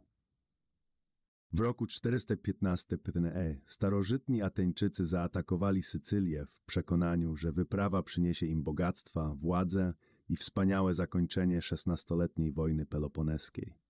Nie wzięli pod uwagę niebezpieczeństw związanych z inwazją prowadzoną tak daleko od domu. Nie przewidzieli, że Sycylijczycy będą walczyć z zaciętością tym większą, że bitwy rozgrywały się na ich własnej ziemi, że wszyscy wrogowie Aten złączą się przeciw nim, ani że wojna wybuchnie na kilku frontach, bardzo rozciągając ich siły. Wyprawa sycylijska zakończyła się całkowitą klęską prowadzącą do zagłady jednej z najwspanialszych cywilizacji wszechczasów. Do klęski poprowadziło Ateńczyków ich serce, nie umysł. Widzieli jedynie okazję do chwały, a nie kryjące się w oddali niebezpieczeństwa. Według kardynała de Retz, najpospolitszą przyczyną ludzkich błędów jest nadmierny strach przed bezpośrednimi niebezpieczeństwami i niedostateczna obawa przed tym, co w oddali. Ileż to błędów moglibyśmy uniknąć, gdybyśmy widzieli te odległe, czające się gdzieś w oddali niebezpieczeństwa, gdybyśmy widzieli, jak nabierają kształtów. Ileż to planów zostałoby natychmiast zaniechanych, gdybyśmy wiedzieli, że unikając drobnego niebezpieczeństwa, pakujemy się w wielkie. Władza polega zatem nie na tym, co czynisz, ale czego nie robisz, na powstrzymaniu się od pospiesznych i niemądrych ruchów, których musisz zaniechać, nim wciągną cię w większe kłopoty.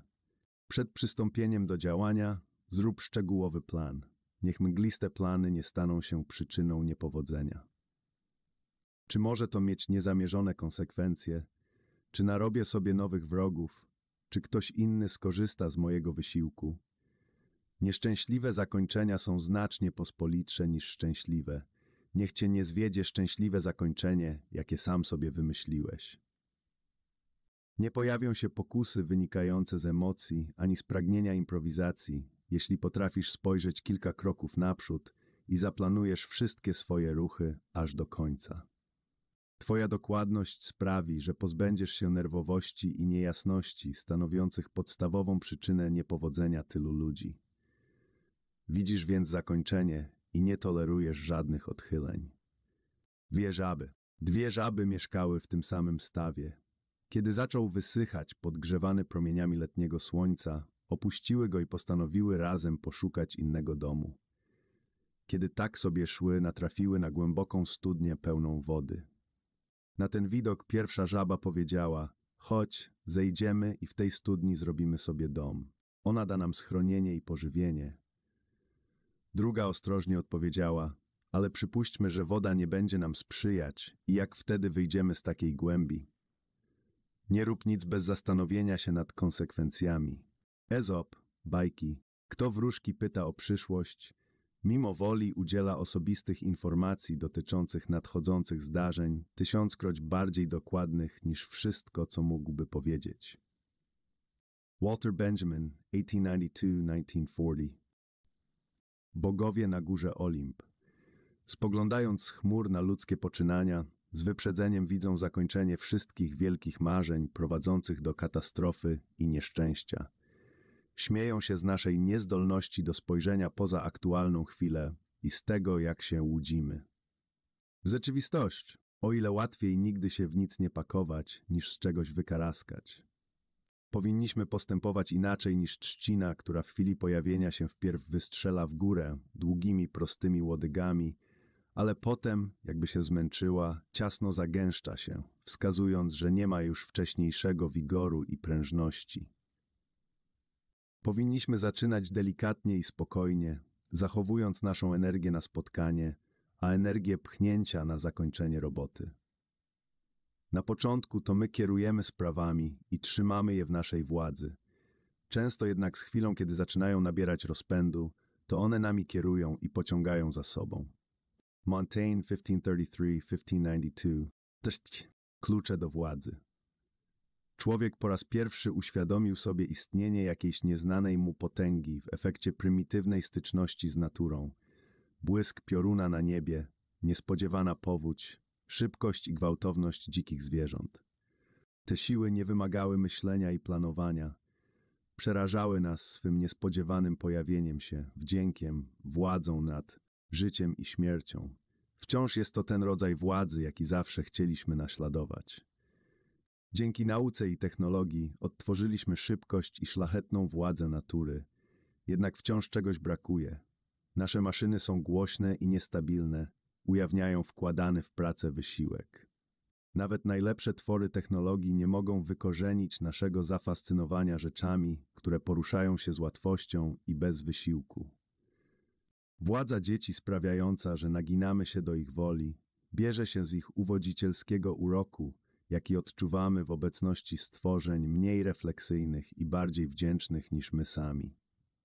Nie jesteśmy zdolni cofnąć się do takiego stanu, ale jeśli możemy stworzyć wrażenie tego rodzaju łatwości, to u innych możemy wywołać podobny rodzaj prymitywnego strachu zmieszanego z podziwem, jaki natura zawsze wzbudzała u ludzi. Jeden z pierwszych europejskich pisarzy, który rozwinął tę zasadę, pochodził z najbardziej nienaturalnego ze środowisk, z renesansowego dworu. Baldassare Castiglione w Dworzaninie opublikowanym w 1528 roku opisuje niezwykle wyszukane i sformalizowane maniery doskonałego mieszkańca dworu. Jednocześnie Castiglione wyjaśnia, że dwór musi wykonywać te gesty w sposób określany przez niego jako sprezatura, umiejętność sprawiania, że to co trudne wydaje się łatwe. Zachęca dworzanina do ćwiczenia we wszystkim pewnej nonszalancji, która skrywa całe mistrzostwo i czyni wszystko, co się mówi lub robi, pozornie nierozmyślnym i robionym bez wysiłku. Podziwiamy dokonanie jakiegoś niezwykłego czynu, jednak nasz podziw zwiększa się dziesięciokrotnie, jeśli jest on dokonany w sposób naturalny i pełen wdzięku. Założenie z prezatury ma znaczenie dla wszystkich form władzy, ponieważ władza żywotnie uzależniona jest od wyglądu i iluzji, jaką się stwarza. Twoje publiczne działania są jak dzieła sztuki. Muszą przyciągać wizualnie, muszą wywoływać oczekiwanie, a nawet bawić. Gdy odkrywasz wewnętrzne mechanizmy swego postępowania, stajesz się tylko jednym z wielu śmiertelników. Nie wzbudza podziwu i grozy to, co jest zrozumiałe. Mówimy sobie, że moglibyśmy zrobić to samo, gdybyśmy mieli czas i pieniądze. Unikaj pokusy pokazywania, jak jesteś mądry. Znacznie rozsądniej jest ukrywać mechanizmy swej mądrości. Istnieje jeszcze jeden powód, dla którego wskazane jest ukrywanie swych skrótów i sztuczek. Z chwilą rozpowszechnienia tej informacji dajesz ludziom do ręki pomysły, które mogą wykorzystać przeciwko tobie. Tracisz przewagę, jaką daje milczenie. Zazwyczaj chcemy, żeby świat wiedział, co zdziałaliśmy. Chcemy, by nasza próżność została nagrodzona przez pochwałę naszej ciężkiej pracy i przemyślności. Możemy nawet pragnąć współczucia za czas, jaki zajęło nam osiągnięcie mistrzostwa. Należy nauczyć się panowania nad naszą naturalną tendencją do klepania, co ślina na język przyniesie, ponieważ często rezultat jest odwrotny do tego, czego oczekiwaliśmy.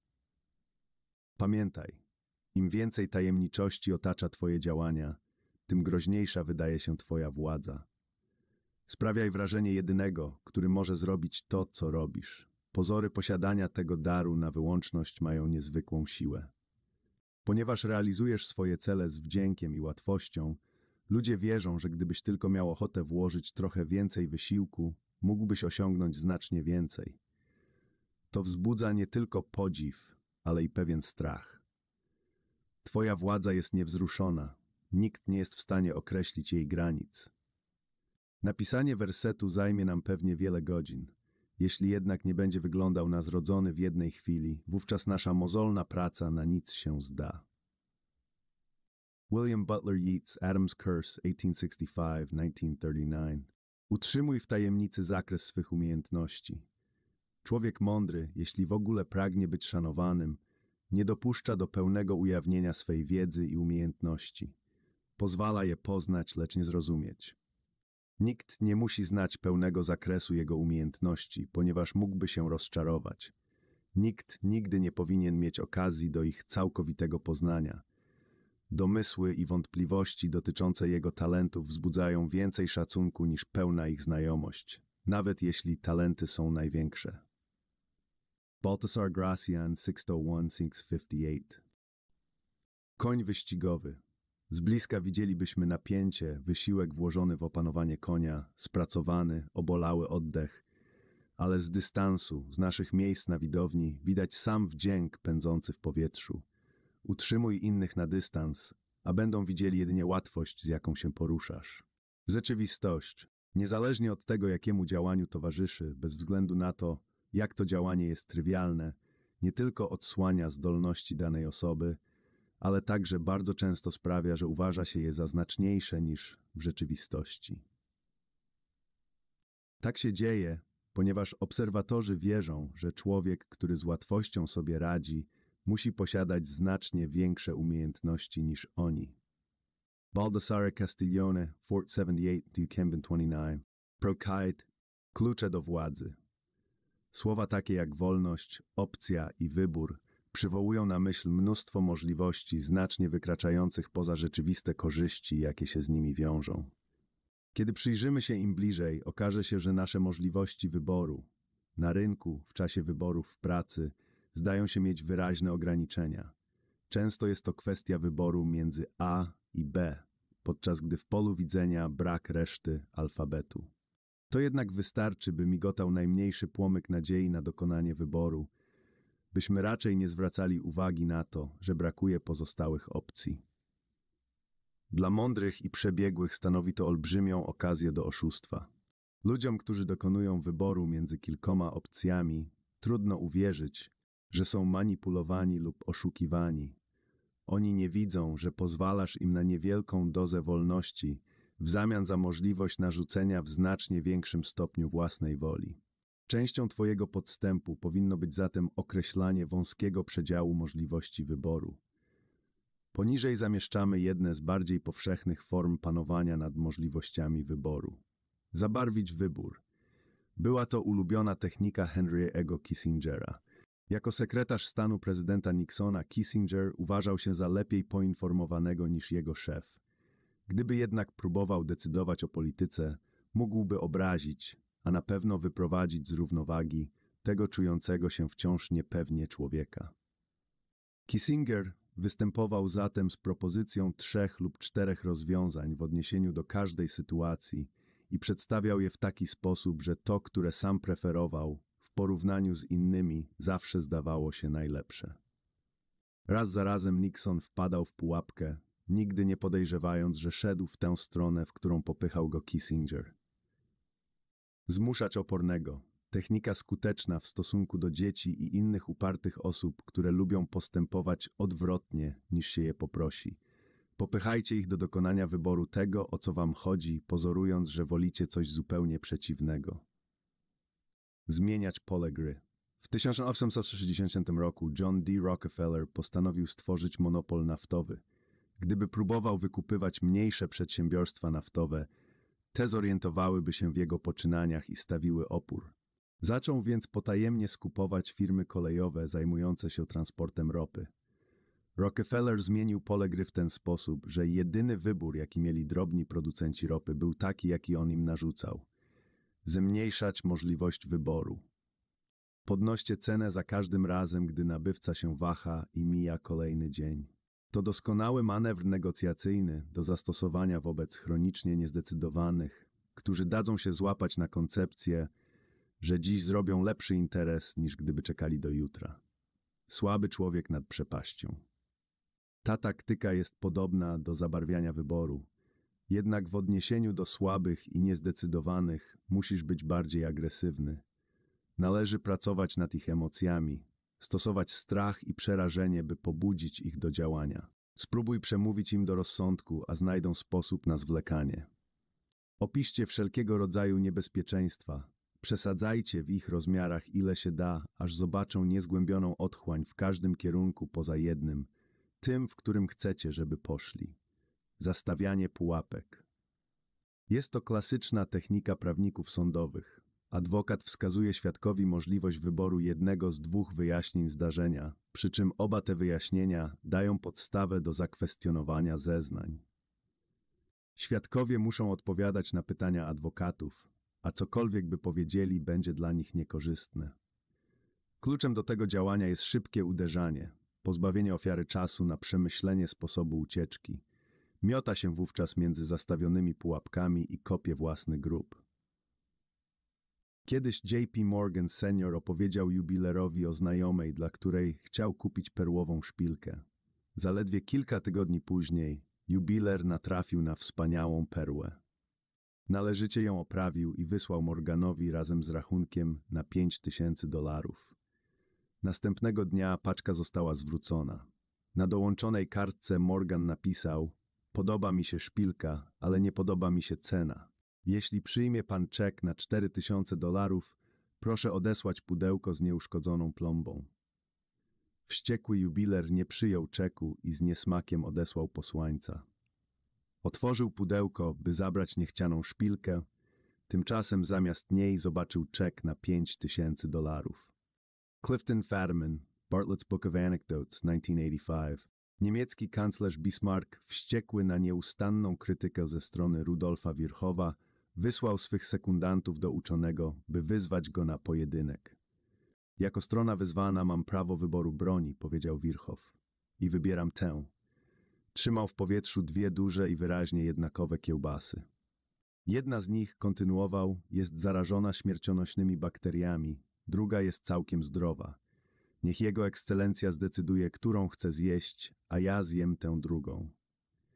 Niemal natychmiast nadeszła odpowiedź, że kanclerz postanowił odwołać pojedynek. Clifton Fadiman, Bartlett's Book of Anecdotes, 1985. Rogi byka.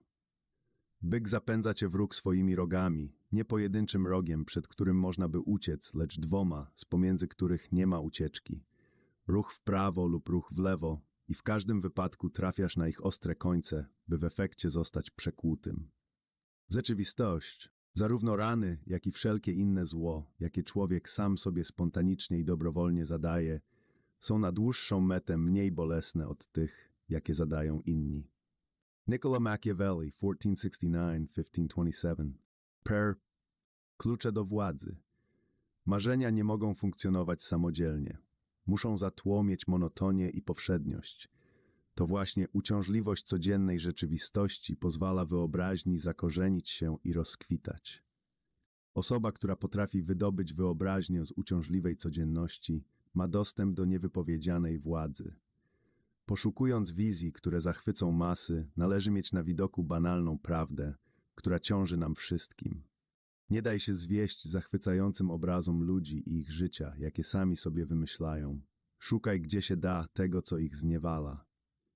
Kiedy już to znajdziesz, będziesz miał w ręce magiczny klucz, który da ci wielką władzę.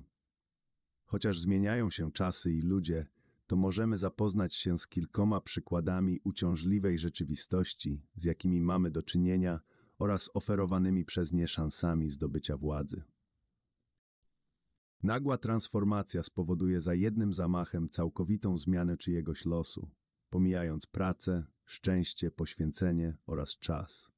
Oczywiście jest to par excellence marzenie szarlatanów, którzy do dziś kręcą się między nami. Rzeczywistość. Zmiany zachodzą powoli oraz stopniowo. Wymagają ciężkiej pracy, nieco szczęścia, sporej dozy poświęcenia oraz dużo cierpliwości. Możemy wejść do całkiem nowego świata, kierującego się zupełnie innymi zasadami i obiecującego przygodę. Rzeczywistość. Społeczeństwo ma swoje jasno sprecyzowane zasady i granice.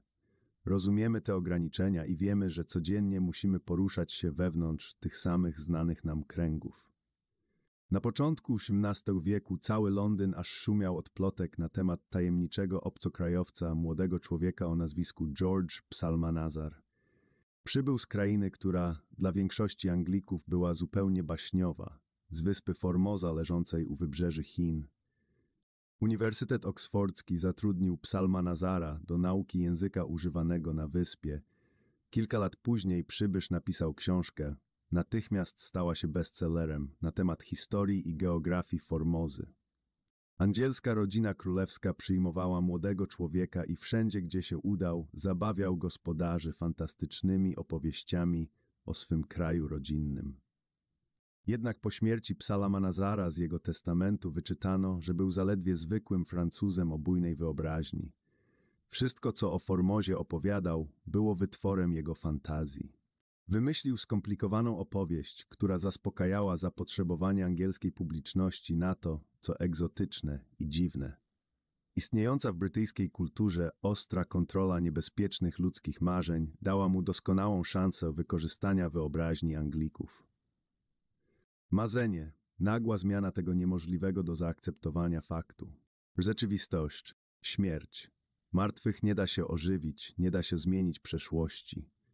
Piękno i znaczenie sztuki Vermeera już dawno zostały uznane, jednak jego dzieł jest mało i są one niezmiernie rzadkie. Niemniej jednak w latach 30. ubiegłego wieku obrazy Vermeera zaczęły pojawiać się na rynku sztuki. Wzywano ekspertów, by je sprawdzili, a ci stwierdzili, że są prawdziwe. To było jak wskrzeszenie Łazarza. Dziwnym sposobem przywrócono Vermeera do życia. Przeszłość uległa zmianie.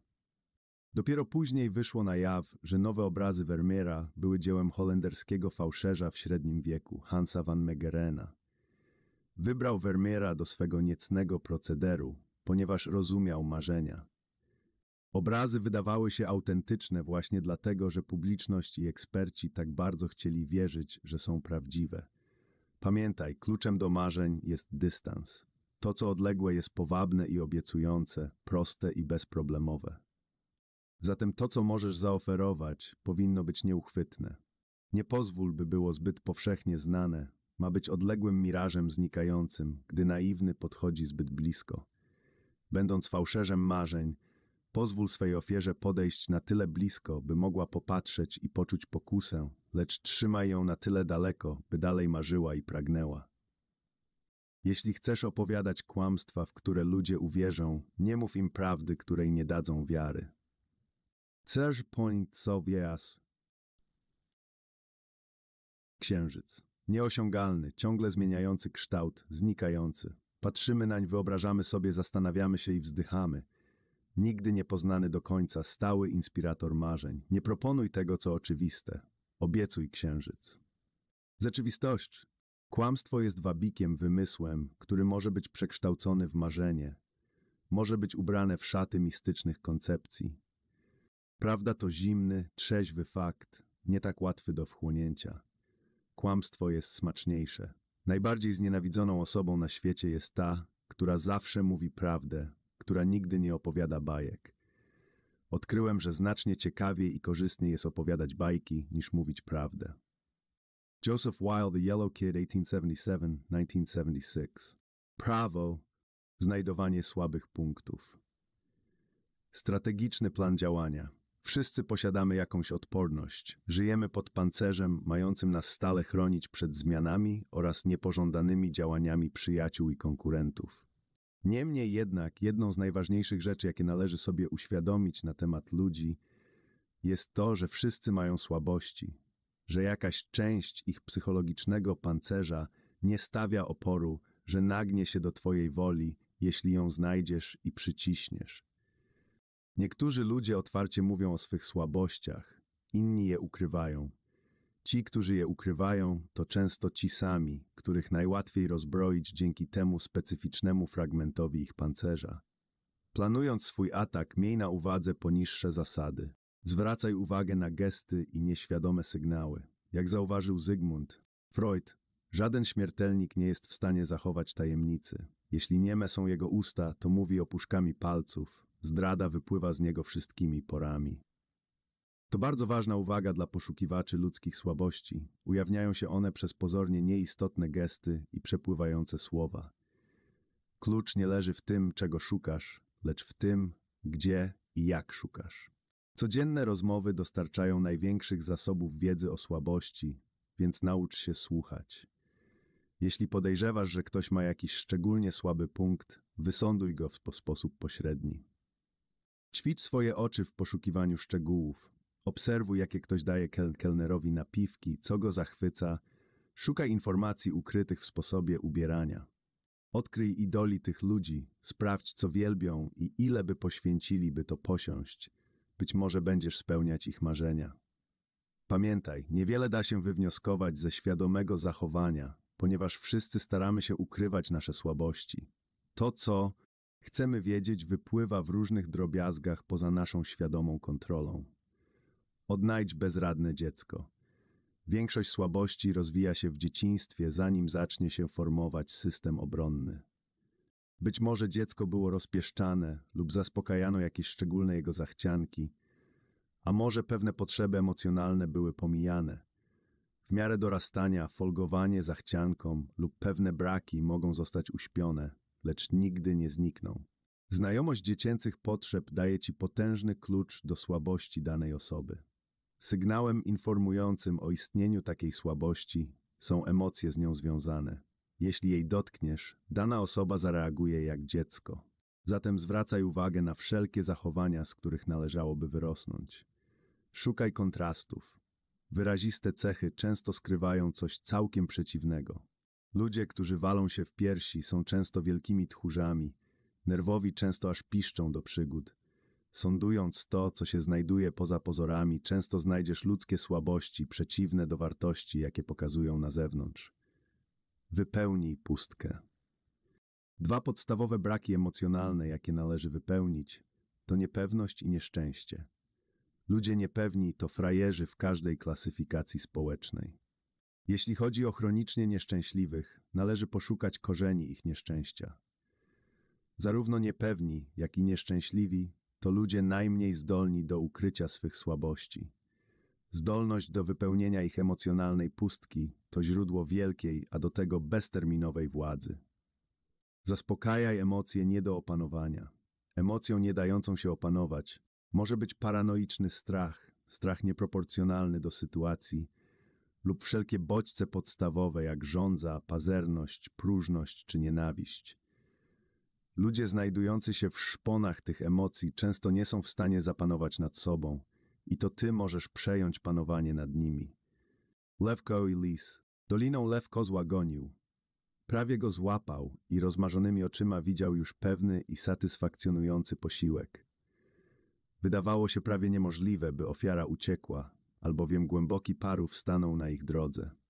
Jednak zwinny kozioł, zebrawszy wszystkie swoje siły, wyskoczył jak strzała z łuku ponad rozpadliną i stanął na skalistym zboczu po drugiej stronie. Nasz lew ledwie się zatrzymał. Jednak w tym momencie u jego boku pojawił się przyjaciel. Tym przyjacielem był lis. Co? rzekł. Z twoją siłą i zwinnością, czy to możliwe, byś uległ słabemu kozłowi? Musisz jedynie chcieć, a osiągniesz cuda. Choć przepaść jest głęboka, to jestem pewien, że poradzisz sobie z nią, jeśli tylko podejdziesz do sprawy sumiennie. Mam nadzieję, że wierzysz w moją bezinteresowną przyjaźń. Nie naraziłbym Twojego życia na niebezpieczeństwo, gdybym nie był świadom Twojej siły i zwinności. W lwie krew się zagotowała. Z całej siły wyskoczył w powietrze. Nie był jednak w stanie pokonać rozpadliny, poleciał głową w dół i zginął. Co wówczas zrobił jego drogi przyjaciel?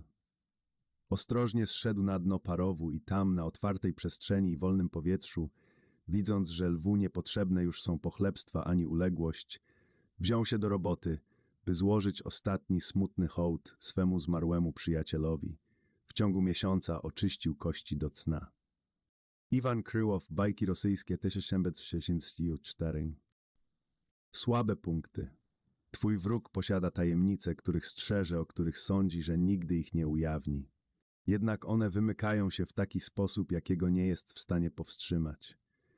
Gdzieś tam, w jego głowie, w sercu, w jego brzuchu jest jakaś szczelina słabości. Kiedy ją znajdziesz, wystarczy włożyć tam kciuk i dowolnie nim wiercić. Rzeczywistość. Należy znaleźć słabe punkty każdego człowieka. To sztuka uruchamiania woli działania. Wymaga więcej umiejętności niż zdecydowania. Musisz wiedzieć, w które miejsce trafić. Każdy czyn wolicjonalny wynika z jakiejś motywacji, która różni się w zależności od smaku. Wszyscy ludzie wielbią jakiegoś bożka. Dla niektórych jest nim sława, dla innych własny interes, dla większości to przyjemność. Wprawa polega na rozpoznaniu tych bożków, by włączyć ich do gry. Znajomość źródeł motywacji ludzi jest dla ciebie kluczem do ich woli. Baltasar Gracian 601, 1958 Parsley Store Klucze do władzy. Jako dzieci zaczynamy nasze życie z wielkimi nadziejami, wszystkiego oczekując i żądając od świata. Na ogół trwa to do czasu naszego pierwszego zetknięcia się ze społeczeństwem, gdy rozpoczynamy kariery. Jednak w miarę dojrzewania doświadczane przez nas odmowy i niepowodzenia powodują powstawanie granic, które z czasem tylko się utrwalają.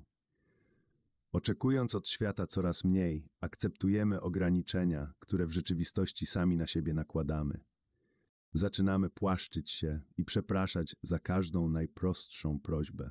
Rozwiązaniem problemu takiego kurczącego się horyzontu jest zmuszenie się do ruchu w przeciwną stronę, do pomniejszania niepowodzeń i ignorowania ograniczeń, zmuszenie się do żądania i oczekiwania tego wszystkiego, czego oczekiwaliśmy jako dzieci.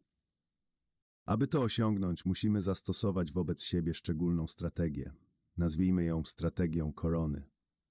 Strategia korony opiera się na prostym łańcuchu przyczyn i skutków.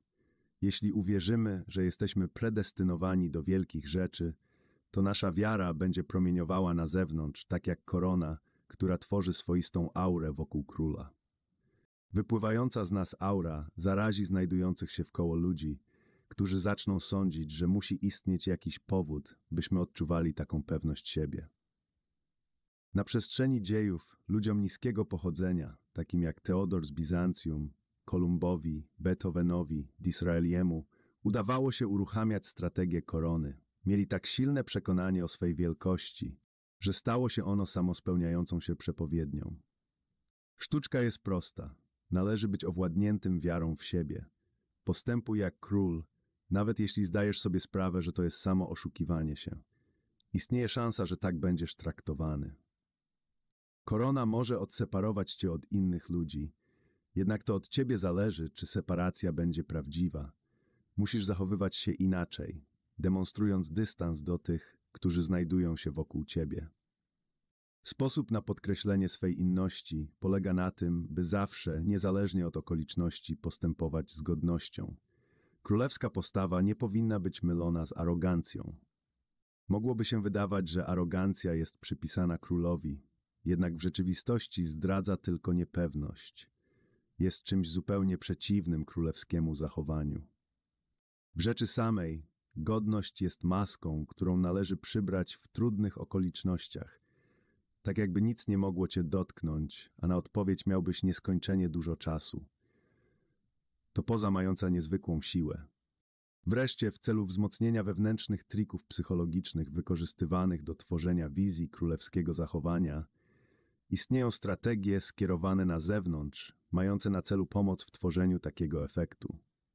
Po pierwsze, strategia Kolumba zawsze wychodzić z odważnymi żądaniami. Ustalaj swoją cenę wysoko i nie wahaj się. Po drugie, w godny sposób kieruj się do najważniejszej osoby w budynku. To natychmiast ustawia cię na tej samej płaszczyźnie, na której znajduje się naczelny dyrektor, którego atakujesz. To strategia Dawida i Goliata. Wybierając sobie wielkiego przeciwnika, tworzysz wrażenie własnej wielkości. Po trzecie, tym, którzy zajmują wyższą pozycję, daj jakiś podarunek. To właśnie strategia tych, którzy mają jakiegoś patrona. Dając podarunek swemu patronowi, mówisz w zasadzie, że jesteś mu równy. Pamiętaj, od ciebie zależy, jaką cenę dla siebie ustalisz. Poproś o mniej i tyle dostaniesz. Poproś o więcej, a wyślesz sygnał, że jesteś wart królewskiej zapłaty. Nawet ci, którzy odrzucą Twoją ofertę, będą Cię szanowali za pewność siebie. W rezultacie kiedyś ten szacunek opłaci się w sposób, jakiego nie jesteś w stanie sobie wyobrazić. Wszyscy wielcy oszuści zawdzięczali swą władzę pewnemu godnemu uwagi zdarzeniu. W chwili dokonywania oszustwa byli opanowani wiarą w siebie. To właśnie prowadzi do tak cudownego i pociągającego wszystkich w koło sposobu wypowiadania się. Friedrich Nietzsche, 1844-1900 Nigdy nie trać szacunku dla siebie, ani nie bądź w zbytniej zażyłości ze sobą, gdy jesteś sam. Niech twoja własna prawość pozostanie dla ciebie standardem uczciwości i niech bardziej zależy od ostrości własnego osądu samego siebie niż od wszelkich zewnętrznych zasad. Wstrzymaj się od wszelkiego niegodnego zachowania bardziej z szacunku dla własnych cnót niż z powodu ograniczeń narzuconych z zewnątrz. Podziwiaj samego siebie, a nie będziesz potrzebował wyimaginowanego nauczyciela Seneki. Baltasar Gracian 601-658 Korona. Umieść ją na głowie, a przyjmiesz inną pozę spokojną, jednak promieniującą pewnością siebie. Nigdy nie okazuj wątpliwości, nosząc koronę, nie trać godności, bo przestanie ci pasować. Będzie sprawiała wrażenie, że jest przeznaczona dla kogoś bardziej godnego. Nie czekaj na koronację. Najwięksi cesarze sami się koronują. Rzeczywistość, każdy powinien sprawiać królewskie wrażenie po swojemu. Niech wszelkie Twoje działania, nawet jeśli nie są królewskimi czynami, będą po swojemu godne króla.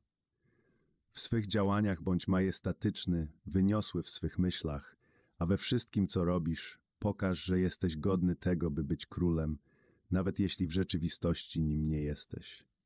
Baltzar Gracian 1601-1658 Priester Penks Klucze do władzy. Czas to sztuczne pojęcie, które sami stworzyliśmy, by bezgraniczną wieczność i przestrzeń kosmiczną uczynić łatwiejszymi do zniesienia, bardziej ludzkimi. Od chwili, kiedy stworzyliśmy pojęcie czasu, jesteśmy również w stanie do pewnego stopnia kształtować go, bawić się nim. Czas dziecka jest długi i powolny, ogarnia wielkie przestrzenie. Czas dorosłego mija przerażająco szybko. A zatem zależy on od punktu widzenia, który, jak wiemy, można dowolnie zmieniać. Jest to pierwsza rzecz, jaką należy zrozumieć, ucząc się sztuki planowania czasu. Istnieją trzy rodzaje czasu, jakie spotykamy. Każdy stwarza problemy, które można rozwiązać dzięki umiejętności i wprawie. Zatem przede wszystkim mamy długi czas, rozwleczony i ciągnący się latami, do którego trzeba podchodzić cierpliwie i delikatnie nim sterować. Dalej mamy czas wymuszony, krótkoterminowy okres, którym możemy manipulować jak bronią ofensywną, wprowadzając zamęt w planowanie czasu u naszych przeciwników. Wreszcie istnieje czas końcowy, kiedy należy szybko i zdecydowanie zrealizować plan. Czekaliśmy, znaleźliśmy odpowiedni moment i nie możemy się wahać. Długi czas. Kiedy ze strachu i niecierpliwości przyspieszysz tempo, tworzysz zarzewie problemów, które będą wymagały załatwienia. W efekcie zajmuje ci to znacznie więcej czasu, niż gdybyś nie przyspieszał. Ci, którzy się spieszą, mogą od czasu do czasu dotrzeć do celu szybciej, jednak pojawiają się nowe niebezpieczeństwa i w efekcie znajdują się w stałym kryzysie, naprawiając błędy, które sami stworzyli. Czasami nierobienie niczego w obliczu niebezpieczeństwa jest najlepszym ruchem. Czekasz i celowo zwalniasz. W miarę upływu czasu zacznie on ujawniać szanse, o jakich nie miałeś pojęcia. Nie spowalniasz czasu po to, by żyć dłużej lub by mieć więcej przyjemności z danej chwili, ale aby usprawnić grę o władzę. Zobaczysz odleglejszą przyszłość, gdy twój umysł nie będzie zajęty ciągłymi awariami. Oprzesz się również pokusom, jakimi ludzie będą powiewali ci przed nosem i uchronisz się przed zostaniem kolejnym, niecierpliwym frajerem. Budowa fundamentów twojej władzy może zająć lata. Upewnij się, że są one solidne. Nie bądź jak słomiany ogień, sukces budowany powoli i z rozmysłem jest jedynym, jaki może przetrwać. Czas wymuszony.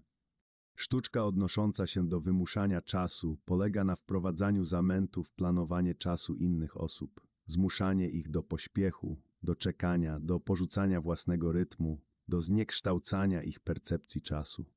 Zaburzając planowanie czasu swych przeciwników, podczas gdy sam pozostajesz cierpliwy, otwierasz wrota czasu dla siebie, co już jest połową twego sukcesu. Sprawianie, że ludzie muszą czekać, jest skutecznym sposobem wymuszania czasu, jeśli ci nie zorientują się, do czego zmierzasz. Panujesz nad zegarem, oni trwają w nicości i natychmiast się odseparowujesz, otwierając sobie szansę na uderzenie. Efekt przeciwny jest równie skuteczny. Zmuszasz swych przeciwników do pośpiechu. Sam zaczynasz pogrywać z nimi powoli, potem nagle stosujesz nacisk, sprawiając, że zdaje im się, iż wszystko dzieje się równocześnie. Ludzie, którym brakuje czasu na myślenie, popełniają błędy. Ustal dla nich ostateczne terminy.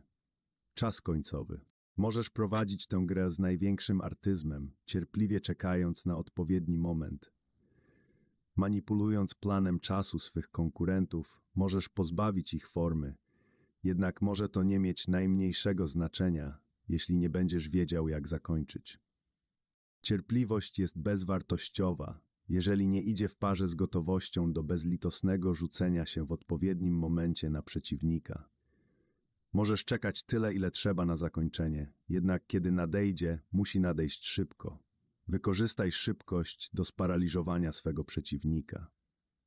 Sułtan perski skazał dwóch ludzi na śmierć. Jeden z nich, który wiedział, jak bardzo sułtan kochał swego ogiera, w zamian za życie obiecał nauczyć konia latania w ciągu roku. Sułtan, któremu spodobała się myśl, że może być posiadaczem jedynego latającego konia na świecie, zgodził się. Drugi więzień patrzył na swego przyjaciela z niedowierzaniem. Wiesz, że konie nie latają, co skłoniło cię do wyjścia z tak szalonym pomysłem. Tylko oddalasz to, co nieuniknione. Niezupełnie, odpowiedział. W ten sposób dałem sobie cztery szanse na uzyskanie wolności. Pierwsza w ciągu roku sułtan może umrzeć, druga ja mogę umrzeć, trzecia koń może umrzeć i czwarta może nauczę konia latać. Opowieść zapis Anna w R.G. Hayes The Craft of Power, Cindziew Sydzien Przestrzeń możemy odzyskać, czasu nigdy. Napoleon 1769-1821 Jastrząb Cierpliwie i cicho krąży wysoko na niebie, widzi wszystko swymi mocnymi oczyma. Istoty będące poniżej niego nie wiedzą, że są śledzone. Nagle, gdy nadchodzi odpowiedni moment, jastrząb spada w dół z szybkością, przed którą nie można się obronić. Nim ofiara zorientuje się, co się stało, zostaje pochwycona w jego zakrzywione szpony i uniesiona w przestworza. Rzeczywistość. Ludzki los ma swoje pływy. W okresie przypływu prowadzi do fortuny, gdy się o nim zapomni, prowadzi na mieliznę i do biedy. William Shakespeare, Julius Caesar, 1564, 1616, 36. Klucze do władzy. Pożądanie daje często paradoksalne efekty. Im bardziej czegoś pragniesz, tym bardziej za tym gonisz i tym bardziej to ci ucieka. Im więcej okazujesz zainteresowania, tym bardziej odtrącasz przedmiot swego pożądania. Jest tak dlatego, że twoje zainteresowanie jest zbyt silne. Sprawia, że ludzie dziwnie się czują, a nawet się boją. Nie dające się opanować pożądanie sprawia, że wyglądasz na słabego, bezwartościowego. Odwróć się plecami do tego, czego pragniesz, okaż pogardę i niechęć. To jest właśnie rodzaj skutecznej strategii, jaka doprowadzi obiekty Twojego działania do szaleństwa. Odpowiedzą za pomocą własnych pragnień, czyli po prostu chęcią wywołania na Tobie wrażenia, być może by Cię posiąść lub by Cię zranić. Jeśli ich zamiarem jest posiąść Ciebie, to udał Ci się pierwszy krok w uwodzeniu.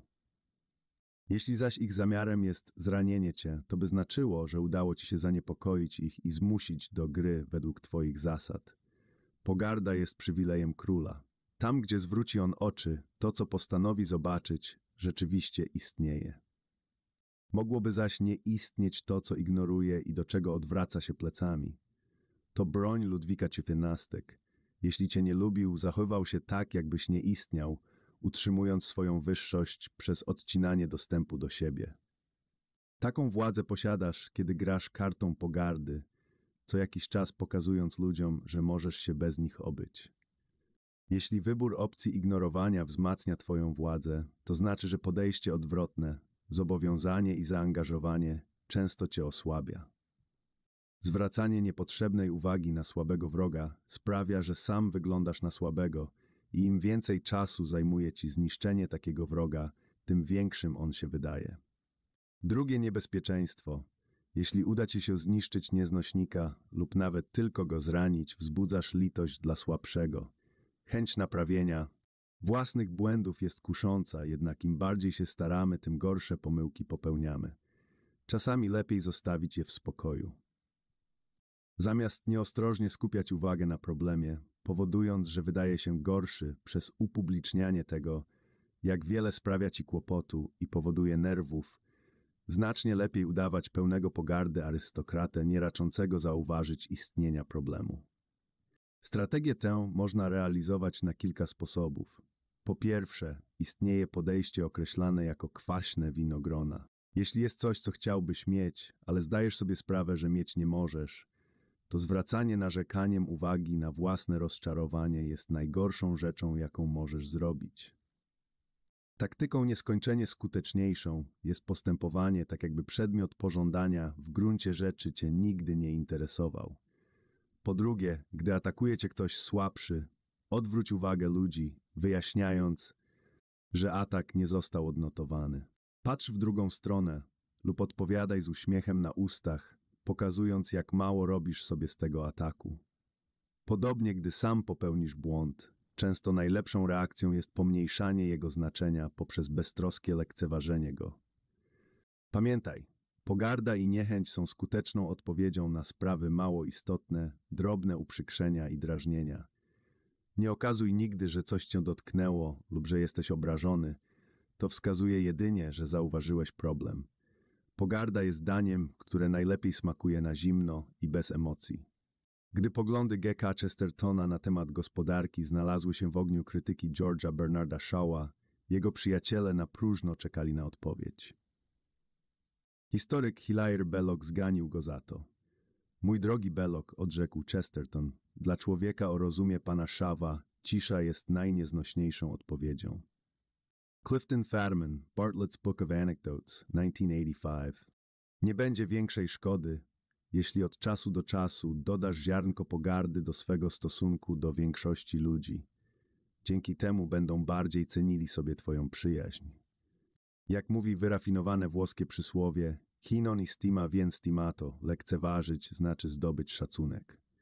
Jeśli jednak naprawdę kogoś wysoko cenimy, wówczas powinniśmy ukrywać to jak przestępstwo.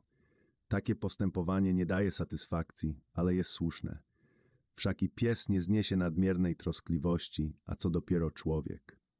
Arthur Schopenhauer, 1788-1860 Niewielka rana, jest mała, ale bolesna i denerwująca. Próbujesz różnego rodzaju leków, narzekasz, drapiesz i zrywasz strup. Lekarze jeszcze pogarszają sprawę, zmieniając małą rankę w poważną sprawę. Gdybyś zostawił ranę w spokoju, czas by ją wyleczył i uwolnił cię od problemu. Rzeczywistość. Musisz wiedzieć, jak rozgrywać kartę pogardy. Jest to najbardziej polityczny rodzaj zemsty. Istnieje wielu ludzi, o których nic byśmy nie wiedzieli, gdyby ich szacowni przeciwnicy nie zwrócili na nich uwagi. Nie ma gorszej zemsty niż niepamięć. Baltzar Gracian 601, 6658, Purse. Klucze do władzy. Używanie słów do wyłożenia własnej sprawy jest nader ryzykowne. Słowa są narzędziem bardzo niebezpiecznym i często mogą wprowadzać w błąd. Słowa, jakich używają ludzie, żeby nas przekonać, właściwie skłaniają nas do refleksji nad nimi. Zastanawiamy się, a rezultat często jest taki, że wierzymy w odwrotność tego, co słowa niosą. Zdarza się również, że słowa nas obrażają, wywołując niezamierzone przez mówiącego skojarzenia. Z drugiej strony obraz jest skrótem w porównaniu ze słownym labiryntem. Uderza natychmiastowo z emocjonalną siłą, jaka nie pozostawia miejsca na refleksję i wątpliwości. Podobnie jak muzyka przeskakuje ponad racjonalnym, rozsądnym myśleniem, musisz zrozumieć, słowa stawiają cię w defensywie. Twoja władza staje pod znakiem zapytania, jeśli musisz się tłumaczyć. Czasem obraz jawi się jako coś danego od razu. Zniechęca do zadawania pytań, tworzy silne skojarzenia, opiera się niezamierzonym interpretacjom, komunikuje natychmiast i wykuwa więzy przekraczające różnice społeczne. Słowa wywołują dyskusje i podziały, obrazy łączą ludzi. Są niezbędnymi narzędziami władzy. Symbol, niezależnie od tego, czy jest obrazem, czy słownym opisem czegoś, co widzimy, ma tę samą siłę. Tego rodzaju symboliczny obiekt oznacza właśnie coś abstrakcyjnego. Abstrakcyjna idea, czystość, patriotyzm, odwaga, miłość jest pełna emocjonalnych i niezwykle silnych skojarzeń. Rzymski cesarz Konstantyn przez większość swego życia czcił słońce, jednak pewnego dnia spojrzał na nie i zobaczył na jego tle krzyż. Wizja krzyża na tle słońca stanowiła dla niego dowód na panowanie nowej religii i niebawem wraz z całym cesarstwem rzymskim przeszedł na chrześcijaństwo. Takiej siły nie miałyby żadne kazania ani próby nawracania świata. Znajdź sobie obrazy i symbole, które w tak natychmiastowy sposób niosą dziś swój przekaz i spowoduj, że będziesz właśnie z nimi kojarzony, a w Twoich rękach znajdzie się niewyobrażalna władza. Najskuteczniejsze ze wszystkich są nowe kombinacje, połączenie obrazów i symboli, których wcześniej nie widywano razem, ale które dzięki skojarzeniu wyraźnie ukazują Twoją nową ideę, przekaz czy religię. Takie tworzenie nowych obrazów i symboli na bazie już istniejących wzorów ma poetycki efekt. Skojarzenia widzów rozwijają się, dając im poczucie uczestnictwa. Wykorzystaj potęgę symboli jako sposób na skupianie, uaktywnianie i jednoczenie własnych żołnierzy i zespołu. W czasie buntu przeciwko francuskiej koronie 1648 roku ludzie lojalni wobec króla poniżali buntowników, porównując ich do proc, jakich mali chłopcy używają, żeby wystraszyć dużych. Kardynał Retz postanowił przekształcić ten poniżający termin w symbol buntowników. Odtąd powstanie znane było jako fronde, buntownicy zaś jako frondeurs. Zaczęli nosić na kapeluszach wstążki symbolizujące proce, natomiast samo słowo stało się ich zawołaniem. Bez tego bunt mógł się załamać. Pamiętaj o znalezieniu sobie symbolu, który będzie reprezentował Twoją sprawę. Im bardziej skojarzenia okażą się naładowane emocjonalnie, tym lepiej. Najlepszy sposób na wykorzystanie obrazów i symboli polega na zorganizowaniu wielkiego widowiska, które zadziwi ludzi i odwróci ich uwagę od nieprzyjemnej rzeczywistości. Łatwo to zrobić. Ludzie uwielbiają wszystko, co wspaniałe, oszałamiające i wyrastające ponad życie codzienne. Należy zwrócić się do ich uczuć, a oni tłumnie przybędą na Twoje widowisko. Wykorzystanie obrazu to najprostsza droga do ich serc. Wybrałem słońce jako najwspanialszy obraz symbolizujący wielkiego przywódcę, ze względu na światło, jakim oświetla inne ciała niebieskie, tworzące swoisty dwór wokół niego, ze względu na sprawiedliwe i równe rozdzielanie promieni między wszystkich, ze względu na dobro, jakie przynosi wszystkim miejscom, rodząc życie, radość i działanie, ze względu na swą stałość, która nigdy nie ulega zmianie. Ludwik Świetnarstek w Rysońcleti os 15 istniał sobie człowiek, który nazywał się Sakamotoya Hechigwan i mieszkał w górnym Kyoto. Gdy Hideyoshi wydał wspaniałe przyjęcie w dziesiątym miesiącu roku 1588, Hechigwan ustawił olbrzymi czerwony parasol o średnicy 3 metrów umieszczony na ponad dwumetrowej tyczce. Na obwodzie ustawił niespełna metrowe ogrodzenie z trzciny w taki sposób, że promienie słońca były od niego odbijane i rozpraszały w koło kolor parasola. To urządzenie tak spodobało się Hideyoshiemu, że zwolnił Hechigwana z płacenia podatków. A.L. Sadler Chanoyu, The Japanese Tea Ceremony, 1933. Krzyż i słońce, ukrzyżowanie i totalna jasność. Gdy jedno jest umieszczone na tle drugiego, wówczas nowa rzeczywistość nabiera kształtów, wschodzi nowa potęga. Symbol niepotrzebne są żadne wyjaśnienia. Rzeczywistość, pozory zawsze robiły na ludziach wrażenie. W określonych porach roku powinien dawać ludziom zajęcie i odwracać ich uwagę za pomocą zabaw i pokazów. Niccolo Machiavelli, 1469-27. Enus Small, klucze do władzy. Wszyscy kłamiemy i skrywamy swoje uczucia, ponieważ całkowita swoboda wypowiedzi jest społecznie niemożliwa. Od wczesnych lat uczymy się ukrywać nasze myśli, opowiadając ludziom nastroszonym i niepewnym to, o czym wiemy, że chcieliby usłyszeć, pilnie bacząc, by ich nie obrazić. Dla większości z nas jest to czymś naturalnym. Istnieją idee i wartości akceptowane przez większość ludzi i nie ma sensu się sprzeczać. Wierzymy w to, w co chcemy wierzyć, ale na zewnątrz zakładamy maskę. Istnieją jednak ludzie, którzy traktują takie ograniczenia jak niedopuszczalne naruszanie ich wolności i którzy czują potrzebę dowodzenia wyższości swych wartości i przekonań. W końcu jednak ich argumenty przekonują tylko nielicznych, a obrażają bardzo wielu. Ich argumentacja nie odnosi skutku, dlatego że większość ludzi trwa przy swoich ideach i wartościach, nie zastanawiając się nad nimi. Ich przekonania są mocno zabarwione emocjonalnie. W rzeczywistości nie mają ochoty zmieniać swoich sposobów myślenia i stają się agresywni, kiedy je kwestionujesz bezpośrednio, za pomocą własnych argumentów, czy też pośrednio swoim zachowaniem. Ludzie rozsądni i mądrzy wcześnie pojmują, że mogą postępować w sposób konwencjonalny i wypowiadać popularne idee bez konieczności dawania im wiary. Siła, jaką uzyskują dzięki wtopieniu się w tłum, polega na tym, że mogą myśleć, co im się żywnie podoba i przedstawiać swe myśli ludziom, którym chcą je przedstawić, bez obawy o wyizolowanie i ostracyzm. Z chwilą okrzepnięcia ich pozycji mogą przystąpić do przekonywania szerszych kręgów o słuszności swych idei, choć zapewne nie bezpośrednio. Nie bądź na tyle naiwny, by myśleć, że stare ortodoksyjne idee w Twoich czasach przestały istnieć. Na przykład Jonas Salk sądził, że nauka jest ponad polityką i protokołem. Dlatego poszukując szczepionki przeciw chorobie Hajnego Medina, łamał wszelkie zasady, przedstawiając swe odkrycie publicznie, zanim ujawnił je społeczności naukowej, przypisując sobie pełnię zasług za odkrycie, bez uwzględnienia innych, którzy utorowali mu drogę i robiąc z siebie gwiazdę.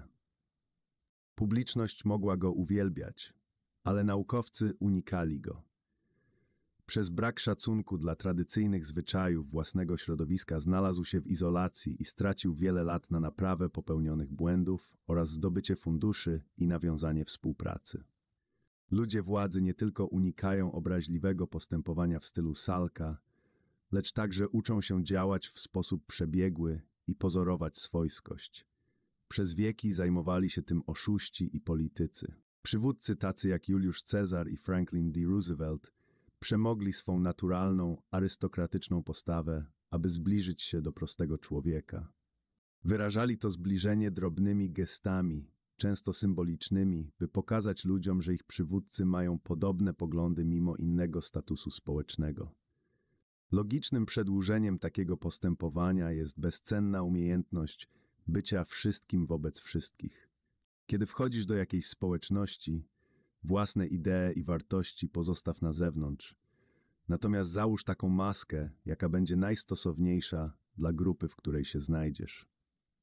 Przez wiele lat tę taktykę stosował Bismarck. Istnieli ludzie, którzy mgliście domyślali się, do czego zmierzał, ale nie na tyle, by miało to znaczenie. Ludzie połkną przynętę, ponieważ pochlebia im to, że dzielisz ich poglądy.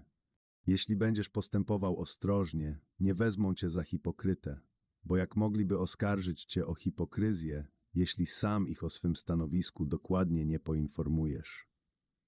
Nie będą cię również posądzali o brak zasad. Oczywiście posiadasz zasady, takie same jak te, które oni wyznają, dopóki znajdujesz się w ich towarzystwie. Obywatel i podróżny, rozejrzyj się wokół siebie, powiedział obywatel. To największy rynek na świecie. Na pewno nie, odrzekł podróżny. No, być może nie największy, powiedział obywatel, ale zapewne najlepszy. I w tym się mylisz, ciągnął podróżny. Gwarantuję ci. I tak kontynuowali do zmierzchu. Robert Louis Stevenson, Baki 1850-1894. Gdyby Machiavelli miał księcia za swego zwolennika, to pierwszą rzeczą, jaką by mu zaproponował, byłoby napisanie książki przeciw makiawelizmowi. Voltaire 1694-1778 Czarna owca. Stado odrzuca czarną owcę, niepewne, czy do niego należy. Ta wlecze się na końcu albo oddala od stada, zostaje otoczona przez wilki i szybko pożarta. Trzymaj się stada, masa daje bezpieczeństwo. Odmienność myśli zachowaj dla siebie, a nie na pokaz. Nie dawaj psom świętości. Nie rzucaj pereł między wieprze, bo je zadepczą i zwrócą się przeciw tobie. Jezus Chrystus, Ewangelia Święty Mateusz. Portep, klucze do władzy. Ludzie wściekli wyglądają zazwyczaj śmiesznie, ich reakcja bowiem zdaje się wyolbrzymiona. Biorą rzeczy zbyt poważnie, przesadzając z rozmiarem rany bądź obrazy, jakich doświadczyli. Są tak strasznie wyczuleni na drobiazgi, że aż śmieszne, jak bardzo biorą je do siebie. Jeszcze śmieszniejsze jest ich przekonanie, że wybuchy złości świadczą o ich sile. Prawda jest całkiem odwrotna. Złość nie świadczy o sile, lecz jest oznaką bezradności.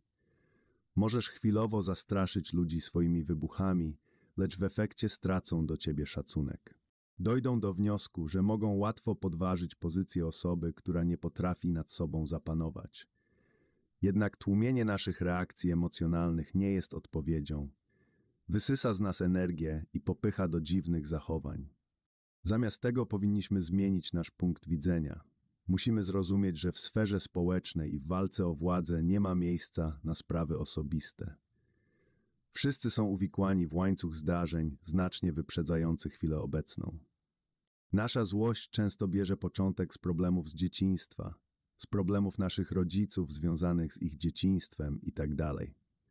Nasza złość ma korzenie także w interakcji z wieloma innymi osobami, w skumulowanym rozczarowaniu i zawodzie, jakich doświadczyliśmy. Często ktoś może zdawać się sprawcą naszej złości, jednak rzecz jest znacznie bardziej skomplikowana i sięga dalej niż to, co dana osoba nam zrobiła. Jeśli ktoś wybucha wściekłością na ciebie, musisz uprzytomnić sobie, że nie chodzi tylko o ciebie, nie bądź aż tak zadufany w sobie. Przyczyna jest znacznie szersza, sięga dawnych czasów, dotyczy szeregu dawniejszych zranień i właściwie nawet nie warto próbować jej zrozumieć. Zamiast widzieć w zdarzeniu osobistą niechęć, spójrz na te emocjonalne wybuchy, jak na zamaskowane posunięcia w walce o władzę, jak na próbę zapanowania nad tobą lub ukarania cię ubraną w szaty zranionego uczucia lub złości. Ta zmiana perspektywy pozwoli ci z większą jasnością i energią uczestniczyć w grze o władzę. Zamiast przesadnego reagowania i utknięcia w pułapce emocji, utratę panowania nad sobą tych ludzi obrócisz na własną korzyść. W czasie ważnej bitwy podczas wojny Trzech Królestw w trzecim wokół Nokurmeu doradcy wodza Cao Cao odkryli dokumenty wskazujące na to, że niektórzy z jego generałów konspirowali z wrogiem. Nalegali zatem na wodza, by ich aresztował i stracił. On tymczasem nakazał dokumenty spalić i o całej sprawie zapomnieć. Denerwowanie się lub żądanie sprawiedliwości w decydującym momencie bitwy mogło obrócić się przeciw niemu. Działanie w złości zwróciłoby uwagę na nielojalność generałów, co źle wpłynęłoby na morale żołnierzy. Sprawiedliwość mogła poczekać, z generałami miał się rozprawić później. Cao Cao zachował zimną krew i postąpił właściwie. Złość jedynie zmniejsza nasz wachlarz możliwości, a ludzie dzierżący władzę nie mogą funkcjonować, nie mając możliwości dokonywania wyboru. Z chwilą, kiedy już będziesz potrafił nie brać wszystkiego do siebie i panować nad swymi reakcjami emocjonalnymi, osiągniesz niezwykle silną pozycję. Będziesz mógł grać na emocjonalnych reakcjach innych ludzi. Będziesz mógł pobudzić do działania ludzi niepewnych, kwestionując ich męskość i wymachując im przed oczyma perspektywą łatwego zwycięstwa. Na koniec pamiętaj, że w obliczu rozgorączkowanego wroga najlepszą reakcją jest brak reakcji. Nic tak bardzo nie rozwściecza jak człowiek opanowany w chwili, gdy inni tracą panowanie. Jeśli wyprowadzanie ludzi z równowagi przyniesie ci korzyść, przyjmuj pozę arystokratyczną, znudzoną, nikim nie gardząc ani nad nikim nie triumfując, pozostań obojętny. To ich rozpali. Gdy ogarnie ich wściekłość, osiągniesz kilka zwycięstw, a jednym z nich będzie to, że w obliczu ich dziecinnej postawy zachowasz godność i opanowanie. W miarę możliwości nie należy wobec nikogo odczuwać wrogości, zwracać się do kogoś w złości, mówić do niego lub patrzeć z nienawiścią to postępować niepotrzebnie, niebezpiecznie, głupio, bezsensownie i wulgarnie. Nie należy nigdy okazywać złości lub nienawiści inaczej niż swoim postępowaniem. Odczucie wywołane działaniem będzie wówczas tym skuteczniejsze, że nie będziesz okazywał go w żaden inny sposób. Tylko ugryzienie zimnokrwistych zwierząt jest trujące. Arthur Schopenhauer 1788-1860 Kinio, oficer drugiego stopnia, miał brata zwanego wielkim kapłanem Ryogaku. Był to człowiek o bardzo złym charakterze. Obok jego klasztoru rósł duży wiąz, z powodu którego ludzie nadali mu przydomek Wielki Kapłan Wiązowiec.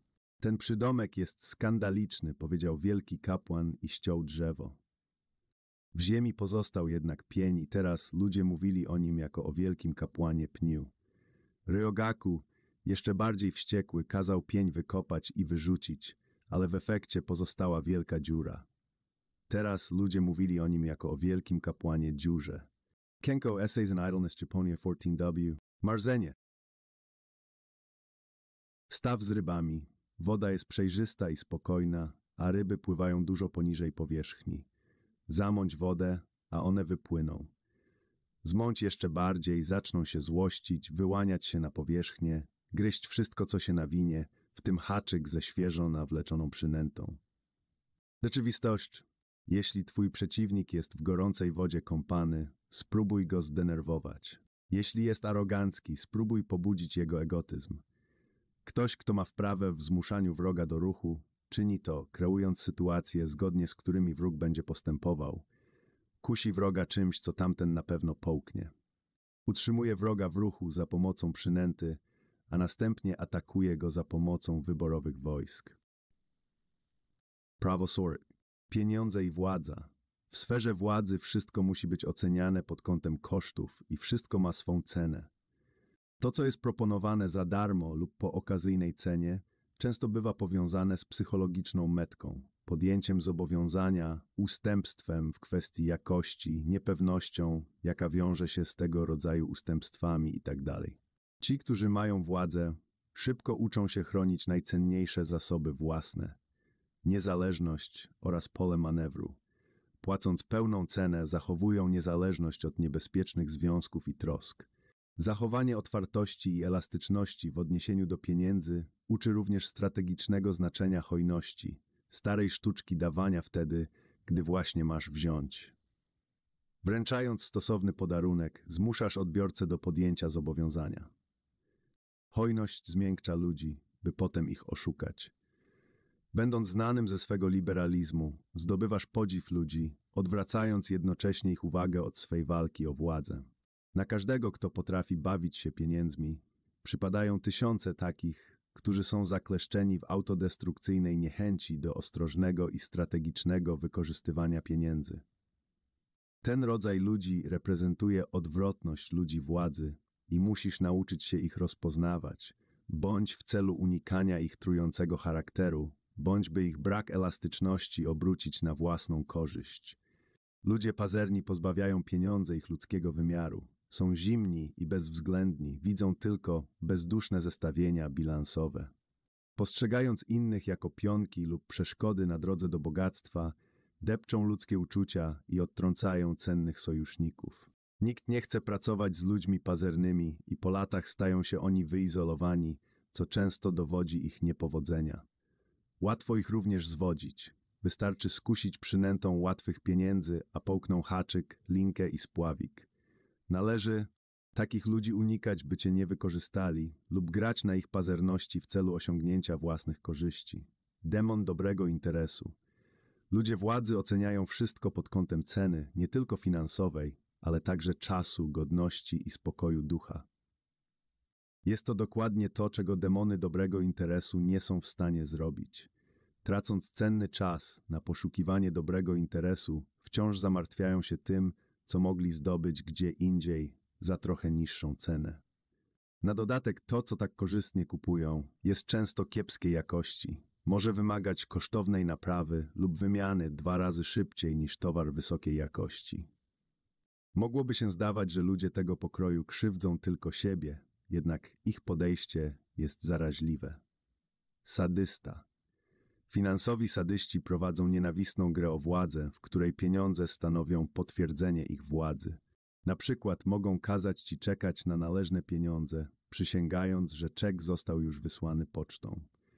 Sadyści zdają się sądzić, że jeśli za coś płacą, to mają prawo znęcać się i poniewierać sprzedającego.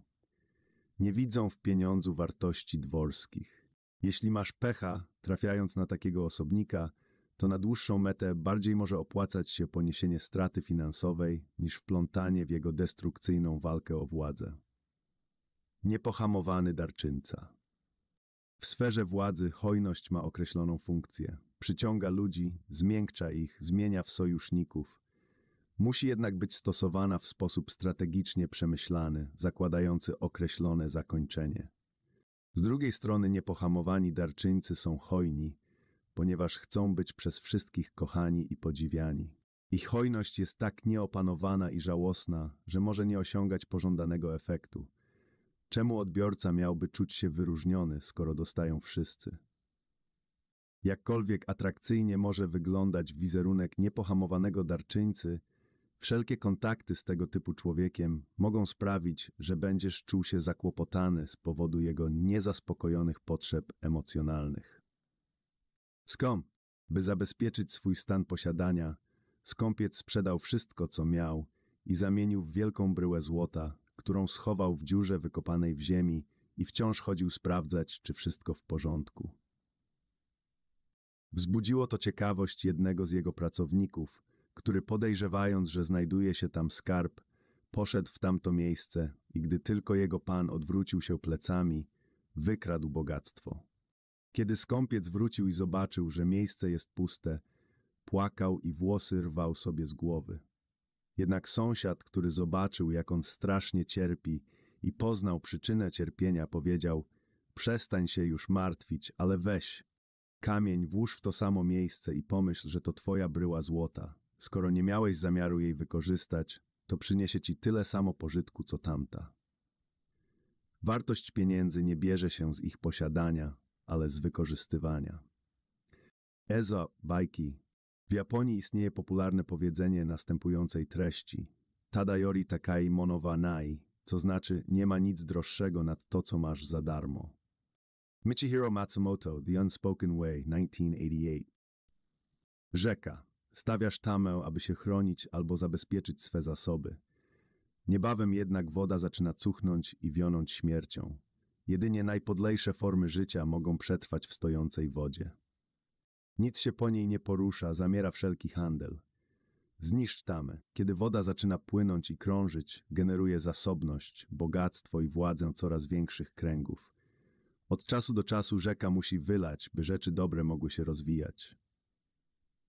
Rzeczywistość. Wielki człowiek, który jest skąpcem, jest też wielkim głupcem, a człowiek na wysokim stanowisku nie może mieć tak szkodliwej cechy jak pazerność. Skąpiec nie jest w stanie zdobyć ziemi ani autorytetu, nie posiada bowiem odpowiedniej liczby przyjaciół, z którymi mógłby zrealizować swą wolę. Nikt, kto chce mieć przyjaciół, nie może kochać własnego majątku. Przyjaciół musi pozyskiwać drogą stosownych podarków. Tak jak magnes delikatnie przyciąga żelazo do siebie, tak złoto i srebro darowane przez człowieka przyciągają serca innych ludzi.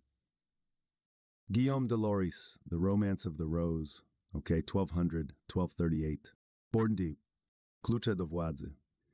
W wielu starożytnych królestwach, na przykład w Bengalu i na Sumatrze, poddani uśmiercali króla po kilku latach jego panowania. Czyniono tak po części w ramach rytuału odnowienia, ale również by uniemożliwić mu zdobycie nadmiernej władzy. Kiedy już króla nie było wśród żywych i nie groziło, że oddawana cześć uderzy mu do głowy, czczono go jak Boga. W tym czasie oczyszczano pole, by nowy i młodzieńczy porządek mógł się utrwalić. Ambiwalentny i wrogi stosunek do króla lub innej ojcowskiej postaci znajduje także odzwierciedlenie w legendach o bohaterach, którzy nie znali swych ojców. Mojżesz, archetyp człowieka władzy, został znaleziony w krzakach i nie znał swych rodziców. Nie mając ojca, z którym musiałby konkurować lub który by go krępował, osiągnął szczyty władzy. Aleksander Wielki w późniejszym okresie swego życia rozpuścił opowieść, że spłodził go Bóg Jowisz, a nie Filip Macedoński. Tego rodzaju legendy i rytuały usuwają ludzkiego ojca, ponieważ symbolizuje on destrukcyjną siłę z przeszłości. Przeszłość uniemożliwia młodemu bohaterowi stworzenie własnego świata, musi postępować tak jak jego ojciec. Nawet jeśli ojciec nie żyje lub jest słaby, bohater musi płaszczyć się przed swymi poprzednikami oraz ulegać tradycji i precedensom. Władza zależy od możliwości wypełnienia pustki, zajęcia pola, które zostało oczyszczone ze śmiertelnego ciężaru przeszłości. Dopiero po skutecznym usunięciu postaci ojcowskiej będziesz miał odpowiednie pole do stworzenia i utrwalenia nowego porządku. By osiągnąć ten cel, możesz przyjąć jedną z kilku strategii. Zapewne najprostszym sposobem ucieczki od cienia przeszłości jest po prostu pomniejszanie jego znaczenia, rozgrywanie odwiecznego antagonizmu, pokoleń, podburzanie młodych przeciw starym. W tym celu potrzebny jest odpowiedni starszy człowiek, którego można by ukrzyżować. Stworzony przez ciebie dystans do swych poprzedników często wymaga pewnej symboliki, sposobu publicznego zareklamowania.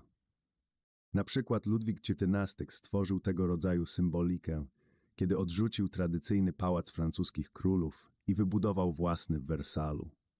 Naśladuj go, nie dopuść do tego, by uważano, że idziesz śladami swego poprzednika. Jeśli tak będzie, nigdy go nie wyprzedzisz. Musisz fizycznie zademonstrować swoją odmienność, tworząc styl i symbole, które cię odróżnią. Na przestrzeni dziejów mamy do czynienia ze swego rodzaju upartą głupotą, która stanowi poważne utrudnienie dla władzy. Przesądna wiara, że jeśli poprzedzającej cię osobie powiodło się w A, B i C, to można powtórzyć jej sukces, robiąc to samo. Takie podejście jak z foremką do wykrawania ciastek potrafi uwieść ludzi nietwórczych, bo jest łatwe i przemawia do ich bojaźliwości i lenistwa. Jednak okoliczności nigdy nie są dokładnie takie same. W odniesieniu do przeszłości musisz przyjąć bezwzględną strategię.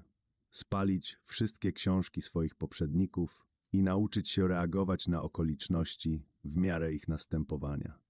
Zasobność i powodzenie zazwyczaj czynią nas leniwymi i nieaktywnymi. Nie mamy potrzeby, by coś robić, gdy nasza władza jest niezachwiana. Takie podejście stanowi poważne niebezpieczeństwo.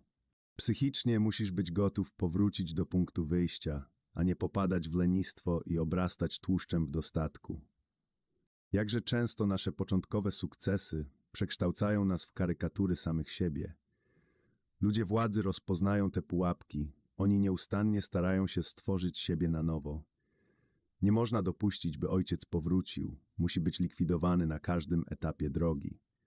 Doskonałość bycia pierwszym. Wielu błyszczałoby w swej pracy jak sam Feniks, gdyby inni ich nie poprzedzali. Bycie pierwszym daje wielką przewagę, podwójną w przypadku sławy. Działaj bez pośredników i jesteś górą. Ci, którzy idą pierwsi, z założenia zdobywają sławę, a ci, którzy naśladują, są jak drudzy synowie zadowalający się mizernymi porcjami. Salomon rozsądnie opowiadał się za pacyfizmem, odstępując sprawy wojny swemu ojcu. Dzięki zmianie kursu łatwiej przyszło mu zostać bohaterem, a nasz wielki Filip Drutek rządził całym, światem stronu własnej dalekowzroczności, przez wieki wprawiając w zdumienie. Jeśli jego niepokonany ojciec był przykładem energii, to Filip był przykładem mądrości. Ten rodzaj nowości pomagał ludziom mądrym zdobyć miejsce w roli kogoś wielkiego. Nie rezygnując z własnej sztuki, geniusze schodzą ze wspólnej drogi i robią, nawet w późnym wieku, nowe kroki w kierunku wiel wielkości. Horacy odstąpił poezję epicką Wergiliuszowi, Marshall zaś lirykę Horacemu. Terence wolał komedię, Persius satyrę, a każdy z nich miał nadzieję być pierwszym w swoim rodzaju. Odważna wyobraźnia nigdy nie ustępowała powierzchownej imitacji. Baltasar Gracian, The Pocket Mirror for Heroes, 1996 Ojciec Rzuca wielki cień na swoje dzieci, długo po swym odejściu utrzymując dominację nad nimi poprzez związanie ich z przeszłością, miażdżąc ich młodzieńczego ducha i zmuszając do podążania tą samą, zużytą drogą, jaką sam przeszedł. Stosuje wiele sztuczek. Na każdym skrzyżowaniu musisz niszczyć ojca i wychodzić z jego cienia. W rzeczywistości strzeż się kroczenia śladami wielkiego człowieka. By go prześcignąć, będziesz musiał dokonać dwakroć tyle co on. Ci, którzy idą po nim, są traktowani jak naśladowcy. Nigdy nie strząsną z siebie tego ciężaru bez względu na to, ile potu wyleją. Znalezienie nowej drogi do doskonałości to wyjątkowa umiejętność, nowoczesny szlak do sławy. Istnieje wiele dróg do wyjątkowości. Nie wszystkie są dobrze zbadane. Najnowsze mogą być trudne, ale często są to skróty do wielkości. Baltasar Gracian 1601-658 Prawo, klucz do władzy. W przeszłości cały kraj był rządzony przez króla i garstkę jego ministrów. Jedynie elita mogła bawić się władzą. Wraz z upływem czasu władza stopniowo ulegała rozproszeniu i zdemokratyzowaniu. To stworzyło jednak powszechnie funkcjonującą błędną ocenę, że władza nie skupia się w grupach, ale jest rozproszona wśród wielu ludzi. System sprawowania władzy zmienił się pod względem liczby rządzących, lecz nie samej istoty. Być może mniej jest potężnych tyranów panujących nad życiem i śmiercią milionów, ale pozostają tysiące drobnych tyranów władających mniejszymi dziedzinami i wprowadzających w życie swoją wolę poprzez pośrednie rozgrywki o władzę, charyzmę itd. W każdej grupie władza jest skupiona w rękach jednego człowieka lub dwóch osób, ponieważ jest to jedyna dziedzina, w której ludzka natura nigdy się nie zmieni. Ludzie będą gromadzili się wokół silnej indywidualności jak planety krążące wokół Słońca. Działanie w iluzji, że tego typu ośrodki władzy już nie istnieją, prowadzi do niekończącej serii błędów, marnotrawienia energii i czasu. Ludzie władzy nigdy nie marnują czasu. Na zewnątrz mogą sprawiać wrażenie, że grają zgodnie z regułami, udając, że władza jest rozproszona wśród wielu, jednak wewnętrznie skupiają się na tych nielicznych w grupie, którzy rozdają karty. To ci, nad którymi oni pracują. Gdy pojawiają się kłopoty, szukają ich przyczyn, silnej indywidualności, która wszczyna zamieszanie i której odizolowanie lub wydalenie ponownie uspokoi wzburzone wody. Dr Milton Erickson, prowadząc gabinet terapii rodzinnej, zauważył, że gdy zaburzeniu ulega dynamika życia rodzinnego i pojawia się jej dysfunkcja, to bez wątpienia istnieje ktoś, kto jest tego przyczyną, kto powoduje zamieszanie i jest podżegaczem. W czasie swych sesji terapeutycznych izolował takie symboliczne zgniłe jabłko, sadowiąc tę osobę z dala od innych. Stopniowo pozostali członkowie rodziny zaczynali dostrzegać w tej fizycznie odseparowanej osobie źródło swych problemów. Rozpoznawszy podżegacza, można wiele osiągnąć, wskazując go innym. Pamiętaj, podżegacze funkcjonują, ukrywając się w grupie, kamuflując swe działania wśród reakcji innych. Spraw, by ich postępowanie stało się widoczne, a utracą zdolność szkodzenia. Izolacja sił wroga jest kluczowym elementem gier strategicznych. W szachach chodzi o unieruchomienie króla. W chińskiej grze go dąży się do odizolowania sił wroga w małych zgrupowaniach, unieruchamiając je i sprawiając, że stają się bezużyteczne. Często lepiej jest odizolować wroga niż go zniszczyć. Sprawia się wtedy wrażenie osoby mniej brutalnej. Niemniej jednak rezultat jest taki sam w grze o władzę, bowiem izolacja jest równoznaczna ze śmiercią. Najbardziej skuteczną formą izolacji jest odseparowanie podżegaczy od ich bazy. Gdy Mao Zedong chciał wyeliminować z elity rządzącej wroga, nie odnosił się do niego bezpośrednio, lecz po cichu i w niewidoczny sposób pracował nad jego wyizolowaniem, nad podzieleniem jego sojuszników i spowodowaniem, by się od niego odsunęli, wreszcie nad zmniejszeniem bazy popleczników. Niebawem człowiek ten sam znikał. W pasterza uderza się dlatego, że takie działanie bardziej niż cokolwiek innego niszczy spoistość stada. Bez przewodnika nie ma ośrodka przyciągania, nie ma czegoś, wokół czego można by krążyć i wszystko się rozlatuje. Celuj w przywódców, strącaj ich i w powstałym zamieszaniu szukaj niezliczonych okazji. Gdy drzewo pada, małpy się rozbiegają. Chińskie przysłowie. Wilki. Pewnego razu wilki wysłały poselstwo do owiec, wyrażając pragnienie, by w nadchodzącym czasie nastał pokój między nimi. Po co, mówiły, mamy w nieskończoność prowadzić tę śmiertelną walkę? Wszystkiemu winne są nikczemne psy, coraz bardziej szczekają na nas i prowokują. Odprawcie je, a nie będzie już przeszkody dla wiecznego pokoju i przyjaźni między nami. Głupie owce posłuchały, psy zostały zwolnione, a stado pozbawione najlepszych obrońców stało się łatwym łupem zdradzieckiego wroga. O, bas!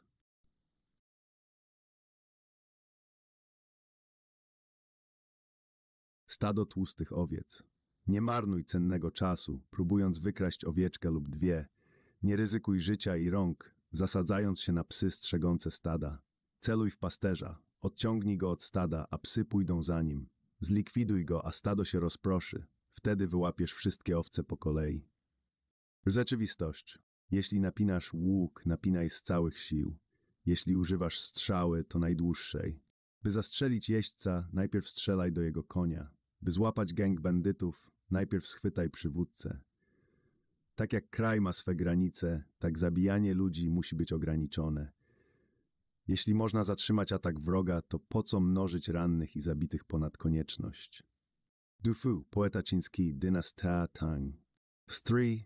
Klucze do władzy. W grze o władzę otaczają cię ludzie, którzy zupełnie nie mają powodu, by ci pomagać, chyba że jest to w ich własnym interesie. Jeśli zaś nie masz czego im zaoferować, to możesz wywołać w nich wrogość, ponieważ dostrzegą w tobie jeszcze jednego konkurenta, jeszcze jednego marnotrawcę ich czasu. Ludzie, którzy potrafią przełamać ten dominujący chłód, to ci, którzy odnajdują klucz otwierający serce i umysł obcego, którzy potrafią ściągnąć go do swego narożnika, a tam w razie potrzeby zmiękczyć go, przygotowując na cios. Większość ludzi nie zna gry od tej strony. Gdy poznają kogoś nowego, zamiast cofnąć się i wybadać, co sprawia, że jest taki wyjątkowy, opowiadają o sobie, pragnąc narzucić mu swą własną wolę i przekonania. Mogą tego nie wiedzieć, ale potajemnie tworzą wroga, człowieka oporu, ponieważ nie ma nic bardziej rozwścieczającego niż ignorowanie czyjejś indywidualności, niedocenianie czyjejś psychiki. Pamiętaj, kluczem do skutecznego przekonywania jest zmiękczanie ludzi i delikatne łamanie ich. Zniewalaj ich dwukierunkowym podejściem. Pracuj nad ich emocjami i baw się ich intelektualnymi słabościami. Uważaj zarówno na to, co dzieli tych ludzi od wszystkich innych, jak i na to, co ich łączy. Celuj w emocje podstawowe miłość, nienawiść, zazdrość. Ograniczysz ich panowanie nad sobą wtedy, gdy tylko poruszysz ich emocje, spowodujesz, że staną się bardziej wrażliwi na przekonywanie. Gdy podczas I wojny światowej Lawrence walczył z Turkami na pustyniach Bliskiego Wschodu, miał wizję. Wydawało mu się, że wojna konwencjonalna straciła na znaczeniu.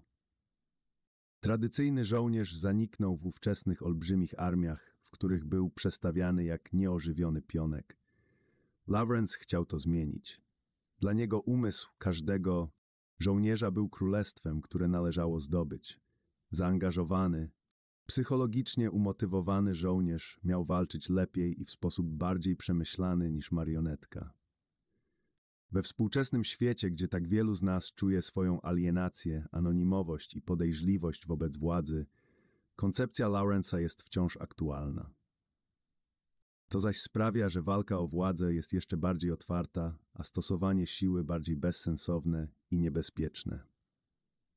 Zamiast manipulowania nieożywionymi pionkami spraw, by ci, którzy są po Twojej stronie, byli przekonani i podekscytowani celem, dla którego ich zaciągnąłeś. Aby to osiągnąć, musisz zająć się ich indywidualnymi psychikami. Nie zakładaj bezsensownie, że taktyka, która skutkowała w przypadku jednej osoby, będzie skuteczna wobec innej. Najszybszym sposobem opanowania ludzkich umysłów jest zademonstrowanie im w możliwie najprostszy sposób, jakie korzyści przyniesie im dane działanie. Najsilniejszą ze wszystkich motywacją jest własny interes. Wielki cel może poruszyć umysły, jednak interes zwycięży z chwilą przeminięcia pierwszego błysku podniecenia, chyba że coś można zyskać. Własny interes jest podstawą działania żołnierza. Artyści, intelektualiści i ludzie o bardziej poetyckiej naturze to często ci, którzy najlepiej potrafią trafić do ludzkich umysłów. Dzieje się tak dlatego, że ideę łatwiej przekazać za pomocą metafory i wizji. Dobrze jest zatem mieć pod ręką przynajmniej jednego artystę lub intelektualistę, który potrafi dotrzeć do ludzkich umysłów. Na koniec naucz się wykorzystywać liczby. Im szersze masz poparcie, tym mocniejszą władzę. Również ty musisz wciąż na nowo zdobywać sobie sojuszników na wszystkich poziomach. Bez wątpienia nadejdzie czas, że będziesz ich potrzebował. Rządy postrzegały ludzi tylko jako masy, jednak nasi ludzie jako partyzanci nie tworzyli formacji. Oni pozostali niezależnymi jednostkami. Nasze królestwa znajdowały się w umyśle każdego człowieka. T.E. Lawrence, Siedem filarów mądrości i 48 Ludzie, którzy zmienili wszechświat, nie osiągnęli tego zajmując się przywódcami, lecz poruszając masy. Zajmowanie się przywódcami możliwe jest za pomocą intrygi i prowadzi jedynie do drugorzędnych wyników. Umiejętność obchodzenia się z masami wymaga jednak geniuszu. Ten zaś potrafi zmienić oblicze świata. Napoleon Bonaparte 1769-1821 Dziurka od klucza. Ludzie budują mury, by wyrzucić cię poza nawias. Nie staraj się wejść na siłę. Stwierdzisz tylko, że za tymi murami są następne. W murach są drzwi, drzwi do serc i umysłów, a w drzwiach malutkie dziurki od kluczy. Zerknij przez taką dziurkę, znajdź klucz, który otwiera drzwi, a będziesz miał dostęp do ich woli, bez śladów wdzierania się na siłę. Rzeczywistość. Trudności na drodze perswazji wynikają ze stanu mojej znajomości serca przekonywanego. Chodzi o to, bym mógł dopasować odpowiednie słownictwo. Z tego powodu, ktokolwiek będzie chciał stosować perswazję wobec tronu, powinien przyjrzeć się królewskim uczuciom miłości i nienawiści, jego utajonym pragnieniom i obawom, zanim spróbuje posiąść serce władcy. Han Fei Tzu, filozof chiński, Turing. Prawo Fordert. Efekt lustra. Lustra mają moc niepokojenia nas. Patrząc na swe odbicie, najczęściej widzimy to, co chcielibyśmy widzieć, wyobrażenie, które nam najbardziej odpowiada. Zazwyczaj nie przyglądamy się zbyt dokładnie, ignorując zmarszczki i znamiona. Jeśli jednak przyjrzymy się bliżej odbitemu obrazowi, zdarzy się, że ujrzymy siebie takim, jakim widzą nas inni, jako człowieka wśród innych ludzi, jako przedmiot, nie podmiot. Stosując efekt lustra, symbolicznie odtwarzamy tę niepokojącą moc, odzwierciedlając działania innych ludzi, naśladując ich ruchy w celu zburzenia im spokoju i rozjuszenia ich. Zaczynają się denerwować, kiedy dociera do nich, że są ośmieszani, powielani, uprzedmiotowieni, że są jak obraz bez duszy. Można to samo zrobić nieco inaczej, a poczują się rozbrojeni, doskonale odzwierciedliłeś ich pragnienia i pożądanie. Ten efekt niesie w sobie wielką moc, ponieważ operuje na najprymitywniejszych emocjach. W sferze władzy istnieją cztery główne efekty lustra. Efekt neutralizujący. Jeśli zaczniesz postępować tak jak twoi wrogowie, jak najwierniej naśladując ich działania, wówczas nie uda im się zorientować, do czego zmierzasz, będą oślepieni odbiciem z twojego lustra. Ich strategia postępowania z tobą zależy od charakterystycznej dla ciebie własnej reakcji na ich działania. Możesz ją zneutralizować, włączając się do ich gry w udawanie. Efektem takiej taktyki jest wykpiwanie, a nawet rozwścieczanie. Większość z nas pamięta, jak to było, kiedy w dzieciństwie ktoś nas drażnił, powtarzając nasze słowa. Po pewnym, zazwyczaj krótkim czasie mieliśmy ochotę uderzyć go w twarz. Jako człowiek dorosły, działając już w sposób bardziej wysublimowany, też możesz wyprowadzić przeciwnika z równowagi. Kryjąc własną strategię za lustrem, możesz ustawiać niewidzialne pułapki lub popychać przeciwnika w stronę zasadzki, jaką zastawił na ciebie. Efekt narcyza. Wszyscy jesteśmy zakochani w sobie. Efekt narcyza funkcjonuje dzięki istnieniu narcyzmu uniwersalnego. Zaglądasz głęboko w duszę innych ludzi, poznajesz ich najgłębsze pragnienia, wartości, smak, duszę i uzyskane wrażenia, odbijasz z powrotem, czyniąc z siebie swego rodzaju lustrzany obraz. Umiejętność odzwierciedlania ich psychę daje ci nad nimi władzę. Mogą nawet poczuć odrobinę miłości. Efekt moralny. Efekt moralny sprowadza się do tego, że dajesz ludziom nauczkę za pomocą ich własnego środka. Dajesz im to, czym ciebie potraktowali i czynisz to w taki sposób, żeby zrozumieli, że dostają dokładnie to, co dla ciebie przygotowali. Zamiast skarżyć się i narzekać, co u przeciwnika wywołuje jedynie uaktywnienie postawy obronnej, dajesz im odczuć, że ich postępowanie nie było miłe. W miarę docierania do nich efektów własnego postępowania zaczynają w pełni rozumieć, jak bardzo ranią i krzywdzą innych swym niespołecznym zachowaniem. Efekt wyimaginowania. Lustra są niezwykle zwodnicze, ponieważ wywołują poczucie, że patrzy się na świat rzeczywisty. W rzeczy samej jednak patrzysz na kawałek szkła, które, jak każdy wie, nie jest w stanie ukazać świata takim, jakim jest. Wszystko w lustrze odbite jest odwrotnie. Efekt wyimaginowania bierze się ze stworzenia idealnej kopii obiektu, miejsca, osoby. Kopia funkcjonuje jak swoista makieta. Ludzie traktują ją jak rzeczywisty obiekt, ponieważ fizycznie do złudzenia go przypomina. Jest to najlepsza technika oszustów, którzy w celu wyprowadzenia cię w pole strategicznie naśladują świat rzeczywisty. Ma ona zastosowanie na wszystkich polach wymagających kamuflażu. Kiedy już zwarłeś się z wrogiem i zmagasz się z nim i dociera do ciebie, że nie jesteś w stanie posunąć się do przodu, zaczynasz wsiąkać i stajesz się jednością z wrogiem. Mimo tego zwarcia możesz wygrać, stosując odpowiednią technikę. Jeśli masz przewagę, wiedząc o tym, jak wsiąknąć w szeregi wroga, twoje zwycięstwo może być całkowite, podczas gdy próbując się wycofać, możesz utracić szansę na zwycięstwo. Miyamoto Musashi, The Book of Five Rings, Japonia, Slough W. List. Kiedy mam ochotę sprawdzić, jak mądry, jak głupi, jak dobry lub niegodziwy ktoś jest, lub co w danym momencie myśli, wówczas jak najprecyzyjniej upodabniam swoją minę do jego miny i czekam, jakie myśli lub uczucia powstaną w moim umyśle lub sercu, korespondując z przybraną miną. Edgar Allan Poe, 1809-1849 Tarcza Perseusza, wypolerowana jak lustro. Meduza nie może cię zobaczyć, widzi tylko swe ohydne odbicie. Kryjąc się za takim lustrem, możesz oszukiwać, przedrzeźniać i rozwścieczać. Jednym ciosem możesz odrąbać łeb niczego nie spodziewającej się meduzie. Rzeczywistość. Zadaniem operacji wojskowej jest postępować pozornie zgodnie z intencjami wroga, osiągnąć wpierw to, czego oni chcą, ostrożnie wyprzedzając ich ruch. Zachować dyscyplinę i dostosować się do wroga. W ten sposób jesteś początkowo jak pokojówka, więc wróg otwiera drzwi, potem jesteś jak ruchliwy królik, którego nie da się wygonić. Jewthawni, prawo. Klucze do władzy. Ludzka psychika zawiera wiele sprzeczności.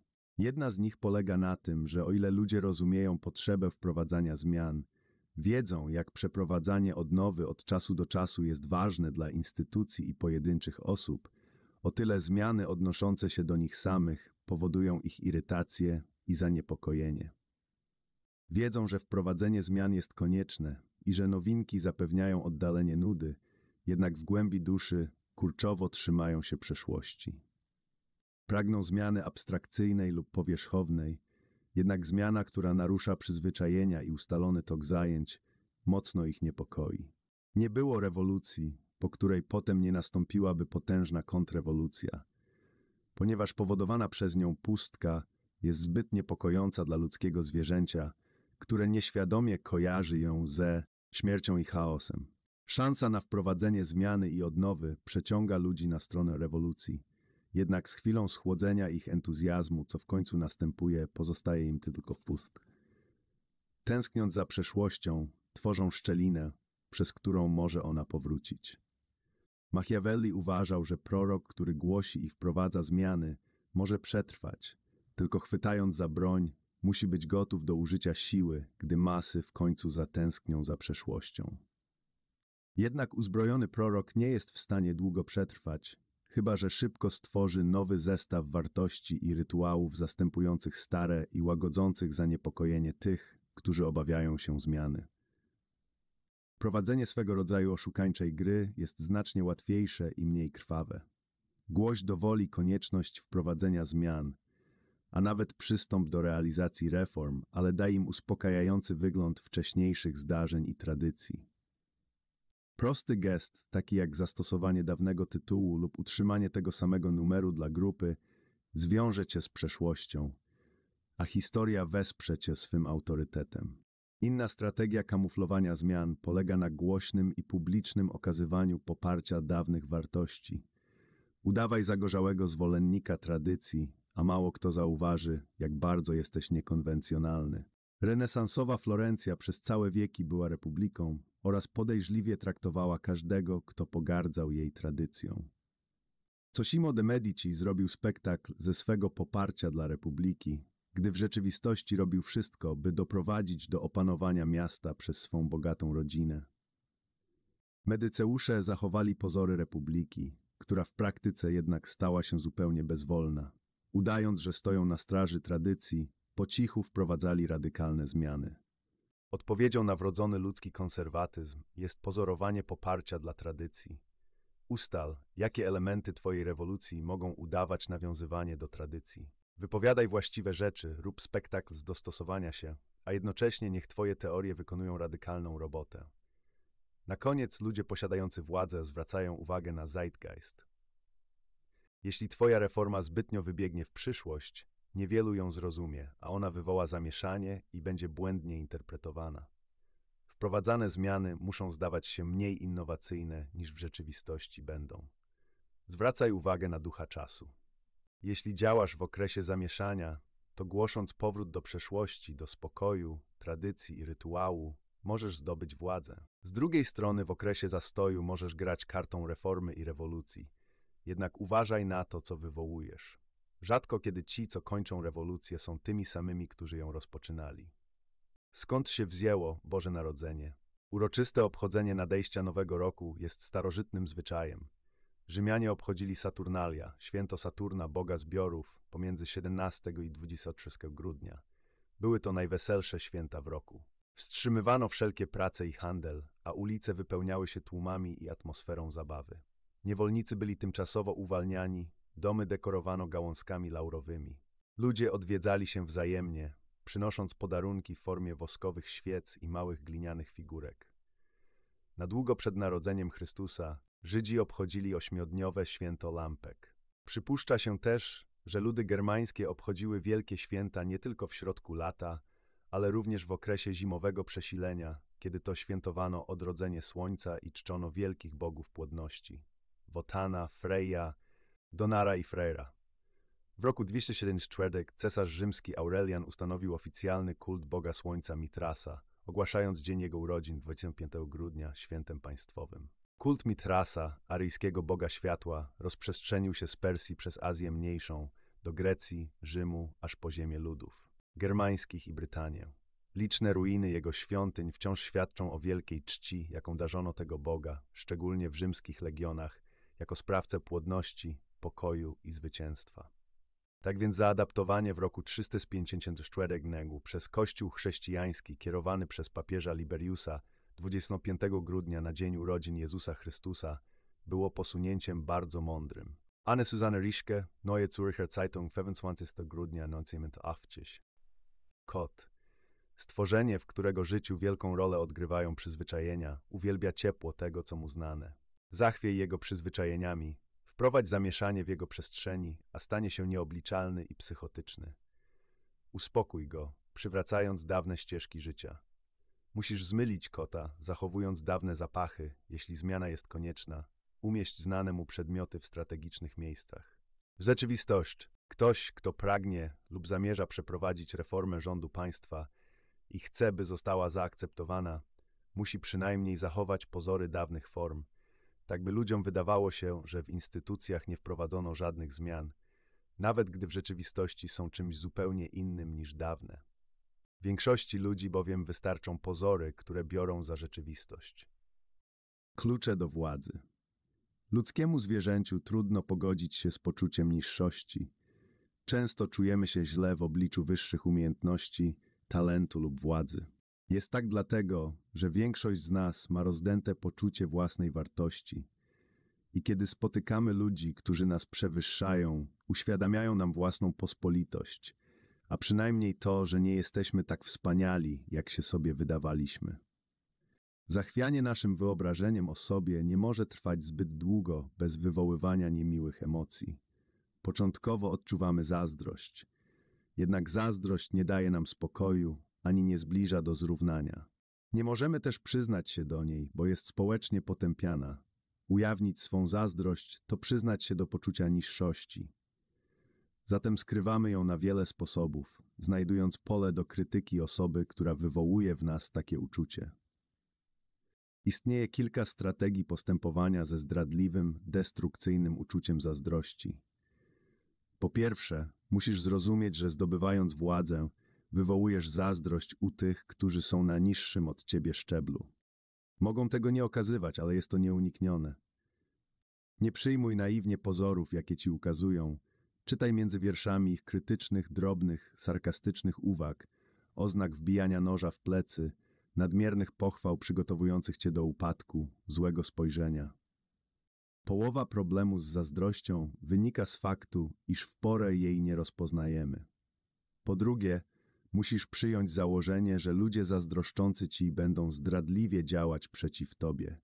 Będą rzucali ci pod nogi kłody, których się nie spodziewasz.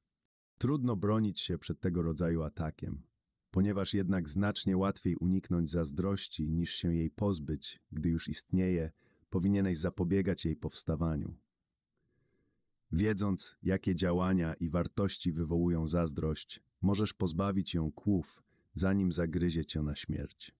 W sferze władzy wielkim niebezpieczeństwem jest nagła poprawa losu, niespodziewany awans, zwycięstwo lub sukces, który zdaje się przychodzić znikąd. Takie zdarzenia bez wątpienia wzbudzą zazdrość wśród ludzi dotychczas ci równych.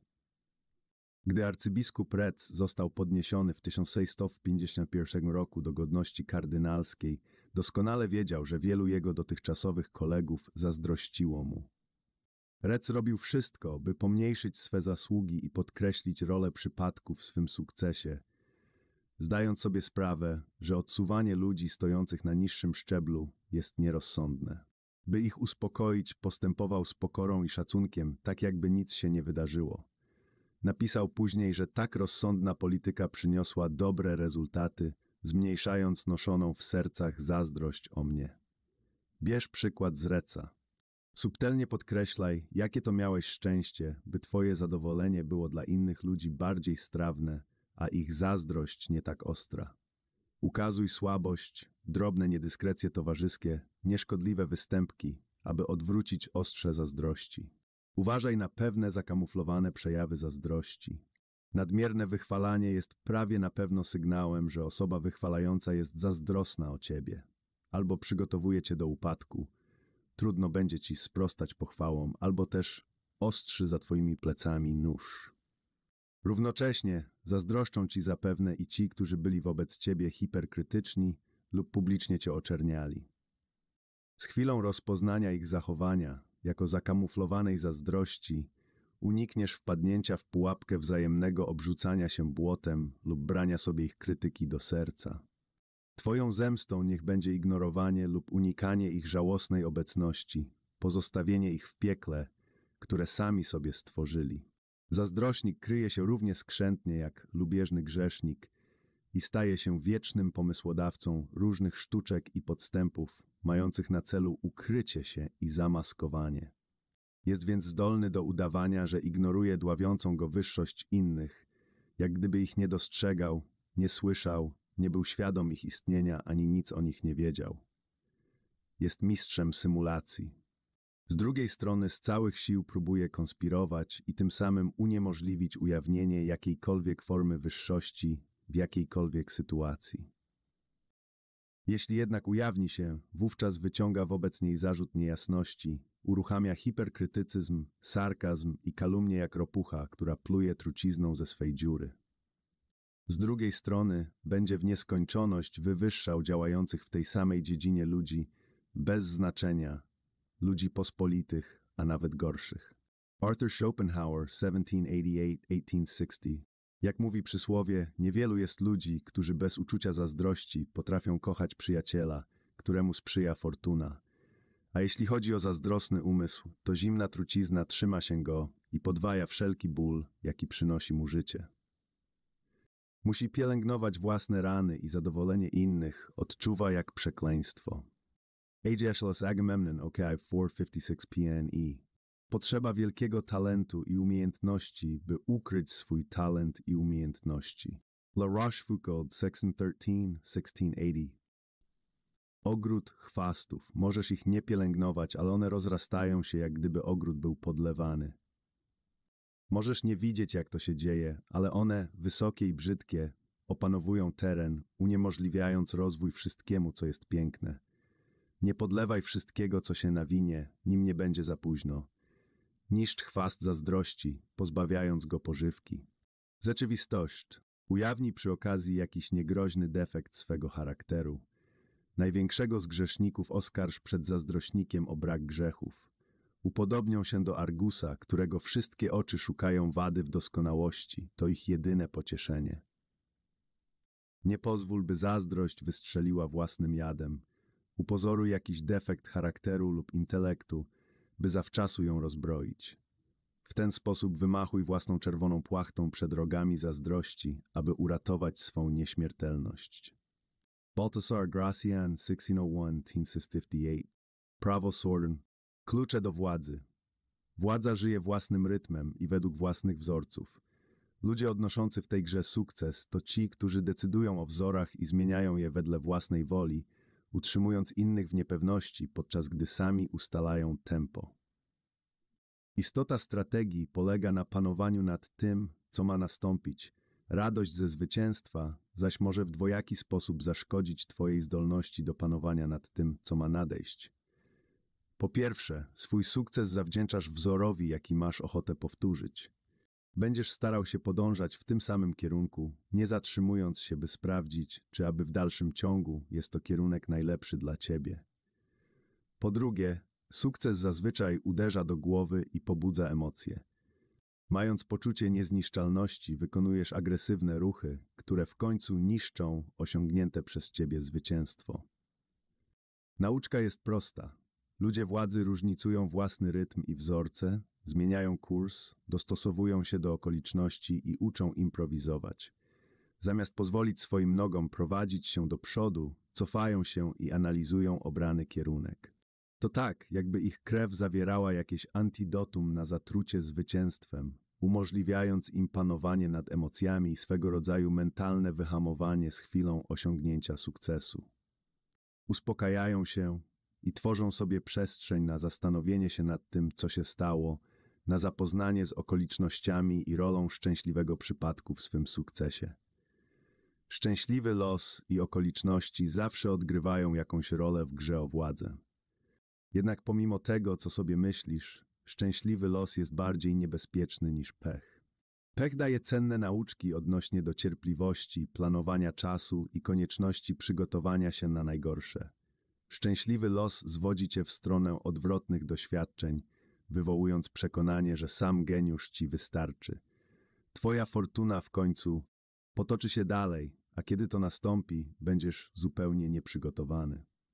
Szczęśliwy los, który wynosi cię lub zapewnia pomyślność, sprowadza chwilę, kiedy powinieneś otworzyć oczy. Koło fortuny z równą łatwością pociągnie cię w dół, jak i wyniesie do góry. Upadek, kiedy już nastąpi, będzie dla ciebie mniej przykry, jeśli się do niego przygotujesz. Rytm sprawowania władzy często wymaga zamian w zastosowaniu siły i przebiegłości. Nadmierne stosowanie siły prowadzi do przeciwdziałania. Zbytnie poleganie na przebiegłości, bez względu na to, jak przebiegłe, staje się przewidywalne. Po zwycięstwie przyczaj się, uśpij czujność wroga. Takie zmiany rytmu mają niezwykłą siłę. Motywacją ludzi, którzy wychodzą przed orkiestrę, jest często chęć przypodobania się Panu, udowodnienia Mu swego poświęcenia. Jednak nie, nadmierny wysiłek wystawia Cię na ryzyko wywołania podejrzliwości Twojego Pana. Generałowie służący pod wodzą Filipa Macedońskiego niejednokrotnie popadali w niełaskę i byli degradowani tuż po poprowadzeniu swych wojsk do wielkiego zwycięstwa. Filip obawiał się, że po kolejnym sukcesie człowiek z podwładnego może stać się jego rywalem. Warto precyzyjnie kalkulować zakres zwycięstwa, gdy służy się Panu, pozwalając mu na zbieranie laurów i nie dopuszczając do tego, by poczuł się zakłopotany. Rzeczą bardzo rozsądną jest również ustanowienie określonego wzorca całkowitego posłuszeństwa w celu zaskarbienia sobie jego pełnego zaufania. Wreszcie moment wyhamowania ma wielkie, dramatyczne znaczenie. To, co dzieje się na końcu, pozostaje w pamięci jako swego rodzaju wykrzyknik. Nie ma lepszego momentu na zatrzymanie się i odejście niż po osiągniętym zwycięstwie. Działaj dalej, a ryzykujesz zmniejszenie efektu, a nawet przegraną. Zawsze kończ zwycięstwem, jak mawiają prawnicy. Dwa koguty walczyły na kupie gnoju. Jeden z nich był silniejszy, pokonał drugiego i zepchnął go z kupy. Wszystkie kury zgromadziły się wokół zwycięzcy i zaczęły go wychwalać. Kogut chciał, by jego siła i chwała były znane w następnej zagrodzie. Pofrunął na dach stodoły, pomachał skrzydłami i zapiał donośnym głosem: Spójrzcie wszyscy na mnie. Jestem zwycięskim kogutem. Żaden inny kogut na świecie nie ma takiej siły jak ja. Nim kogut zdążył dokończyć, orzeł zabił go, porwał w swych szponach i uniósł do gniazda. Lew Tolstoj, bajki 1028. Kolejność krzyżowego ognia pytał. W trakcie krzyżowego ognia pytań najważniejszym, niech mi wolno będzie powtórzyć zalecenie, jest stałe poszukiwanie odpowiedniego momentu do zakończenia przesłuchania. Nic nie jest ważniejsze niż zakończenie przesłuchania sukcesem.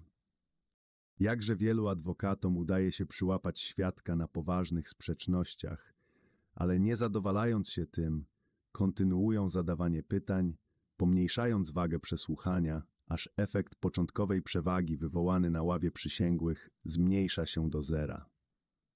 Francis L. Wellman, The Art of Cross-Examination, 1903 Spadający z nieba Ikar. Jego ojciec Dedal robi za pomocą wosku skrzydła, które mają umożliwić obu mężczyznom odfrunięcie z labiryntu i ucieczkę Minotaurowi.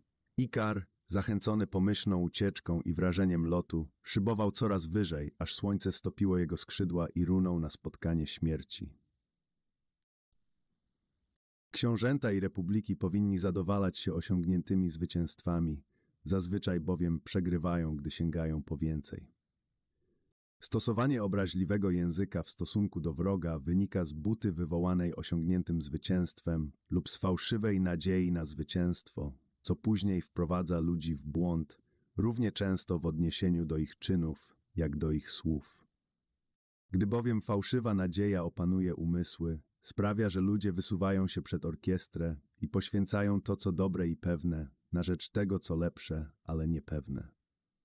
Nicola Machiavelli, 1469-1527. Pervos. Klucze do władzy. Ludzkie zwierzę wyróżnia się bezustannym tworzeniem form. Rzadko kiedy wyrażając swe emocje bezpośrednio, nadaje im formę za pomocą języka lub dzięki społecznie przyjętym rytuałom.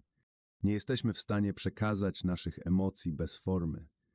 Jednak formy, jakie tworzymy, wciąż ulegają zmianie w zakresie mody, stylu, tych wszystkich ludzkich zjawisk reprezentujących atmosferę chwili. Wciąż zmieniamy formy odziedziczone po minionych pokoleniach. Te zmiany zaś są oznaką życia i żywotności. W rzeczy samej to, co nie ulega zmianie, formy, które ulegają skamienieniu, zdają się wyglądać jak martwe i wówczas niszczymy je. Ludzie władzy to często ci sami, którzy w młodości wykazali się ogromną twórczością w wyrażaniu czegoś nowego za pomocą nowej formy. Społeczeństwo daje im władzę, ponieważ pragnie tego rodzaju nowinek i nagradza je. Problemy pojawiają się potem, gdy stają się konserwatywni i pazerni. Już nie marzą o tworzeniu nowych form, ich osobowość jest ustalona, ich zwyczaje utrwalone, a skamieniałość czyni ich łatwym celem. Władza może rozkwitać jedynie wtedy, kiedy ma elastyczną formę. Brak formy nie oznacza amorficzności. Wszystko posiada jakąś formę, nie sposób tego uniknąć. Brak formy władzy to coś jak brak formy wody lub rtęci. Przybierają one formę tego, co jest wokół nich. Władza wciąż się zmienia, jest nieprzewidywalna. Pierwszym psychologicznym wymogiem wynikającym z braku formy jest konieczność pamiętania o tym, by nie traktować nic osobiście. Nie okazywać defensywności. Postępując defensywnie, okazujesz swoje emocje, ujawniasz czystą formę. Twoi przeciwnicy zorientują się, że trafili w słaby punkt, piętę Achillesa. Będą raz za razem uderzali w ten punkt. Uczyń ze swej twarzy bezkształtną maskę, a knujących kolegów i przeciwników doprowadzisz do wściekłości i wywołasz ich dezorientację. Człowiekiem stosującym tę technikę był baron James Rothschild. Jako niemiecki Żyd w Paryżu, a więc w kulturze zdecydowanie nieprzyjaznej obcokrajowcom, Rothschild nigdy nie traktował osobiście kierowanych przeciw sobie ataków. Co więcej, zaaklimatyzował się w środowisku politycznym, jakie by ono nie było. Rothschild zaakceptował wszystko i wtopił się w tłum. Podczas gdy on się adaptował i prosperował, nigdy nie ujawniając formy, wszystkie inne wielkie rody, które wchodziły w nowy wiek z niezwykłym bogactwem, popadały w ruinę w okresie skomplikowanych zwrotów fortuny. Przywiązując się do przeszłości, ujawniały swą potrzebę formy. Z czasem, w jeszcze mniejszym stopniu, należy polegać na przeszłości. Bądź czujny, na wypadek, gdyby forma wynikająca z Twojego charakteru nadawała Ci wygląd reliktu przeszłości. Nie zapominaj jednak, że brak formy to poza o znaczeniu strategicznym. Daje Ci miejsce na wypracowanie taktycznych niespodzianek. Wrogowie, dążąc do odkrycia Twojego następnego ruchu, będą ujawniali własną strategię, stając tym samym na przegranej pozycji. Dzięki temu inicjatywa znajdzie się po Twojej stronie, powodując, że Twoi wrogowie nie będą w stanie działać, a jedynie odpowiadać na Twój ruch. Prowadzone przez nich działania wywiadowcze i zbieranie informacji zostają udaremnione. Pamiętaj, brak formy to narzędzie. Nie myl go z takim stylem jak płynięcie na fali lub z religijnym poddaniem się zwrotom fortuny. Brak formy stosuj nie dlatego, że wprowadza wewnętrzny pokój i harmonię, lecz dlatego, że zwiększa Twoją władzę. Na koniec pamiętaj, że uczenie się przystosowywania do każdej nowej sytuacji oznacza postrzeganie zdarzeń własnymi oczami i często ignorowanie rad, jakich ludzie nieustannie Ci udzielają. Oznacza to, że w rezultacie musisz odrzucić prawa, jakie inni głoszą, książki, jakie piszą, by powiedzieć Ci, co masz robić, oraz mądre rady starszych. Polegaj zbyt mocno na pomysłach innych ludzi, a skończysz przyjmując cudzą formę. Postępuj brutalnie z przeszłością, szczególnie własną, i nie miej szacunku dla filozofii narzucanych ci z zewnątrz. W sztukach walki bardzo ważne jest, by strategia była niezgłębiona, by forma była ukryta oraz by ruchy były niespodziewane, żeby nie można było się na nie przygotować. To, co umożliwia dobremu generałowi zwycięstwo, to niezgłębiona mądrość i modus operandi, które nie pozostawiają śladów. Nie sposób zaszkodzić tylko tym, którzy nie mają formy. Mędrcy skrywają się w bezkresności, tak by nie można było dostrzec ich uczuć. Działają bez formy, tak że trudno się na nich natknąć. The Book of Huainan Masters, GWPNE. Mędrzec nie stara się naśladować starożytnych, ani nie ustanawia raz na zawsze stałych norm, ale bada sprawy własnego czasu i potem przygotowuje się do tego, żeby się nimi zająć. W kraju Sung żył człowiek, który uprawiał pole, pośród którego stał pień drzewa. Któregoś razu zając, pędząc co sił, wpadł na pień, złamał sobie kark i zdechł. Człowiek odstawił pług na bok i przyglądał się drzewu w nadziei, że trafi się jeszcze jeden zając. Drugi zając już się nie nadarzył, a mieszkańcy Sung wyśmiali go. Gdyby ktoś chciał rządzić ludźmi w naszych czasach za, pom- za pomocą środków z czasów wczesnych królestw, robiłby dokładnie to samo, co ów człowiek przyglądający się drzewu. Han Feitsu, filozofejnhał. Merkury, skrzydlaty posłaniec Bóg handlu, patron złodziei, hazardzistów i tych wszystkich, którzy oszukują dzięki zwinności. Merkury wymyślił lirę w dniu, w którym się urodził. Tego samego wieczoru wykradł bydło Apollinowi. Przemierzał cały świat, przyjmując formę, jaka mu odpowiadała. Tak jak ciekły metal nazwany jego imieniem, uosabia wszystko, co nieuchwytne, potęgę braku formy. Rzeczywistość, zatem zwieńczeniem formowania armii jest osiągnięcie braku formy. Zwycięstwo na wojnie nie jest czymś powtarzalnym, przyjmuje nieskończoną liczbę form. Siła zbrojna nie ma stałej formy, woda nie ma stałego kształtu. Zdolność do osiągnięcia zwycięstwa za pomocą wprowadzania zmian i dostosowywania się w zależności od przeciwnika nazywa się geniuszem. Spani